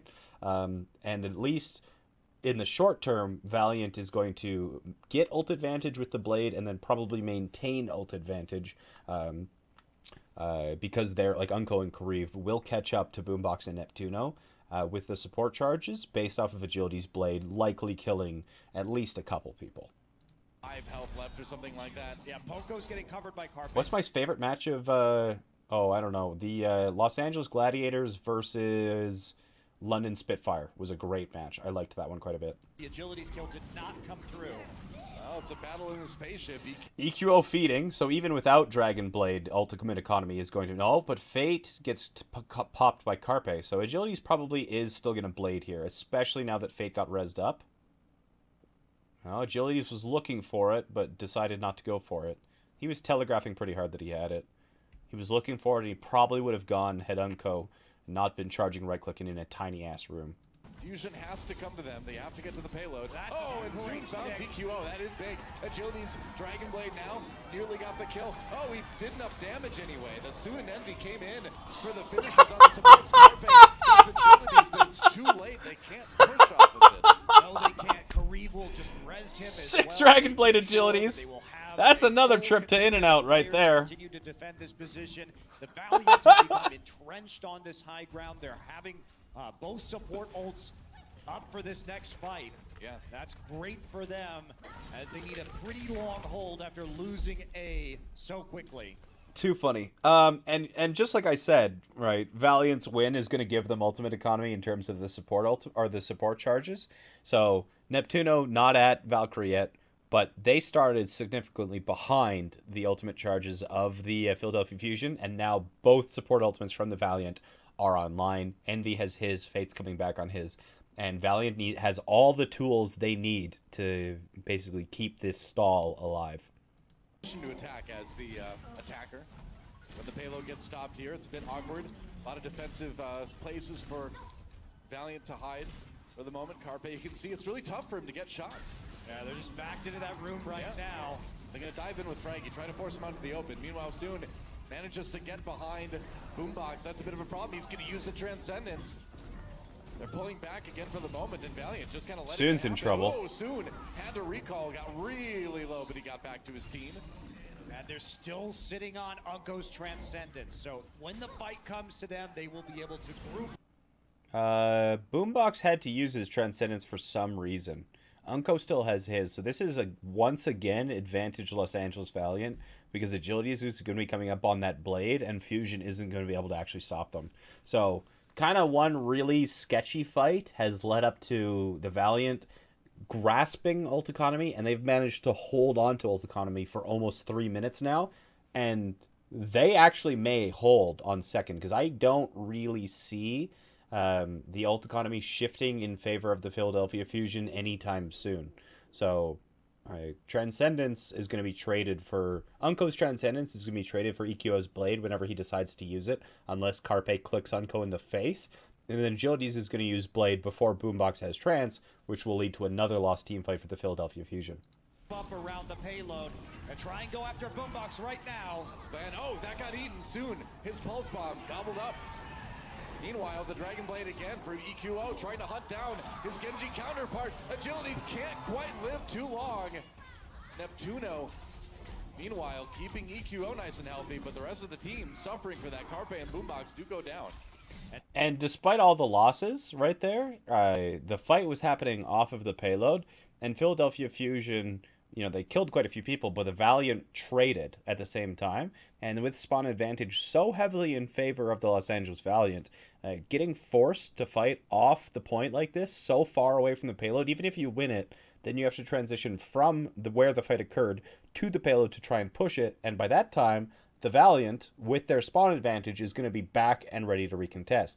And here, Agility still has Blade. He didn't have an opportunity to use it, and he didn't need to use it. So now we're moving into like 70 seconds left, and ult economy even more heavily in favor in the Valiant here, or in favor of the Valiant. So poor ult management from the Philadelphia Fusion coming out right now. Now is only a minute 15 remaining. Philadelphia Fusion, they used their ultimates. They got nothing to enter into this next fight and very little time to build it back up. EQO trying to push in to get some ult charge back up as much as he can before the clock hits zero. I mean, So two fights remaining, two short fights, one long fight. You get stopped here as Fusion. You are suddenly getting really worried about game five, and that's control. You do not want to go to control for your final tiebreaker. If you're Philadelphia Fusion, they really need to come up big in a fight here. They have less than a minute. So we're at 40 seconds left. This is pretty much last fight. Uh, Valkyrie comes out from the side of Kariv, and that's going to be almost certainly comboed with Agility's blade here. Almost certainly. They got to do it now. Fusion pushing ahead. Yeah, that's the Valkyrie out of the valley, Valiant, though. Unkoe nearly there with another Transcendence, and Agilities has the cover with the Dragon Blade as soon as Unkoe gets his ult. Yeah, that's right. Oh, Agilities. Unkoe takes out Carpe and Dragon Blade. That was a double dink. Boombox double dinked Agilities. He was at full health. Look at how far fast he just gets fucking nuked. That was nuts. Yeah, that's the Valkyrie out of the Valiant, though. Unkoe Yeah, Boombox double dinked Agilities during his unsheath animation. That's fucking nuts. nearly there with another Transcendence, and Agilities has the cover with the Dragon Blade as soon as Unkoe gets his ult. Yeah, that's right. Oh, Agilities. Unkoe Dink, dink. Dragon Blade. Boombox right there, though. To the kill. Yikes. They need to turn this into a push. Now the dive from Valiant, forcing Fusion back even more. Boombox with the Transcendence. They got the Zen ults on both sides. There goes Kariv. EQ found him with a big Dragon Blade. Kariv couldn't get the res off in time, it looks like. No, he did bring agilities up, actually. Fragi, though, gets Unkoe. EQO, 8 HP. Can we live? That's right, but Philadelphia has a man advantage for the moment here. We're into OT. They got to finish point B to get a bit more time in the time bank. Looks like they'll barely do it. Wow. All of that off of Boombox hitting two headshots back to back on Agilities. Fucking wow. Boombox just clutching that so hard. That's nuts. That's nuts. Ooh, close call, but Philadelphia still alive on this attack for the moment. And they're continuing to push forward. They need to make a lot of space right now, Valiant. There's not. Fusion played that pretty poorly. I'm honestly surprised that um, they managed to take that. It- like Agility's, you know, bless his soul, spending so much time in the in and out. But uh, how can you expect a fucking Zenyatta to double dink you like that, especially in that high pressure situation? Just so impressive from Boombox. And Boombox has always been known as a fragging Zenyatta, so I guess it shouldn't become as a surprise that it's possible. But it's such a you know, such an important moment for him to go from not dying to just actually fragging agilities and then building his transcendence before the actual follow up dive came in from the rest of the uh, um, rest of the Los Angeles Valiant. Just really well played by him. Falling back to their spawn room. Arpe, the only member of the Fusion with an ultimate up right now. And Valiant had dumped everything into that engagement. So soon, on to the Widowmaker. Same with EQO. So, So interesting that they don't put Carpe on the Widowmaker. I guess they want to run if they want to run Widow Tracer, they're gonna run Carpe on the Tracer because I think EQO is not nearly as good as Tracer at Carpe. I think, um, and Neptuno is off of the Lucio and onto the. Uh, or no, sorry, Neptuno was on Mercy the entire time. He didn't swap, so Neptuno still on uh, the Mercy. On the side of the um, uh, Los Angeles Valiant, uh, wait, did am I? I'm confusing myself. Neptuno, Neptuno. Yeah, Neptuno was always on Mercy. Okay, I was second guessing myself. Okay, so moving into here, EQO is going to be getting onto the Widowmaker in order to contest Soon because the like the sight lines on Third Point Gibraltar are just so long and important that pretty much if you don't have a Widowmaker, uh, it sucks so much. There's just this really long sight line after you turn the final corner, really long sight line where a Widowmaker can basically stand uncontested, and there's little to no cover um, for the team that doesn't have a Widowmaker to actually uh, play and try and contest the point. So this is why almost every single time you're going to see two Widowmakers uh, face off on third point Gibraltar. EQO already proving his worth, taking out two. What is he going to do? He's going to go onto the high ground. So this, this is the sight line I'm talking. Soon just caps him. Okay, so that's a and this is final fight too. So with EQO down and Neptuno can't res him because soon we'll have the really nice sightline onto him. The final fight unfortunately becomes five on six against uh, the Philadelphia Fusion here. I was just muted the game sound while I was talking. use onto EQO. No, and Soon taking advantage of that in a big way. Gets Carpe as well. So Soon hasn't had like the most impressive showing on Widow this series so far, but got two really important headshots right there. That's going to be a big problem for them soon. They can use Valkyrie, yeah. I was gonna say they could definitely use Valkyrie to uh, touch the payload. Poko gets there just in time. We're in overtime. Agilities wants to shut this down right now with the Dragon Blade. Reflect puts up there. Carpe trying to shoot him out of the sky, but EQO gets a kill on Soon. While Agilities again still in the back lines. He's kind of on his own here, just trying to keep people from getting to the payload. Fate Primal Raging doing a big part in keeping Philadelphia zoned out as well. And meanwhile, Carpe just staying there. He's moving it forward. He actually got some extra distance, and that's going to let Fragi get back in there with the Primal Rage. It's all about buying time. How in the world did he avoid that self-destruct? Oh, he nearly jumped off again. That's gonna be about. Yeah, like that fight was pretty much lost. Like they had to they had to force the engagement really late. They had to use the Valkyrie just to get on the point. Um, and EQO did land the shot on Tasoon, but it was like it was just not enough. They were rushed. They had to blow ultimates just to kind of not lose immediately. That was such a nice shot from Soon. Um, and that as soon as it turned against them, there was no chance for the actual Philadelphia Fusion to regroup there because it was final fight. So they they made the best of it and gave it their best shot, but it was that was it was one of those like 99% chance that they lose it and they're just going through the motion in case the 1% happens, in case that miracle happens. Hey Foxy Box. Keith, how you doing, Keith? I saw you were in contenders the other day. it's so funny how many people that I've played with on teams who are now playing in contenders. It's just so awesome. So, I'm not sure if I ever congratulated you on making it onto a contenders team there, Keith, but if I did not, then congratulations, friend. I moved to Calgary recently, and since getting here, I've been stuck on Shaw. I'm on Ethernet and at least have 60 ping constantly in Overwatch. Blah, blah, blah. Is this normal? Man, I run on 80 to 90 ping. So 72 ping is probably like the best I've ever had. If I have a good day, my ping will get down to about 72. But yeah, I, I normally run at about 80 ping in Overwatch. It sucks, but hey. Like having the soldier. What's your opinion on TviQ and Logix? They both seem like they carry Mayhem through all their wins. Oh yeah, they're both fantastic DPS player. And I didn't honestly realize how good Logix actually was. Like I always heard about people playing with Logix in like ranked solo queue, and like Logix was known as a hard carry in like the solo queue ranked ladder. But I'd never seen him in tournament play before until recently, and holy smokes, is he a hard carry in tournaments as well.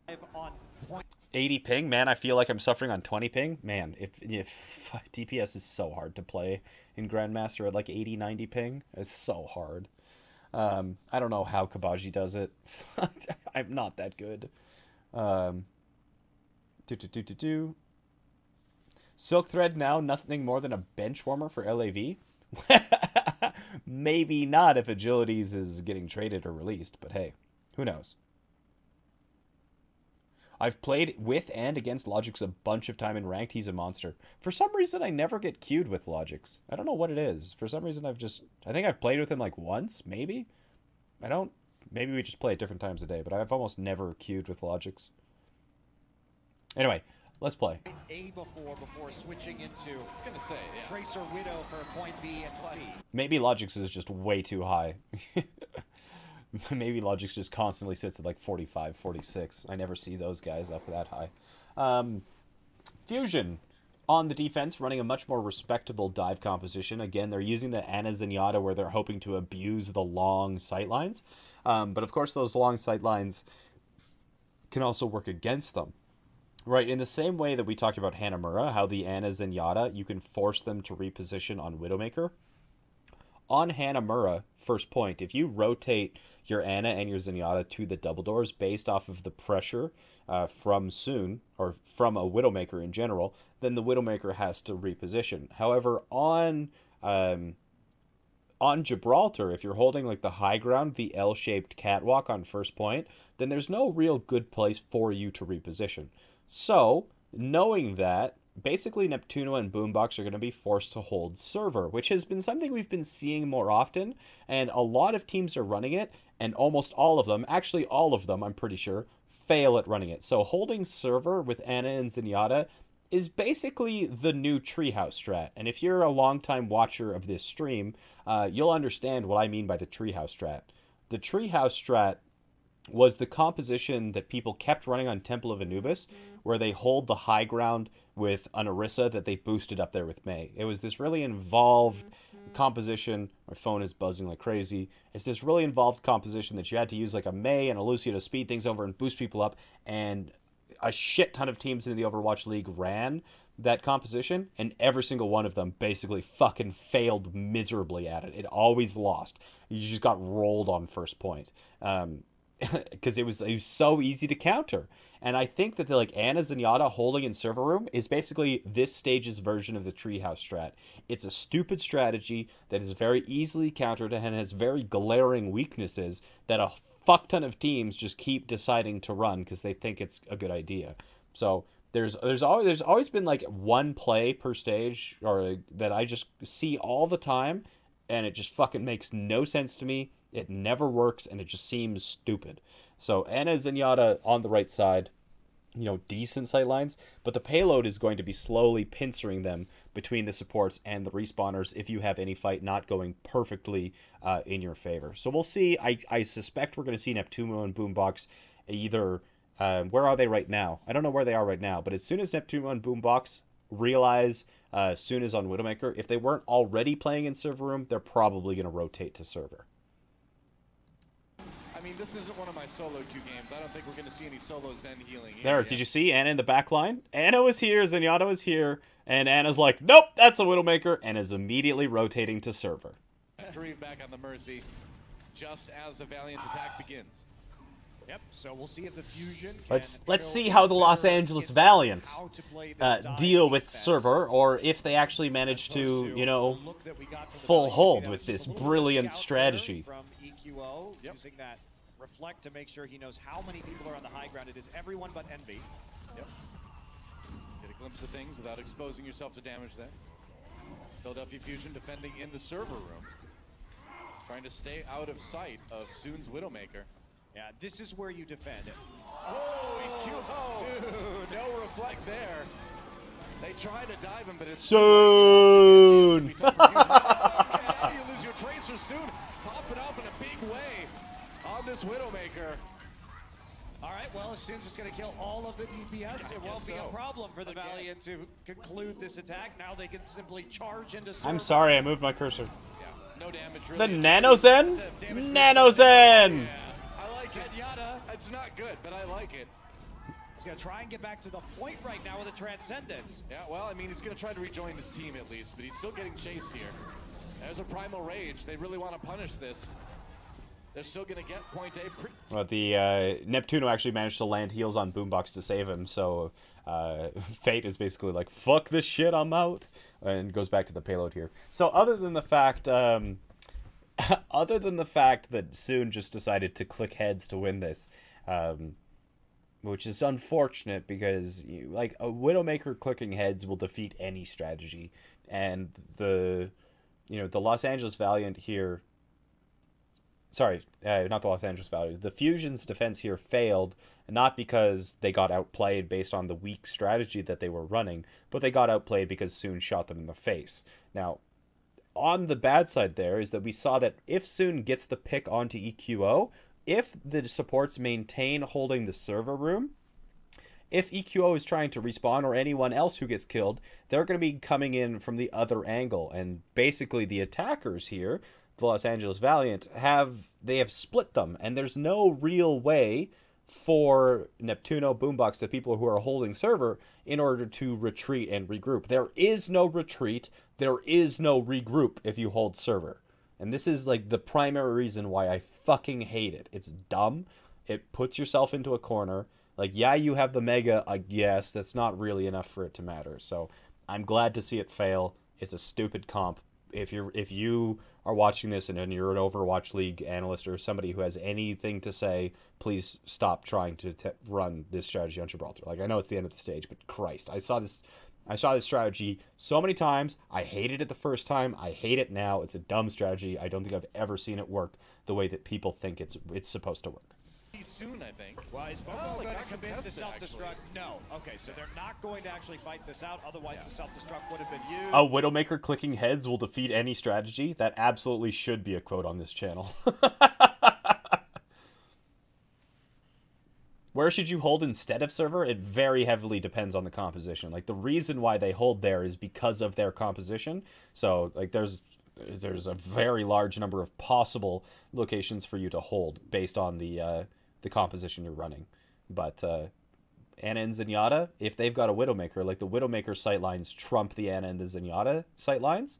Uh, so if they have a Widowmaker, they pretty much just hard counter uh, Ana Zenyatta on Gibraltar because the Ana and Zenyatta has nowhere that they can reposition themselves uh, where they can assist their team but see- be safe from the Widowmaker. Fusion, there's the Primal Rage from Fragi. They've managed to buy a lot of time already by keeping Valiant kind of stopped at their spawn and And these four doors here, I'm going to sneeze.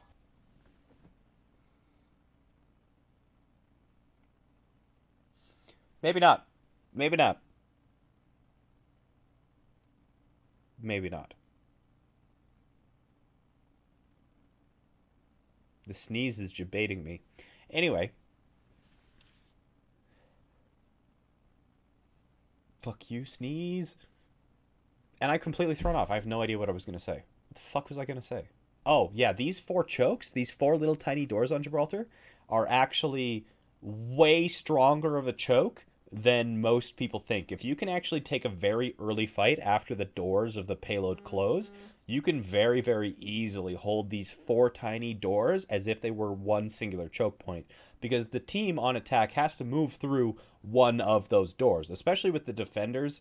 Um, having the like the really okay they actually neither team is running a uh, a widowmaker anymore uh so yeah it's it's not, it's not going to be as hard or as easy to hold the attackers through these choke points because normally you'd want like a, a soldier or a widowmaker to try and hold uh those short doors but um yeah, I guess with these compositions, it's going to be a lot harder to hold these chokes, but the four choke points can be really strong. Um, I have to answer that, unfortunately. Uh, so I'm going to let it play, and I'll be right back in like one minute. Yeah, I like how they took the reset instead, playing around the choke points and retaking the high ground. We saw this from the Valiant in spite of the quick point A loss. Fusion attempting to duplicate the Valiant success. Yeah. LA coming in with a Transcendence and nearly the Valkyrie as well. So a chance B. to simply out-heal and push through the defenses of the Fusion. And this point always ends up so chaotic too, because you've got kind of uh, three separate levels that the action takes place on, and you never know when the Genji's going to come in with the Dragon Blade, but luckily they've got the Transcendence right there, and this Nano Boost not going to be used too much. Both Genjis going in with their blades, neither one finding a kill, but Agilities is behind enemy lines. Looks like he's going to get out anyway. Boombox down. All right, good start for Valiant here on the attack. Agilities at Envy and Fate teaming up for the support. Whoa, and that's going to be Valiant crushing this defensive, uh, defensive effort from Philadelphia Fusion. Uh, they came back in Oh, with yeah. the Valkyrie, got control of the high ground. There are low mobility supports in Zenyatta and Ana on the side of the Fusion, so Agilities and Envy see them vulnerable. They are going to get another chance to defend this. No, they are not. All right, Soon tried to go for another stick, did some damage with the pulse bomb. They get Neptuno already. That Ana not living too long in these fights for Philadelphia Fusion. And now we're on to point C. Valiant pushing towards. Jayne is not asleep. You stop pressing S. Okay, uh, moving into this fight, we've got four minutes on this attack. This is really bad for the Fusion in this. Like, I thought that Fusion would have the advantage on this map, but they got stalled out for so long on the uh, the second point here that they didn't get the opportunity. They only had like two fights on third, and they couldn't push it all the way. Um, and third can be just a hell of a slog to try and full cap here. Go back. I'm not, I'm not gonna, I'm gonna keep going. But um yeah, on the like uh, sorry, on the attackers here, both tank ults, nothing really else. You're you're you're pretty close to your support ultimates here. Um so yeah, they got through the four doors. I assume if they managed to actually cap it while I was gone for like a minute, they did it. But uh, on the defense here, they have even fewer ultimates here. Uh, so Boombox and Neptuno here, like not nearly as nice sightlines. Now Valiant isn't running a Widowmaker yet, but we have just transitioned onto third, so we'll have to see if either team is going to want to make a composition swap after this kind of first fight between second and third is completed. The end of this map potentially with four minutes in the time bank. They have got a ton of room to work with on this final attack. They do, Doa. EQO wants to play the Tracer now. They've swapped the roles. Carpe onto the Widowmaker. Okay. So it's desperation territory soon. So here we did see that both teams swapped onto the Widowmaker. Widowmaker is so important. If you have an uncontested Widowmaker on Gibraltar third, it's G fucking G. And the defenders here basically I've talked about this analogy before, but when you have two Widowmakers, an attacking Widowmaker and a defending Widow, Widowmaker, you can think of the defending Widowmaker as a goaltender in something like hockey or soccer. And you can think about the attacking Widow as a forward on a breakaway. And the goaltender only does his job if he blocks every single shot. Whereas the forward or the person on the breakaway, they get celebrated and they do their job if they score just once. So basically, if the Fusion have any hope of winning this map, Soon has to beat Carpe in a Widowmaker duel for three and a half minutes straight. And in, like EQO is pretty good on Widow, but Carpe between Carpe and EQO, I think Carpe is the superior Widowmaker, and I really don't think that. Um, uh, sorry, I've got my Widowmakers backwards.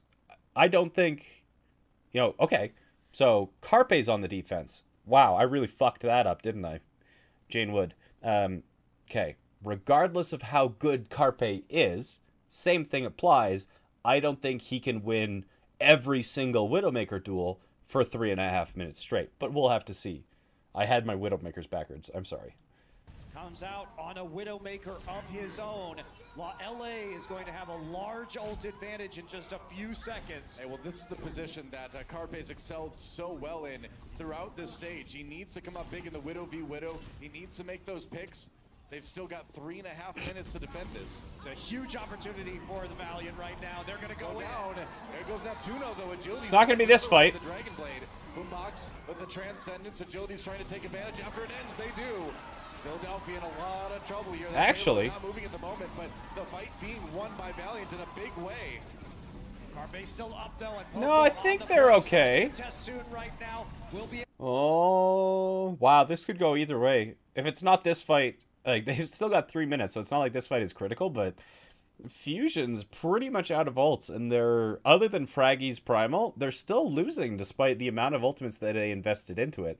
Like, yeah, Agilities bladed, Kariviu's Valky, and Envy bombed, but uh, this is pretty this is pretty close to yikes territory for the Fusion. able to harass him in the back, and the self-destruct will mean that he probably gets remixed.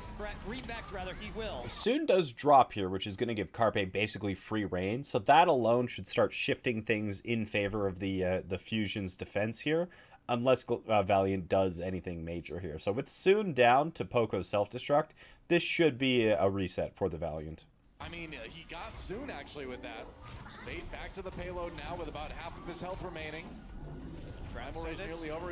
He he dodges a pulse bomb too, so Oh man, that's actually that's a heartbreaker for the Valiant because Yeah. they committed all of their resources. Yeah, then they committed all their resources, but soon going down. Like you need to have Widowmaker control to take third point. Well, you don't need to, but it's it is a very strong factor in who controls Widowmaker third, Widowmaker Gibraltar third. I really do need more sleep. Holy smokes!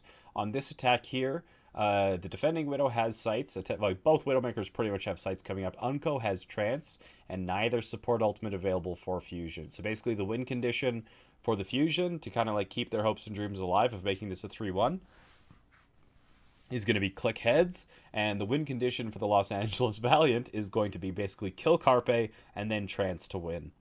Resources except for the trance, but the counter dive from the fusion. They knew they had to kill the supports quickly. They nano boosted Fragi, and he was able to get to Unkoe when Unkoe was at 95% of a transcendence. So exploiting a narrow, narrow timing window, and that threw off the Valiant's attack. still nearly two and a half minutes for Valiant, but losing Envy's mech is gonna hurt. There goes Agility's Fragi with that Primal Rage. They're just gonna buy more time. There goes Soon. Are they doing it? Are they gonna three one this? No, there's still two minutes left. At some point, at some point, soon is gonna kill Carpe. At some point, that is gonna happen. From the rest of his team, and Valiant suddenly two minutes remaining. We talked about how clutch this team is when it really comes down to it. This is a, probably uh, more than usual a time where you really need to dig deep if you're Valiant and come out with a big win here. I mean, they still do have time, though. Remember that with the two minutes, they can stack up a huge old bank. They can play a war of attrition right here against the Fusion if they want to by forcing their ults and just using nothing on their side. So both support elements available for both teams. Uh, so agility's Dragon Blade can be used to like bait out uh, one of the support ultimates, but not bait, but like force. Basically, you force it and then you don't die. Um, or you can kind of use it as a cleanup if, for example, um, Boombox is forced to trance in order to sustain Fragi and Poko. And we are seeing Fragi and Poko both out of armor here. Um, whereas the Los Angeles Valiant, their tanks are in better condition. Um, so uh, the fight, double support ultimates always make team fights really fucking chaotic unless they're really well organized. But agilities can get things rolling by popping his blade, and that cause is going to be like going to cause a lot of chaos. But even while the five people, you know, the five people on the ground fight the five people on ground, this is kind of like the Battle of Kings. You know, it's it's Soon and Carpe is the battle that really truly matters. Is that un- unless Carpe uh, can keep killing Soon, like if Soon dies on the defense here, um, sorry, if fuck, I, why am I still confusing who's on defense? Um, pretty much the one time that Soon kills Carpe, it's just gonna like the field's gonna be blown wide open uh, because the the um, the fusion are going to lose their ability to contest these really long sight lines. That's the hope, and EQO sneaking around, trying to come in from behind here. Gets seen, doesn't want to throw that ult into the defensive matrix. Soon gets a kill on the Carpe, too. That's a big 1v1. Right? We just talked about agilities. He's not using that blade. He's not using that blade in order to actually uh, get kills. His main purpose in this blade is to get rid of those support ultimates from the Philadelphia Fusion. However, soon kills Carpe, and that was the trigger we were looking for. Finally, the Widowmaker duel has gone in favor of the Valiant. After two and a half minutes, Soon finally satisfies his win condition. with the Dragon Blade again. However, Neptuno re- reses Carpe, so round two, win condition undone. Thank you, Mercy. Oh, Transcendence keeping Neptuno alive for the moment. He gets Carpe back up. They pair the ultimates to keep the Mercy alive. EQO turns around, pulse bomb on the Bomb wall. misses. Find anyone with that one. Two meters, one and a half meters, Noah. It's so close. Philadelphia Fusion The Widowmaker duel is still happening in the background. Fate's about to be deleted, so Philly Fusion's gonna hold this w- again. needs a big win right here. Oh, okay, Fate dies, but they trade E EQO. And I don't know if they're gonna get it. EQO falling.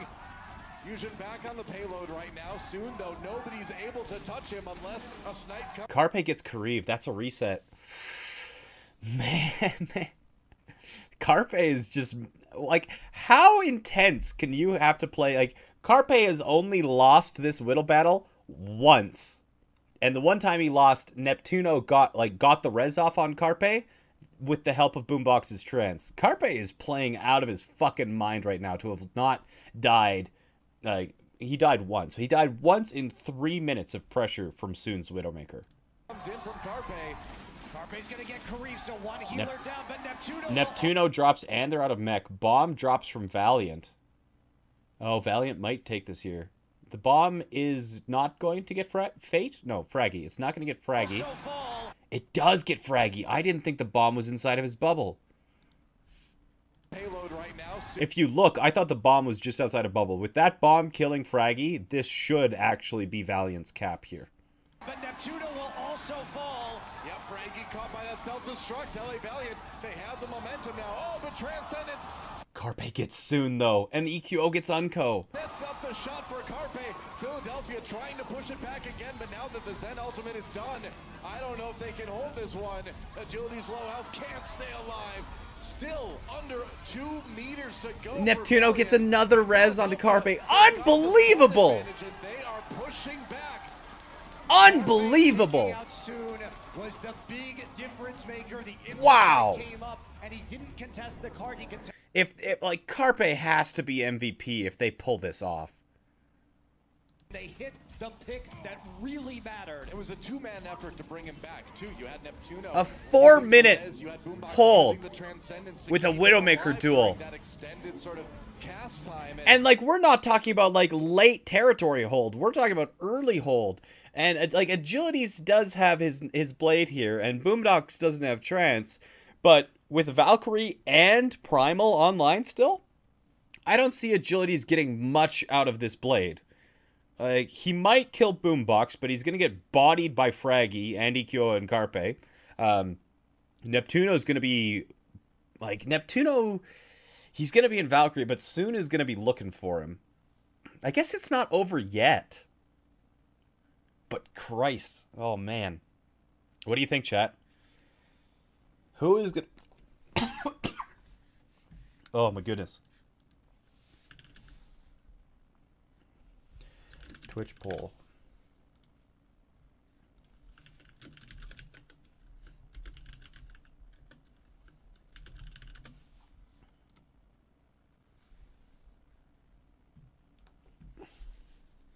Okay, please only vote if you haven't seen this before. But who do you think is going to win?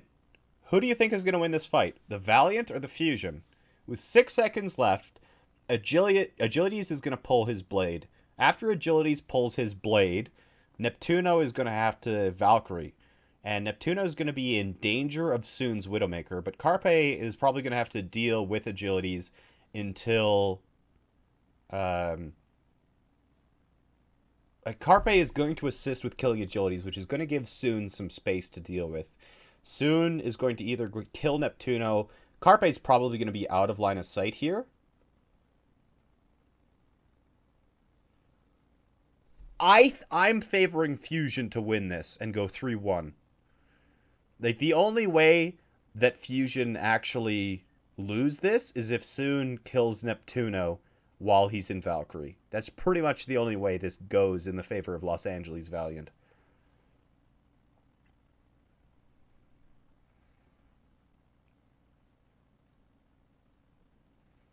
Chat thinks Fusion's gonna win. I'm favoring Fusion to win as well here. Interesting. Let's uh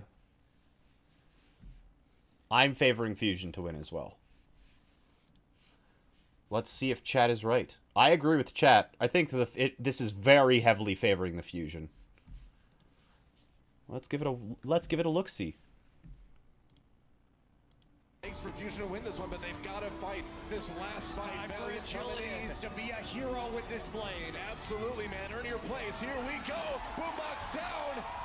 It's a big start. They get EQO as well. Soon right there to help him out. And it's a team effort as Valiant pushes forward. They've got the Transcendence and they will Oh! take the map. We are going to the tiebreaker. That we are, Doa. The overtime. The big difference. What?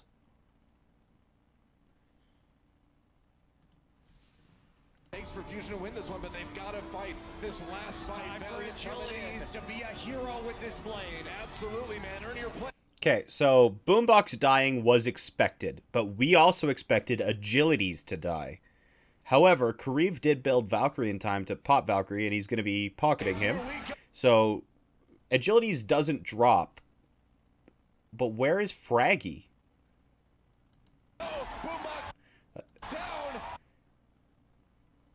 Fragi is probably primaling to contest. I would have expected Fragi to go after Agilities to just at least knock him around. But EQO, another kind of factor that we had considered as being one of the people who would burn Agility's blade, gets knocked in the head by Soon, and then Soon also pops Poko in the head after the D.Va Bomb. It's a big start. They get EQO as well. Soon right there to Boom! out. Takes out Poko. it's a team Takes out Poko while he's trying to reset. effort as Valiant pushes. Neptuno reses Boombox. Fragi's gonna die got the Transcendence and they will and then blue screen. Um, interesting, interesting blue screen. Wow, they uh, they pulled that off. Kariv building his Valkyrie before Agility's popping his blade, um, as well as Carpe EQO and Fragi not punishing Agility's for his kind of overtime blade, actually is going to put this to a map five.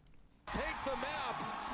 We are going to the tiebreaker. That we are, Doa, the overtime, the big difference maker once again. Valiant pull the rabbit out of the hat. How do they do it? This team. Wow, that I was swear if um, the entire map was played in interesting. Overtime, they go 4-0 every match. Uh, it seems That was um, doesn't enough. Fragi primaled all the way to the attacker's mega, but why? They, they certainly have a spectacular clutch factor about them, and they can play the, the really the, the upset here. They can play the spoiler against the fusion. I mean, we saw them do the same thing against Seoul at the end of stage one. Kind of uh, making Seoul's playoff hopes fade away, and they're about to make it much tougher for Philadelphia to get themselves I love that shot. Position. What a series this has been, and what a conclusion I've got a feeling we'll see, guys. Don't go anywhere. Tink. Map 5 coming up right after this. The Overwatch League is brought to you by T-Mobile. Like, America's As long as you have a Widowmaker alive, it's not really Fragi's job to contest that Widowmaker. Uh, Like, you have a Widowmaker to deal with the Widowmaker. At some point, you just have to trust your team's Widow. Um, so if Fragi did really chase after um, Soon in the backline, that was I feel like that's a pretty decent mistake. So he was probably trying to get a pick, maybe I guess, but anyway. Yo, Jayne, I just found out about your streams last week, and I've been looking forward to the Overwatch League review all week. Thanks, man. I love this up. Glad you enjoy it, my friend. Um, let's take a look at the, uh, the Mac Indoc Tier 1 uh, Tier 1 sub. Thank you so much, my friend. Benny Kevins with the Prime sub. I appreciate it. Rug Rooster coming in resubscribing with Prime for four months in a row. Glad I got to watch you grow. It's crazy to see how big you've gotten, right? We're at 950. Absolutely insane and RoboCrab with the Prime sub, followed by Blind Snipers 36 Prime sub as well. Thank you everyone for the support. I truly appreciate it. Hope you're enjoying the stream and learning a lot. Uh, I'm I'm sure having fun, and we're getting going to go to overtime. I thought this was going to be three one Philly, but um, it's not. So tiebreaker map is going to be looks like Ilios. And Yako Taco with the 100 bits says, Oh, hi. Welcome back, Yako. Good to see you. Tiebreaker map. Okay. What? So this is Ruins. So we're going to see the same sniper duel here. And uh, actually, interestingly, the Los Angeles Valiant here putting Kariv on Widowmaker. And Kariv, despite being their support player, this isn't like a, oh, what the hell are you doing, Valiant? You're throwing. Kariv is a pretty fucking nutty Widowmaker. He's really good. uh, so Kariv is can play DPS. Yes, he's a support player in the Overwatch League, but he can play DPS and hold his own in the Overwatch League. That's no question. Probably even a better Widowmaker uh, than Soon. So they're putting Verbo and uh, oh, they did. They made a what?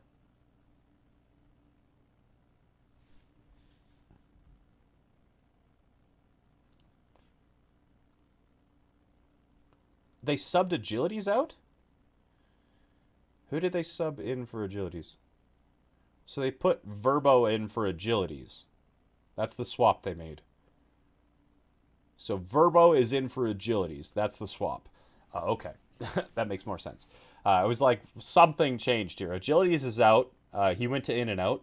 And Verbo is in on the Mercy. So this kind of this is like a standard Ruins comp from Valiant, uh, because Ruins we've been looking at like Widowmaker duels pretty much all day, and Ruins is another map where it's gonna be which Widowmaker is king here. So Valiant Kariv on Widowmaker is pretty fucking scary, but so is Carpe. So we're actually gonna have um, not quite mirror ma- uh, mirror matchups here, uh, because Los Angeles Valiant is running Verbo on the Mercy to what I assume is Pocket Kariv and Res Kariv if he loses the Widow battle. However, Philadelphia Fusion, what they're running differently than the Los Angeles Valiant is Neptuno on the Lucio. Now, this is two different schools of thought. The first is that Verbo can pocket Kariv. Kariv can get that damage boost as well as the Resurrect if he kind of fucks up a little bit.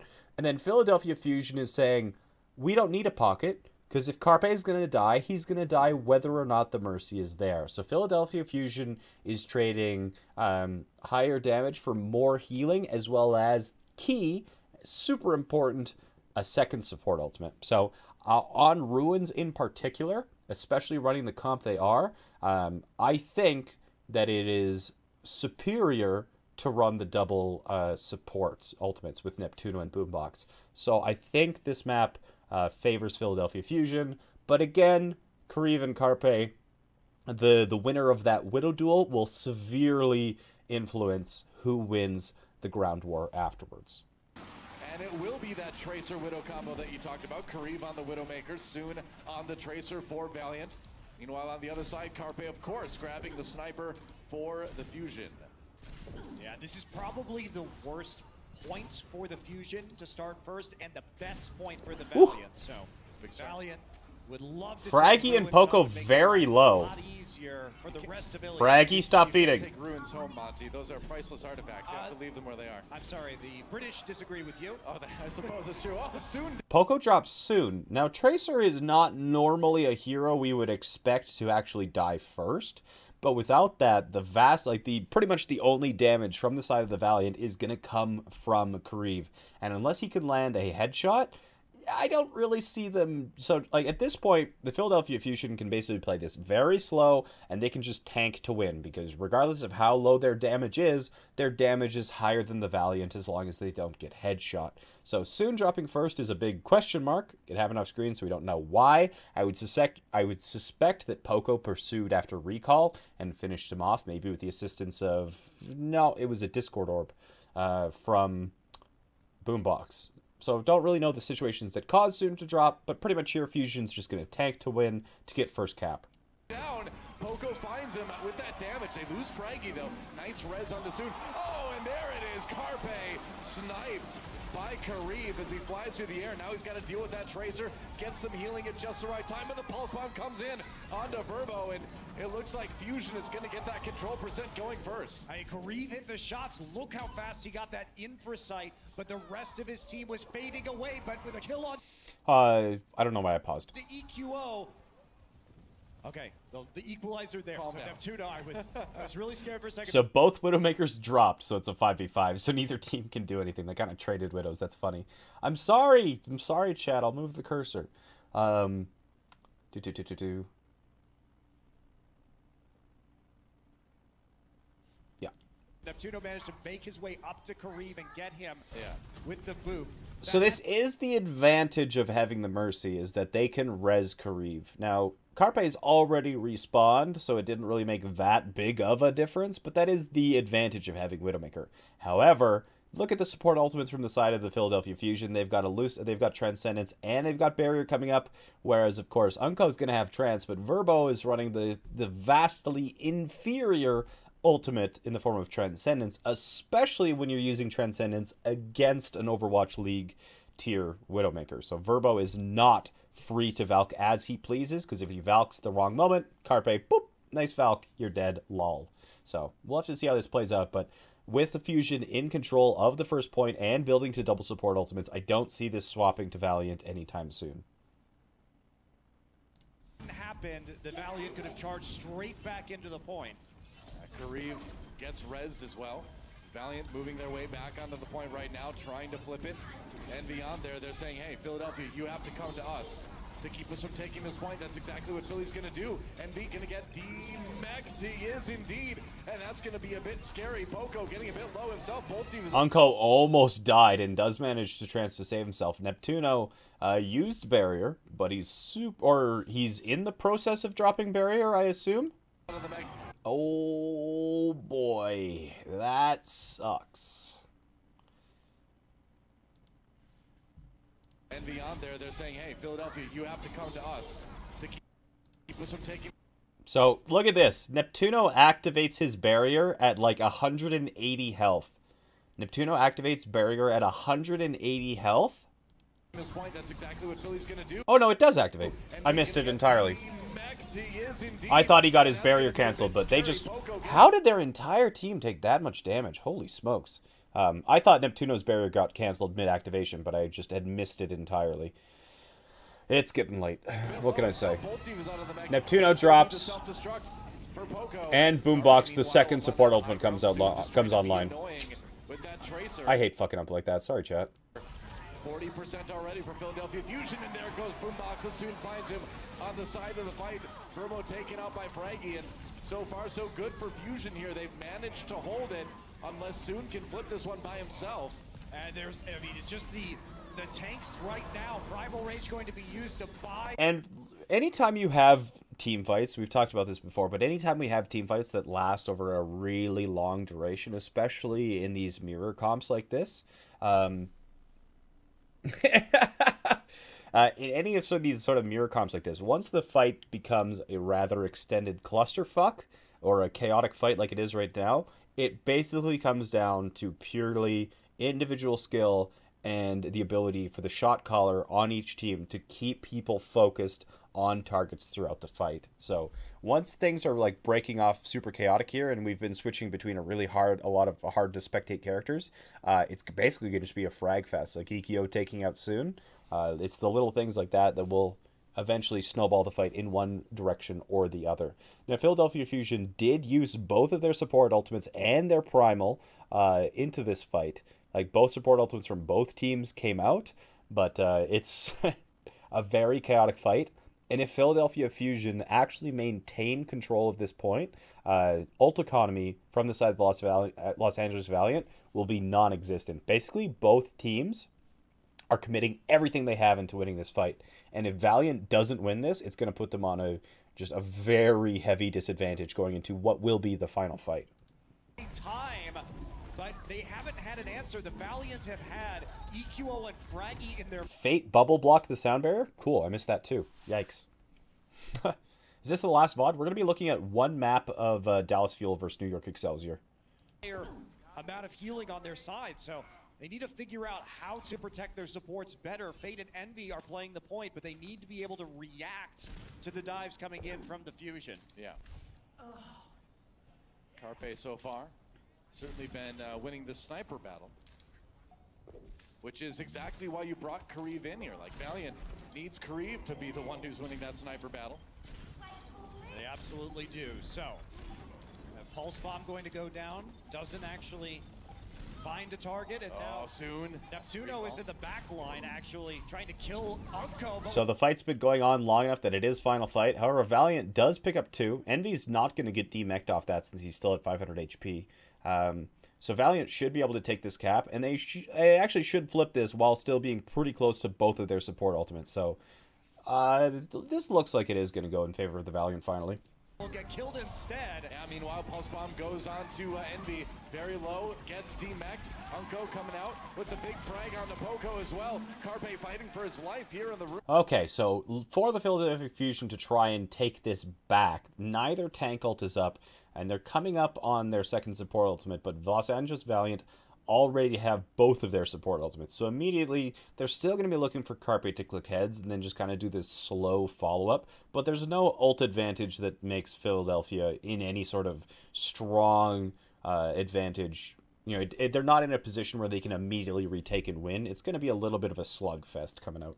but manages to push the Did you already pick uh, which map? I'm gonna we're gonna watch Li the Jiang because Li Jiang was awesome and interesting. building, but Philadelphia already at 99%. So if you're Philly, you're like, all right, we've got time to build up those ultimates, come back big. Yeah, Neptuno though with some I what that jump is fucking cool. I did not know this jump existed. Carpe fighting for his life here in the room, but manages to push the Tracer back a bit. And Valiant will flip the point, finally getting some percent building, but Philadelphia already at 99%. So if you're Philly, you're like, all right, we've got time to build up those ultimates, come back big. Yeah, Neptuno though with That's so fucking cool. Yoink. I'm stealing that one. some bizarre positioning. He was trying to attack the other supports in the back line. Oh man. Up losing That should that should be a reset right there. They'll just back off until EQOs respawn. battle and speaking of losing battles, that's Yeah, a talk about- damage boosted Kariv. Talk about threading the needle there, too. It's You, you don't even see the Widowmaker through that. And that's gonna it's gonna require a taxi service courtesy of Neptuno as he goes back to bring E EQO the, so they've waited for EQO to come back, and then they pop uh, uh, sites. And the sites here isn't just for Carpe. The sites is for the entire Fusion team to actually pick their engagements, basically find out where Unkoe is. That's the primary thing that they want to figure out is where Unkoe is so that they can plan their attack with perfect intel. So sites at the higher levels is really useful. At the lower levels, it's basically used to, you know, win the Widow 1v1, but at the higher levels, it's so the shot caller can basically plan the attack with perfect information on where the opponents are. The engagement Read now Coffee Traveler. Yeah, I saw that. I just prefer clicking. in for sight for the Fusion. They want that pick. So Fusion, or it's on both sides now. Kariv going to be trying to get a shot. EQO picks up Fate. EQO finishing that one off. Sound barrier though comes in from Fusion. They want to use the 6v5 to take the point back for themselves. Carpe gets Kariv, and with, um, uh, well, Verbo res is Fate, so at least res is down, but now Carpe is completely free to just rain damage down upon at this point. So this is putting it in favor of the Fusion, uh, and especially with Verbo taking damage from somewhere, and both tank ultimates available, well, really for both team. So the tank ultimates are going to go fucking crazy, but with Carpe on Widowmaker, it's going to be a lot harder for e- uh, Envy to actually get back into mech. So I suspect Envy is going to get demeched here, but then probably killed before he can remech, and that is going to start snowballing things in favor of the Fusion. Fate does get res. Hey, Leaf. again. No, it's actually still 65. Who's Carpe got the Widow v Widow. Now soon. Fate does take out Boombox, though. Gonna turn around. And Bomb hasn't... Oh, Bomb was used, but didn't kill anyone. Man, Valiant's just sticking in this still. Meanwhile, though, Valiant's still building that percentage up. Now Juno was in the back line again. So even though he's playing the Lucio, he dropped the beat and ran back there with Fraggy, but they couldn't Okay, last fight. So it was 99 to 0, but now Valiant is in a position where they could take it. The only ultimate available for Fusion is going to be D.Va Bomb, with Pulse Bomb coming up here pretty quick. Um, and Fate has hit. So it's basically Poko versus Fate uh, for the tank ultimates. And then EQO has an opportunity to shift things in his favor with his Pulse Bomb. But of course, the main thing that we have to look at when we're on Ruins is the battle between Carpe and Kariv. If Carpe shoots Kariv in the face, well, Kariv's going to get rezzed. But if Kariv shoots Carpe in the face, Carpe's down for the duration of the final fight. Kill Verbo or Unkoe, and instead they deny any kind of AoE healing on the point for the rest of the Pulse teammates. Bomb and Carpe landing a headshot. That's what we want if we want Philadelphia we know Fusion to this win. guy's a, a pretty aggro uh, support player in general, but yeah, there is such a thing as too much. And I, for me to say that, that, that means a lot. Kariv gets EQO. And that's not in a place where Resurrection can come through. Not really, 95% for Valiant. Fuck, reverse sweep? Are you kidding me? Wow. Okay. Okay. Kariv doing showing that he's doing a good job. Carpe's still winning the Widow battles though. Like Carpe takes out Kariv again, but Verbo getting a lot of value. I don't think Verbo has missed a single resurrect, and I don't think his Valkyries have been punished uh, by Carpe either. So 90 yeah, the 99-0 reverse sweep on the first map going in favor of the Los Angeles Valiant. Win if you're a Valiant Wow. Fan. I didn't see that one coming. Nice advantages. So one point remaining. Good stuff. Massive upset. This is how the Valiant closed out. Reverse swept one. them. Nice. Close out stage two in the same. From 99 to 0 to 99 100. What a game. into a difficult situation. Oh, re- like reverse sweep is it just means like the if one team gets to like 99% and the other was at 0 and then the point flips and that team wins, they just reverse swept them on that map. Not in the series, just on that map. A win on well would win the match for Valiant. So we talked about this earlier because this exact matchup uh, came or was in place on Village, where we have the full dive versus the uh, the pharmacy dive here. And what you want to see from the side of the Philadelphia Fusion is kind of taking no poke damage and then hard engaging on the Los Angeles Valiant. Uh, whereas the Los Angeles Valiant want to kind of stay in the poke and the posturing phase for as long as possible. Um, until they actually do take an engagement. Because with Kariv on the Widowmaker and being more or less unanswered, um, every kind of second that goes by where the team fight hasn't already been decided is going to make the Los Angeles Valiant be more and more in control of the fight. Um, because they have that vastly superior damage. So Philadelphia Fusion wants to play this really slow until they see an opportunity and then be like, bam, hard engage and just murder the Valiant as fast as possible so that Kariv does not get value out of his Pharah. Fusion, if they can take this round, they'll take us all the way to the third stage here. Why aren't any black people in Overwatch League? Snow from the uh, the, the Boston Uprising is African American, as far as I'm aware. Ilios. It's going to be Kariv on the Pharah again. And this is what Kariv can bring that Agilities doesn't. This is why he's playing DPS on Ilios, because he can play the Pharah and he can play the Widow. It's back to... So you can kind of see how uh, Fragi and Poko are hiding behind the actual. Uh... Is Grim Reality African American as well? I had no idea. He's Ethiopian. Oh, cool. He's African African. Oh, like actual African. Hmm. Cool. I, I didn't know about Grim Reality. I've never actually seen a, a picture of Grim Reality. So, cool. I knew about Snow. I didn't know about Grim Reality. That's nice to know. Why doesn't Widow get more play on the Pharah heavy maps? Um, because on the Pharah heavy maps like this one, A, there's no real good position for Widowmaker to be in, because you only see Widowmaker played on maps with really strong sight lines, and especially where the Widowmaker can sit farther back and abuse the lack of fall off. So if you're forcing a Widowmaker to play sort of in areas where uh, you are inside of McCree or Soldier's fall off range, the, the Widowmaker is generally weak because you lose a lot of utility on the Widowmaker in you know in exchange for the lack of any fall off damage. And Pharah as well, you can kind of see how she's like Kariv here is playing around the windmill. Any really tall structure um, or kind of like enclosed area allows Pharah to move around and use the cover to get the most value out of her projectiles. for the Philadelphia Fusion.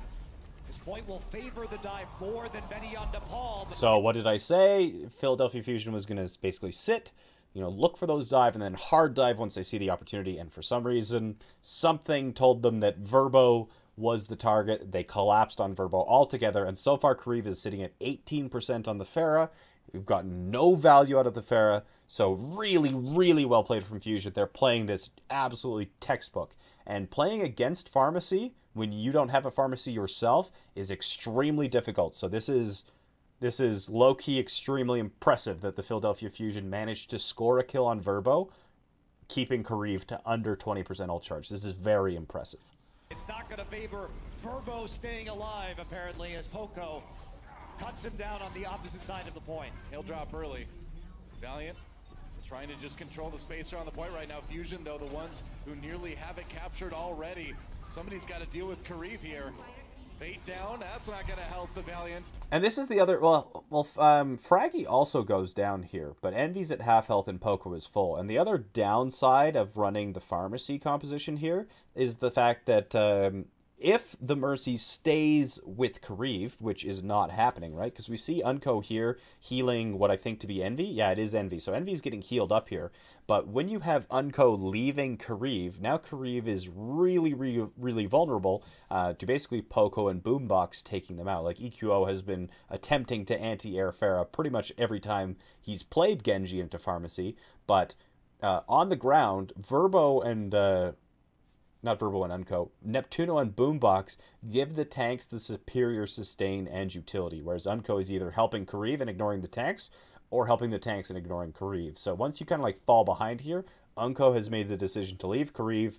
Kariv has gone higher, but this is just probably going to make Philadelphia Fusion's job even easier. Philadelphia nearly have this one. They lose Fragi as well. No wins on either side. iRemiix is Puerto Rican. He's not uh, black. Remember, they can't really use Safara to take the point. It only does damage. Poko gets him. Of boops EQO. take out EQO. They'll may swing this back. Where was that? Did he boop him off at coast, or did his like his wall climb fuck, or was it the damage kill with boop? Please tell me environmental killed EQO. That would have been hilarious. Nearly have it captured EQO, where are you? got to deal with Kariv here. Fate down. That's not going to help the Valiant. Philadelphia nearly have this one. They lose Fragi as well. No wins on either side right now. Carpe battling it out. Remember, they can't really use Safara to take the point. It only does damage. Poko gets him. It looks like that wasn't environmental because he loses like the last uh, third of his health just instantly. I didn't see where he was though. 59, 29. Where was he? Lose Fragi as well. No wins on either side right now. Carpe battling it out.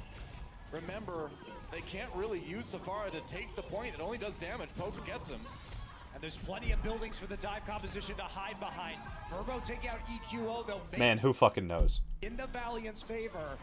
Uh, we'll see. I mean, because it is going to be Fusion capturing the point first. They'll get some control. Yeah, well, this is how it worked on the on the ruins map too, right? We uh, our Philadelphia Fusion took the point first, and then they got reverse swept. So, um, the good news is they're like they still have the support ultimate advantage. They are gonna have these double support ultimates online before Los Angeles has their support ultimates online, but um, they're gonna have to consistently do these. Oh, never mind, EQO. Did EQO just like suicide on purpose in order to switch to McCree?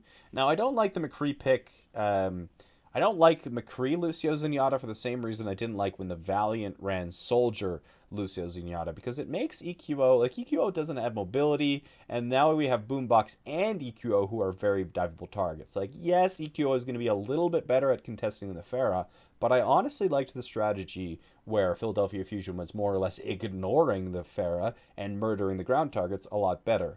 That being said, it is really difficult um, to retake a point as pharmacy. Like it's it's pretty nice once you have the point. Pharah does a like pharmacy specifically does a great job of holding the point, but recontesting with pharmacy can be rather challenging. So we'll have to see here. I, I, I think it's a much weaker comp that Philadelphia decide to switch on to, but uh, we'll have to see. I don't know. building. Valiant can try to come back and retake it. Is not playing Zen a throw? Not really, because you you more than you more than make up for the lack of Zenyatta with Kariv's Pharah just doing a crap ton of damage while damage boosted. Waiting to remech there, and so now one tool fewer available to the Philadelphia Fusion. A lot of damage onto Envy with that pulse bomb, but no finishing blow from Fusion. They're still going to hold the point for the moment. Unkoe's getting attacked by something. Valiant just regrouping a bit. They're going to have a Forced Valkyrie. What forced his Valkyrie? I don't even know what was on him. A lot of ultimates soon. That's Unkoe using EQO does get Kariv though with the uh, assistance of Boombox Discord. the uh, using the um, Percy ultimate. Tracer is the absolute worst to see in a in a team fight. Sound barrier for Fusion as they try to hold this one. They do get Fate. It's a good start for Fusion as there's a boop on Envy. And for like the first time ever, Philadelphia Fusion actually got through a team fight while having both support ultimates and not using both. Like I think the vast majority of the team fights in this series where Philadelphia Fusion had both support ultimates available to them, they used both of them. I think we saw one on Ruins, but uh, like they've just been so trigger happy about burning both of their support ultimates if they have them. Got taken out. Discord or Mercy's damage boost? Um, it really depends, but um, for pharmacy, damage boost. For Valiant, they only use that Valkyrie on the attack. And now they're focusing down Kariv. EQO switches to McCree, and Boombox is providing him the Orb of Discord onto the Pharah. So they've identified this as a central problem. They're starting to play for some zones around the point right now. Fate gonna leap in to the high ground opposite EQO. Yeah. And set up a long flank that way. How, how is Kariv going to get value out of his barrage? That's a real question here. And Fusion or Valiant rocking five ultimates to Fusion's two, coming up on four. Yeah, I mean, Cursor? and Kariv can just My cursor's at the corner. That it's hard for the McCree to do damage to the Pharah. That that damage fall off at distance. Tough for the McCree to handle sometimes. All right, Primal Rage was just forced out of Fragi, so now it's go time.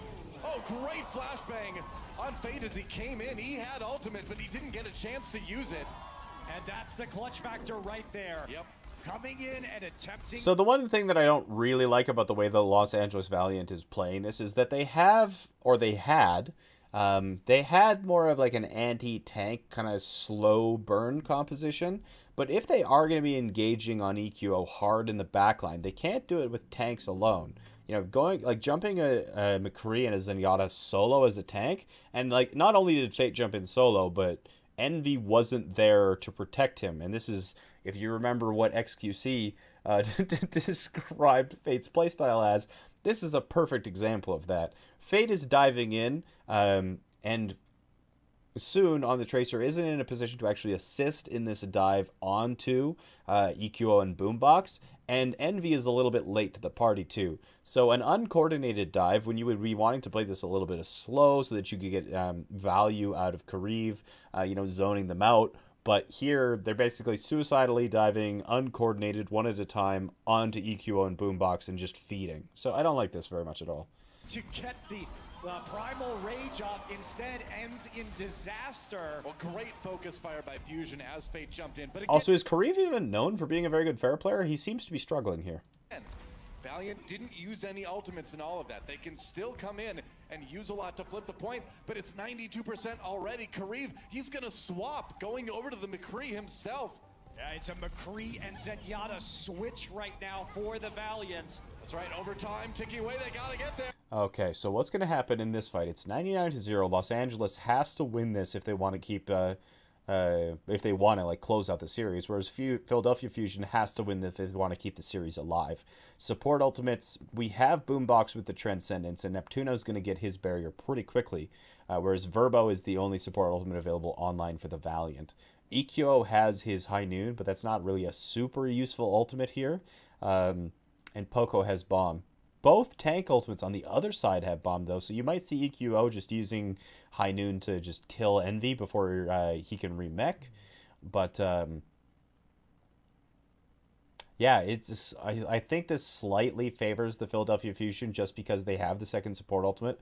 But other than that, it's a mirror matchup. And right now, Fate and Envy both getting low, whereas Fragi's getting a little bit chunked, and Fragi doesn't have primal, so we'll probably see uh, Boombox trends rather early to keep Fragi alive. What are your thoughts on EQO's flexibility? He's uh, so far I have been nothing but impressed with EQO. I sometimes, I suppose I, that's not true. Uh, he seemed to go after pharmacy solo as Genji um, a little bit too often. You know, he's he's extremely confident, and he's not confident without reason. But uh, he does a great job. Valiant needs to keep this one alive. Pulse Bomb gets eaten for soon. Nothing out of that one. Valiant needs more. They use the sound barrier to stay alive. Poko with the self-destruct. Boombox is being really patient here. He knows Poko has bomb that Poko can use to get back into mech, so he doesn't want to use trance until he absolutely have to. And Verbo, to zone them out again for just a second. Soon trapped in that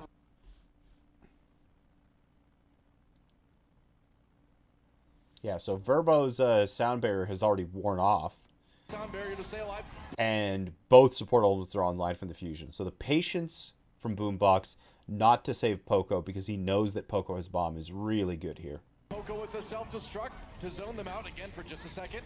I agree. I think Fusion deserves the win. I think they played better. To flip this one. Transcendence for Boombox as Philadelphia storms back in again. An EQO with the headshot onto Soon. Here's the Deadeye and he finds Verbo with it. Philadelphia Fusion not Nice. So we're going to a, a, a map three on a tiebreaker. This is pretty good. And I think. I don't know. I, I'm honestly surprised that Valiant even won the Ruins map. So I think. I th- like. What's the third map that we haven't done yet? We haven't done Lighthouse yet. Lighthouse isn't Widow favored, and it, like if they if Kariv does run Pharah again, um, I Yeah, like because Verbo is gonna run Mercy and Kariv is probably gonna run either Widow, Cree or Pharah. I like I think Fusion. I think Fusion has this. I think The Fusion wins. McCree as well, and, and you see McCree pop up as an answer to the Tracer sometimes, an answer. What do you think of Soon? He's got a different that. play I style. like to just throw Um, Fate in there and I don't know. I, I, I have no strong feelings one way or another about Soon. Um, yeah. Here we go. The winner of this Okay, full dive from Fusion, not really surprising, and Kariv is on the Pharah. So I think Fusion has this. I, th- I think Fusion has this. I think running Pharmercy against Philadelphia Fusion's full dive when they, you know, they run full dive so often and they're so efficient at it, especially when you saw it didn't work on Well, running it on, our Lighthouse, or Well, no, it was Well. Um, running it on Lighthouse here is uh, probably to end just as poorly. round wins the match with big playoff implications for both of these teams here. And Kariv back on the Pharah again. So we'll wait and see if the Fusion want to play the McCree one more time.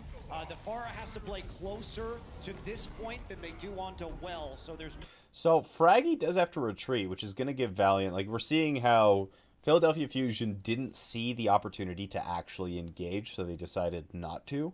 Um, but they know that pretty much if they give Kariv the poke he's looking for, they're going to lose just basically being on outvalued and losing the vast majority of the resources. So I like that Fragi retreated.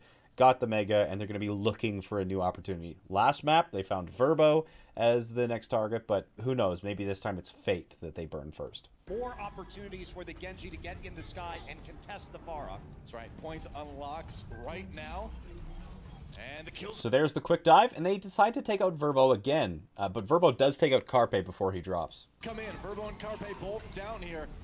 Carpe So it's a trade. Kariv gets Fragi. So unfortunately, Philadelphia Fusions, their like their win condition was a very quick and clean engagement with uh, kills going in their favor. You know, take advantage of the Discord, and they do take out Verbo, which leaves their ground targets with absolutely no supports. However, Kariv is starting to get more value. He's at 34% ult charge. Neptuno's low. Um, this is not going the way that they wanted it to. And Envy and Fate are both taking a lot of damage, and normally you'd want one of those targets to take. So instead of Envy taking 300 damage and Fate taking 300 damage, if you are trying to do this really clean engagement, you want one of them to take 600 damage. But as this fight goes on and on, you're going to see that Kariv is just going to get more and more value as the, the full dive basically runs out of steam. So Poko gets demeched here. Uh, who's going to be the next one to go down? You know, mini like mini D.Va drops. EQO's got out, or is he going to try and contest here? Like they're going to try and contest because Fusion got the initial cap, and like their objective control is really really good. But uh, you know, EQO is going to drop. Carpe is going to drop. Fa- Fragi's going to drop. Almost had a bad word. Um, so yeah, they get like 26% for free, but you can just see how easy it is for full dive to just start falling apart. Um, you know, if you don't get that very first dive quick and clean, then that Pharah is just going to start outvaluing you slowly but surely. Unfortunate direct onto. Boosted. It's what happens when you get hit by a damage boosted rocket and you are a tracer. Oh, right. So, as is tradition, during the final um, map, I usually cast. So, um, thank you for the reminder. Normally, on the last map of a series, I like to do just a little bit of uh, casting as if I was a live commentator. So, less analysis. Let's go for the cast. Let's just grab a drink of water before I try it.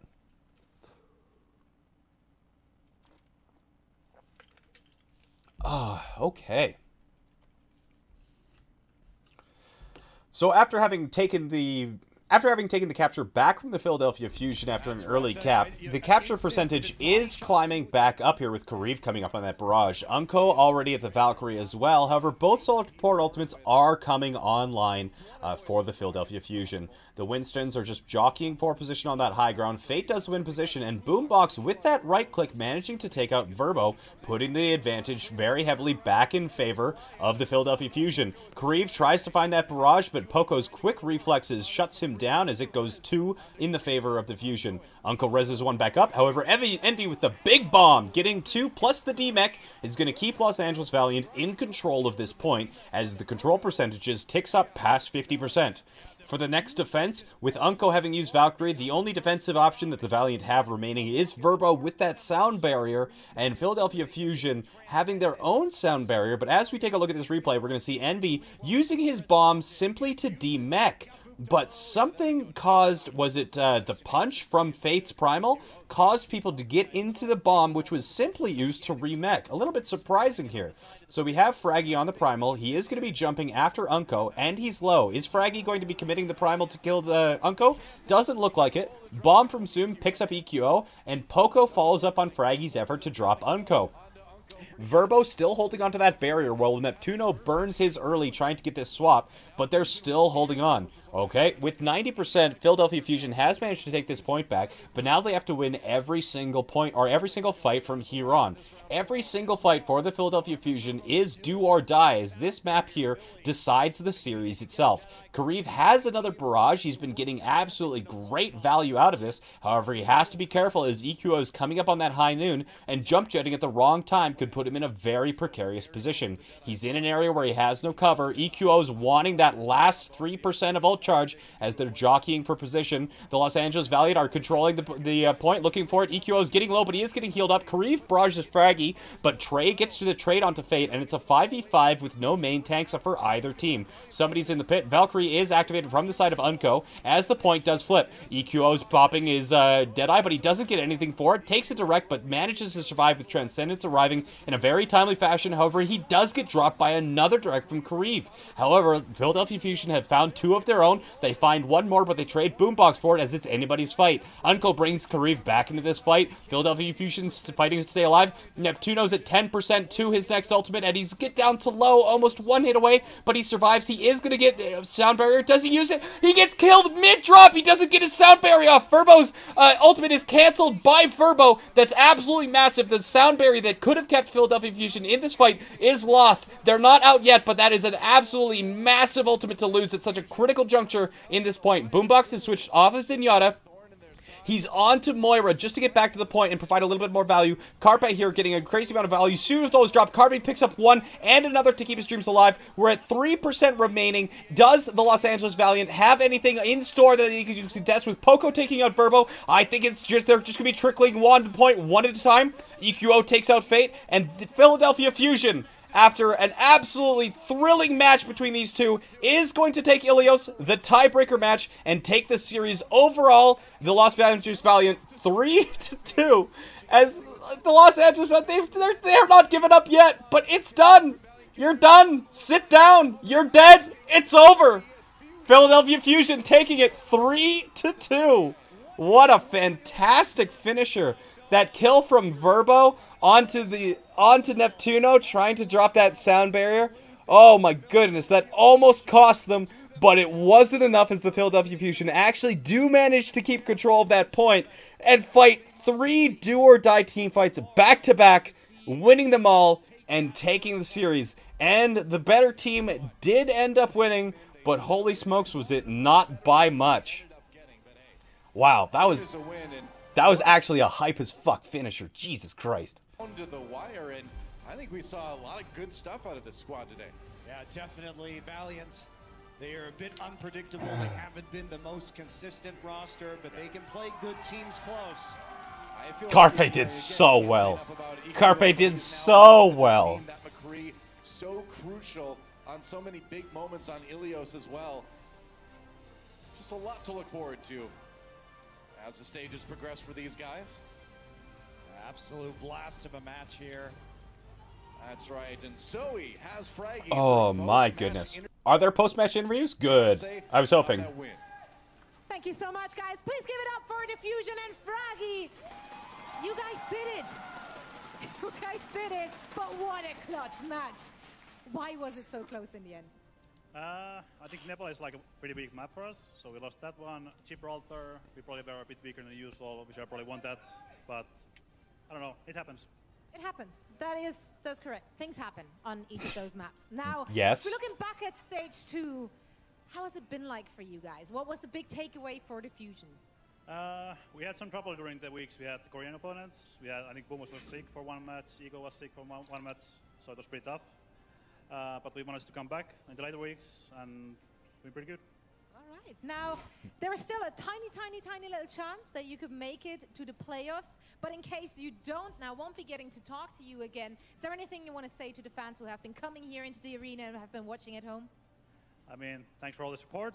Really appreciate it. And uh, we'll keep on grinding and getting better. All right, we can't wait to see more of you guys. Thank you so much, Fragi. Once again, congratulations. We're now heading over to the desk to break down the game. Thank you so much, Sully. Let's hear one more time for the Philadelphia Fusion. Tons of pressure, and they walk away with the victory. Unlike Seoul, though, or just like Seoul, not the clean sweep they were hoping for. So let's revisit why. Sorry, I, I, I struggle so much to care. Um, anyway, let's go here. Well, that was my analysis of uh, Los Angeles Valiant. Um, I suppose we could go to the desk. I'm, we're not going to go to the analyst desk. No, we're not going to go to the analyst desk. Um, but yeah, an interesting match. There was quite like Philadelphia Fusion love their dive. They absolutely love their dive, and unless they're absolutely forced to, they don't like swapping off of their dive. Um, we saw them do a really good job on King's Row, uh, Poko really impressing me with his Zarya play. Honestly, he did a fantastic job. Um, Fragi had his moments, but I, I still think Fragi is struggling. Um, and I don't think that today's. I've been giving Fragi the benefit of the doubt, and if you've been watching me for the last three or four weeks, you know that I'm I've been um, rather kind or favorable uh, in my opinion of Fragi. But today, a lot of those mistakes were questionable at best. Um, so Fragi definitely had a bit of an off day. EQO and Carpe doing fantastic work. Uh, Neptuno and Boombox doing fantastic work. But the tank lineup certainly proved to be the weakest part of the Philadelphia Fusion, but it wasn't bad enough that it's going to cost them the game. And they did certainly do better than the Los Angeles Valiant. Um, Agilities definitely had a little bit of a weaker day, and I think that the uh, the coordination between the Valiant dropped off. Like in map uh, map four and map five. So in map four and the tiebreaker map, the coordination between the Valiant um, dropped off. You could see they were doing a lot less coordinated dives, like especially that dive onto EQ at the O where Winston arrived and then Envy arrived and soon was nowhere to be seen. The coordination from Los Angeles Valiant uh, was significantly worse than it should be.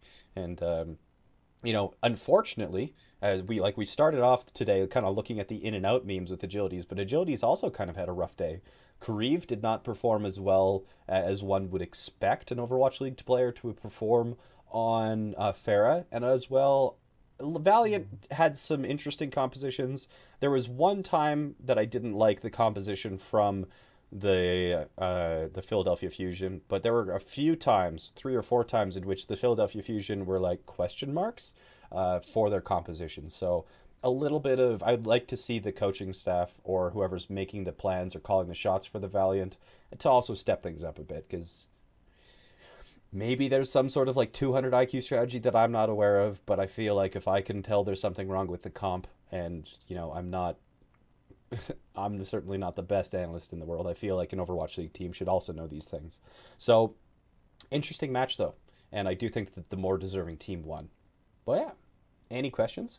What's uh, we'll just go straight up into question period. So open floor, ask whatever questions you want, and I'll just uh, answer for a little bit. I am going to try and review the um, the Dallas Fuel versus um, New York Excelsior Lijiang map. We're only going to review one map because the uh, the playoffs are coming up here, and so again we are going to be having a viewing viewing party here. But um, yeah, questions, ask away. What's the best dive target when LA runs Pharah, Tracer, Mercy, Lucio? So in Pharmercy Dive, the best dive target is basically going to be uh, Lucio if you can catch him out, uh, but it's very difficult. And and if you can't do Lucio, then the best bet is to land a Discord on a tank and then burn them down. So it's it's tough. It's the like if the tanks of the Pharmercy dive use leap or boost, you can hard commit to them, but you can't hard commit to uh, a Winston or a D.Va before they've used their mobility. So, which is this is one of the reasons you're kind of looking for openings uh, to actually attack. Oh my god, I'm never gonna keep up with chat. Um, Darth OW resubscribed tier one for two months in a row. Uh, still no Gladiators versus Outlaws. Feels bad, man. Wanted to see the wacky comp get reviewed. Sorry, bud. Uh, Plumber Network donated $20. Thanks, buddy. That's a lot of money. Um, keep up the amazing work. We all appreciate you, and I appreciate you too. Thank you for watching. And Cash Cab TV with the 100 bits. Thank you so much, my friend. No message. And Cash Cab bits, or Cash Cab with the 100 bits again. Jayne, I really appreciate you doing these. You're a great. Cheer 100. Glad I found your channel recently. I'm glad you found it too. Welcome, friend. Uh, do you feel Dallas will be better off with OGE at main tank, which should stick Mickey back on D.Va, which he has struggled with, or do you think they should build off Mickey on main tank and Seagull on? I think I definitely think they should put OGE on main tank. Um, I don't know about whether Mickey or Seagull would be better on D.Va. I know that Seagull's been working on D.Va, but he hasn't been practicing with the team on D.Va. So I don't know about Seagull versus Mickey or Seagull on something else and Mickey on D.Va. I don't, I don't, I don't have strong feelings about that, but I do feel strongly that OGE on main tank is the right answer. I need a new Mercy guide. I can do my best. What do you like your most recent emote submissions? I'll have to take a look at it later. Who has the clean